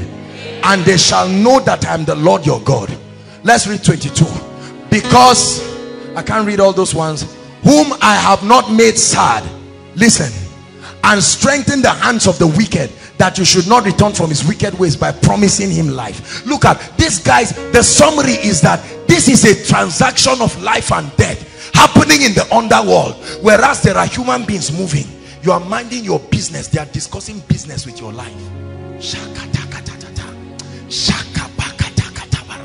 I prophesy to you again oh Lord God of Israel I speak that anyone under the sound of my voice that is being manipulated by stargazers that is being manipulated by necromancers they who manipulate the constellations I declare in the name of Jesus Christ may those ovens catch fire. May those ovens tonight catch fire. May those covens catch fire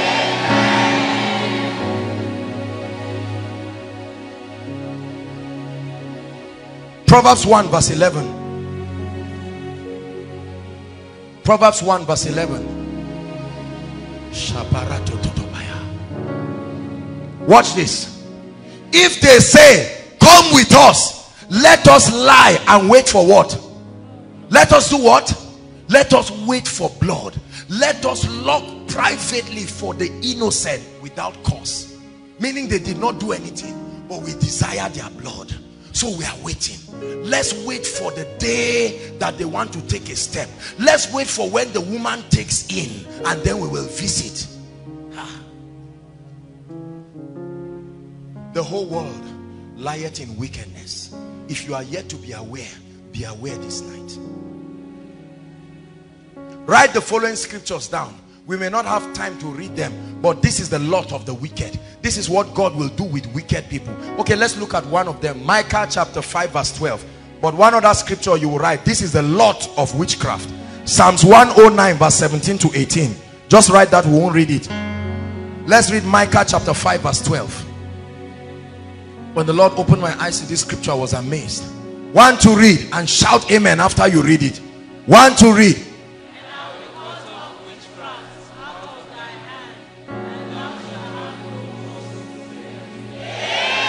He said, I will cut off witchcraft. I will cut it off. Because if I don't cut it off, they will cut short your life. So I will cut it off. Is God helping us? Verse, I mean, number seven, quickly. There are eight points I'm giving you. Seven. Activating the ministry of angels. The seventh key to long life. Activating the ministry of angels. Hebrews 1.14 activating the ministry of angels. Angels are real. They are real. I have seen them. I see them all the time. Angels are very very real. Are they not all ministering spirits? Meaning you cannot see them in the physical except god opens your eyes or he gives them an, a material body to appear before you. Sent forth to do what? To minister to those who shall be the heirs of salvation. Are you an heir of salvation? Are you a partaker of salvation? There are angels allocated to you but they never act until you activate their ministry. They never act until you activate their ministry. Until you activate their ministry. And you activate their ministry in the place of prayer. You activate their ministry through words. You release angels you release angels. You activate their ministry.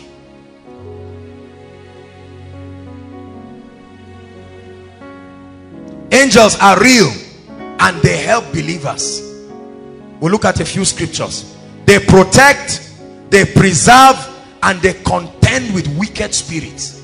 Part of the assignment of angels with respect to spiritual warfare and preservation of the saints because God knows that alone we cannot make it. There is an advantage that wicked spirits have. They have advantage of the understanding of the mysteries of the kingdom. And so he gave us angels. Joshua chapter 5 verse 13 to 14 don't turn there just write it. Joshua 5 verse 13 to 14 Joshua has an, an encounter with an angel. Project for us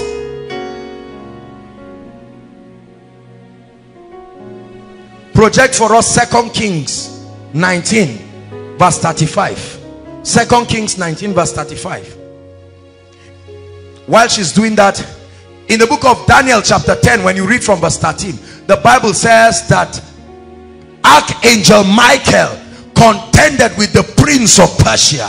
He was trying to stop him from coming down to destroy daniel. But daniel was activating the ministry of that angel in the place of prayer.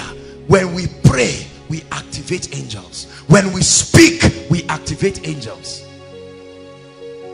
Second kings. You can see the angels standing to fight warfare for men. Read. And it came to pass that night that the angel of the lord went out and smote in the camp of the assyrians a hundred fourscore and five thousand and when they rose up early in the morning behold they were all dead corpses. One angel. Imagine how powerful they are. About 185,000 people killed by one angel in one night when you activate them.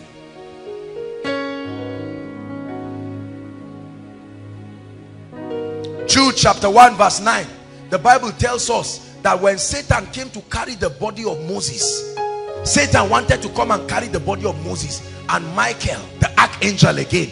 He came to contend with Satan. So angels fight to preserve our bodies.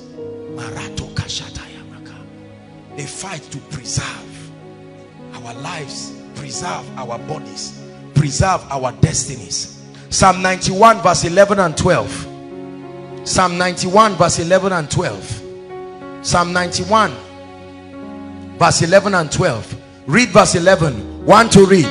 For he shall give what? His angels charge over thee. Hallelujah. To keep thee in all thy ways. Verse 12 and they shall bear thee up on their hands lest thou dash thy foot against the stone. Hallelujah. The key to activating them is found in psalms 103 verse 20 psalm 103 verse 20 please begin to prepare the oil. There's there's an anointing service that will happen here shortly. Very quickly quickly. Bring the oil for me please. Don't open it yet. Just bring it.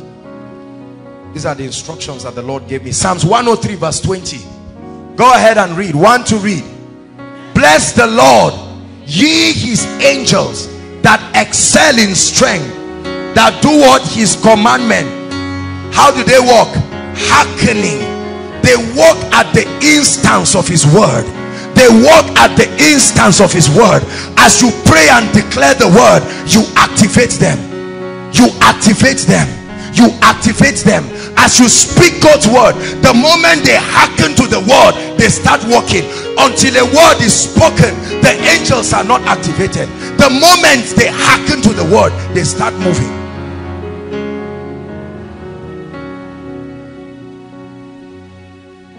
hallelujah these are eight keys that the Lord revealed to me in my place of retreat. And he said, teach my people. These are the keys to long life.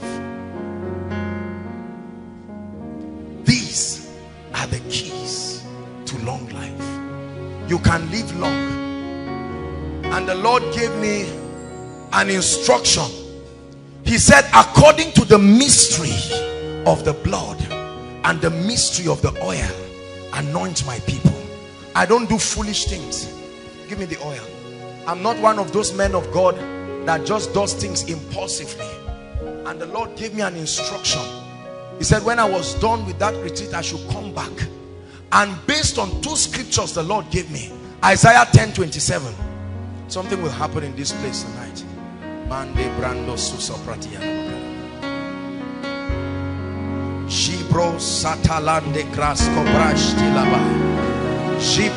Setetete paladabaya. And it shall come to pass in that day that the burden shall be taken away from your shoulder. It shall come to pass that those spells of enchanters and stargazers and they that haunt your soul unto death it shall come to pass that by a mystery as revealed of the Lord of Sabaoth the avenger of men that it shall come to pass that at the instance of his word that it shall be taken from off your shoulder and it shall be destroyed because of the anointing. Because of the anointing. There are charms that must be broken because of the anointing. There are people sentenced to death sentenced to accidents sentenced to untimely death. By the mystery. By the mystery of the oil. Manda kata baroto supaya. The second scripture. Exodus chapter 12 please. Please everyone turn there. I sense the anointing of the spirit very strongly right now. Please turn there. This is the instruction that the lord gave me prondo soto boroko sopranda paskata paliada Mondos kopros kadabaya. Make sure everyone is participating right now. No matter how far. Those following us online, they can get oil if, if they have access to. Verse 7, please.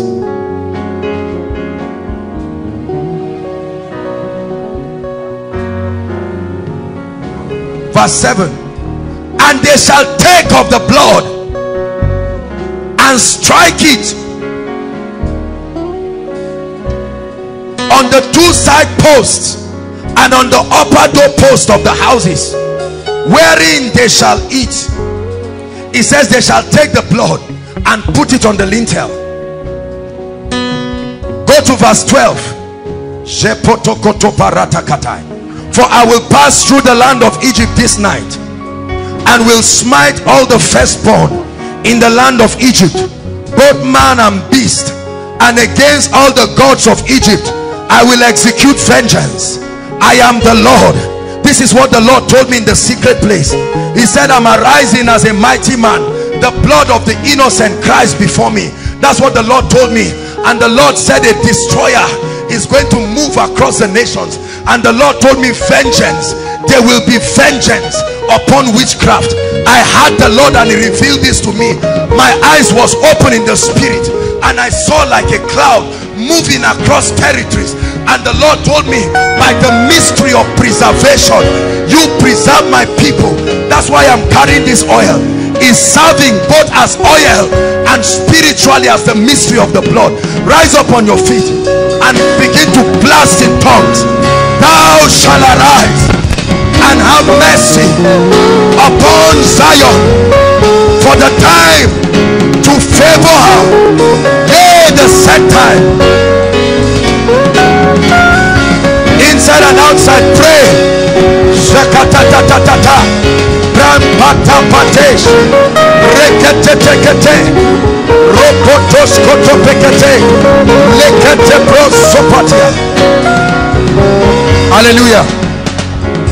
can we have the plates please very quickly? Lift your voice and say after me in the name of jesus. Come on say it like a believer. In the name of jesus. Every power of witchcraft manipulating my life and my destiny by the mystery of the blood I command judgment upon you lift your voice and pray.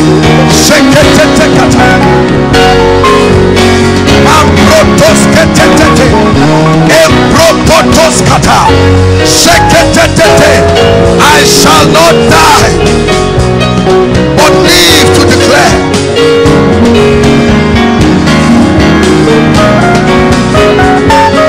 Pray.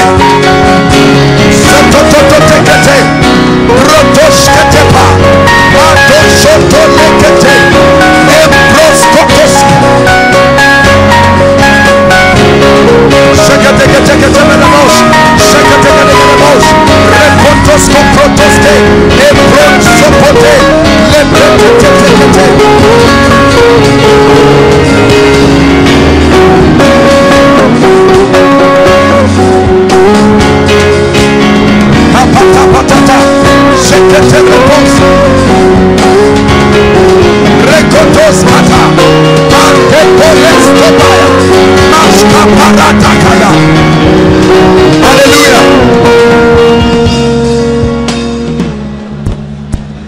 Hallelujah.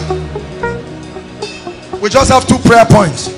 Say after me in the name of Jesus. Every power that wants to cut short my life and exchange my life for someone else's own. In the name of Jesus I come against you. Lift your voice and speak. Stargazers necromancers those that trade the souls of men. They cut short destinies. Through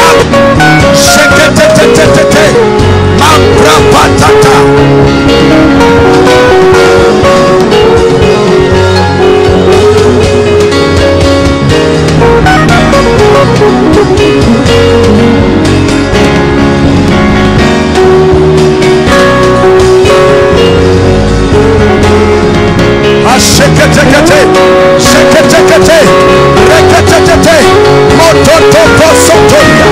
rapalikatabalaraba. Hallelujah. The last prayer point. Say in the name of Jesus, I declare the seal of the blood over my life, my loved ones, my going out, my coming in. No accident shall take my life. No terrorist shall take my life. No sickness shall take my life. I am secure in Christ. Lift your voice and pray. Pray for yourself. Pray for your loved ones. No death. No death. No death. The destroyer cannot plague my life. The destroyer cannot plague my family. The destroyer cannot plague my destiny it out. Preserve. Holding it. Preserve. By the blood. By the blood.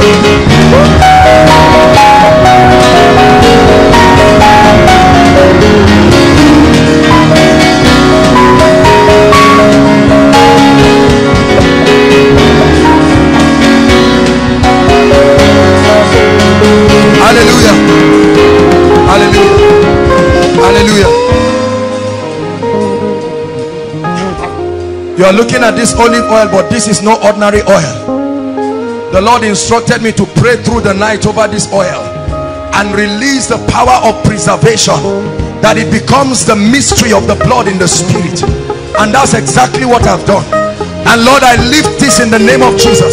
I come under this apostolic office in the name of the lord jesus. And i declare that over this territory of zaria over koinonia over our families. The plague of death will not find expression. It will not cut short the lives of people. In the name of jesus christ. Father let this oil lose its earthly significance and take on a heavenly significance. In the name of jesus let the terrestrial become celestial. Let the earthly become heavenly. And lord let this carry preservation power in the name of jesus. Now watch this. We're going to do it very orderly and very fast. I prayed for this. I will anoint the heads of department. Um, two of them will go outside. They will just be in front. Your job is to work orderly. I'm sure they will coordinate them. Just take a portion put it on your head and come back and blast in tongues. Begin to blast preservation. Begin to speak and release life to yourself hallelujah go ahead and begin to pray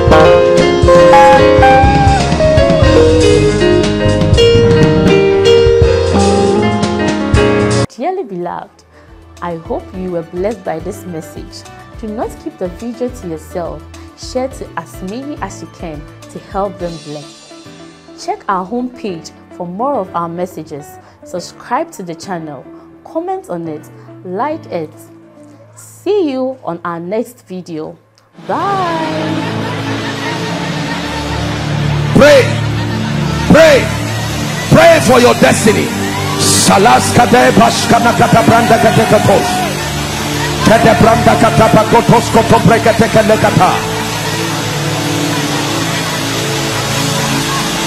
The phase of development.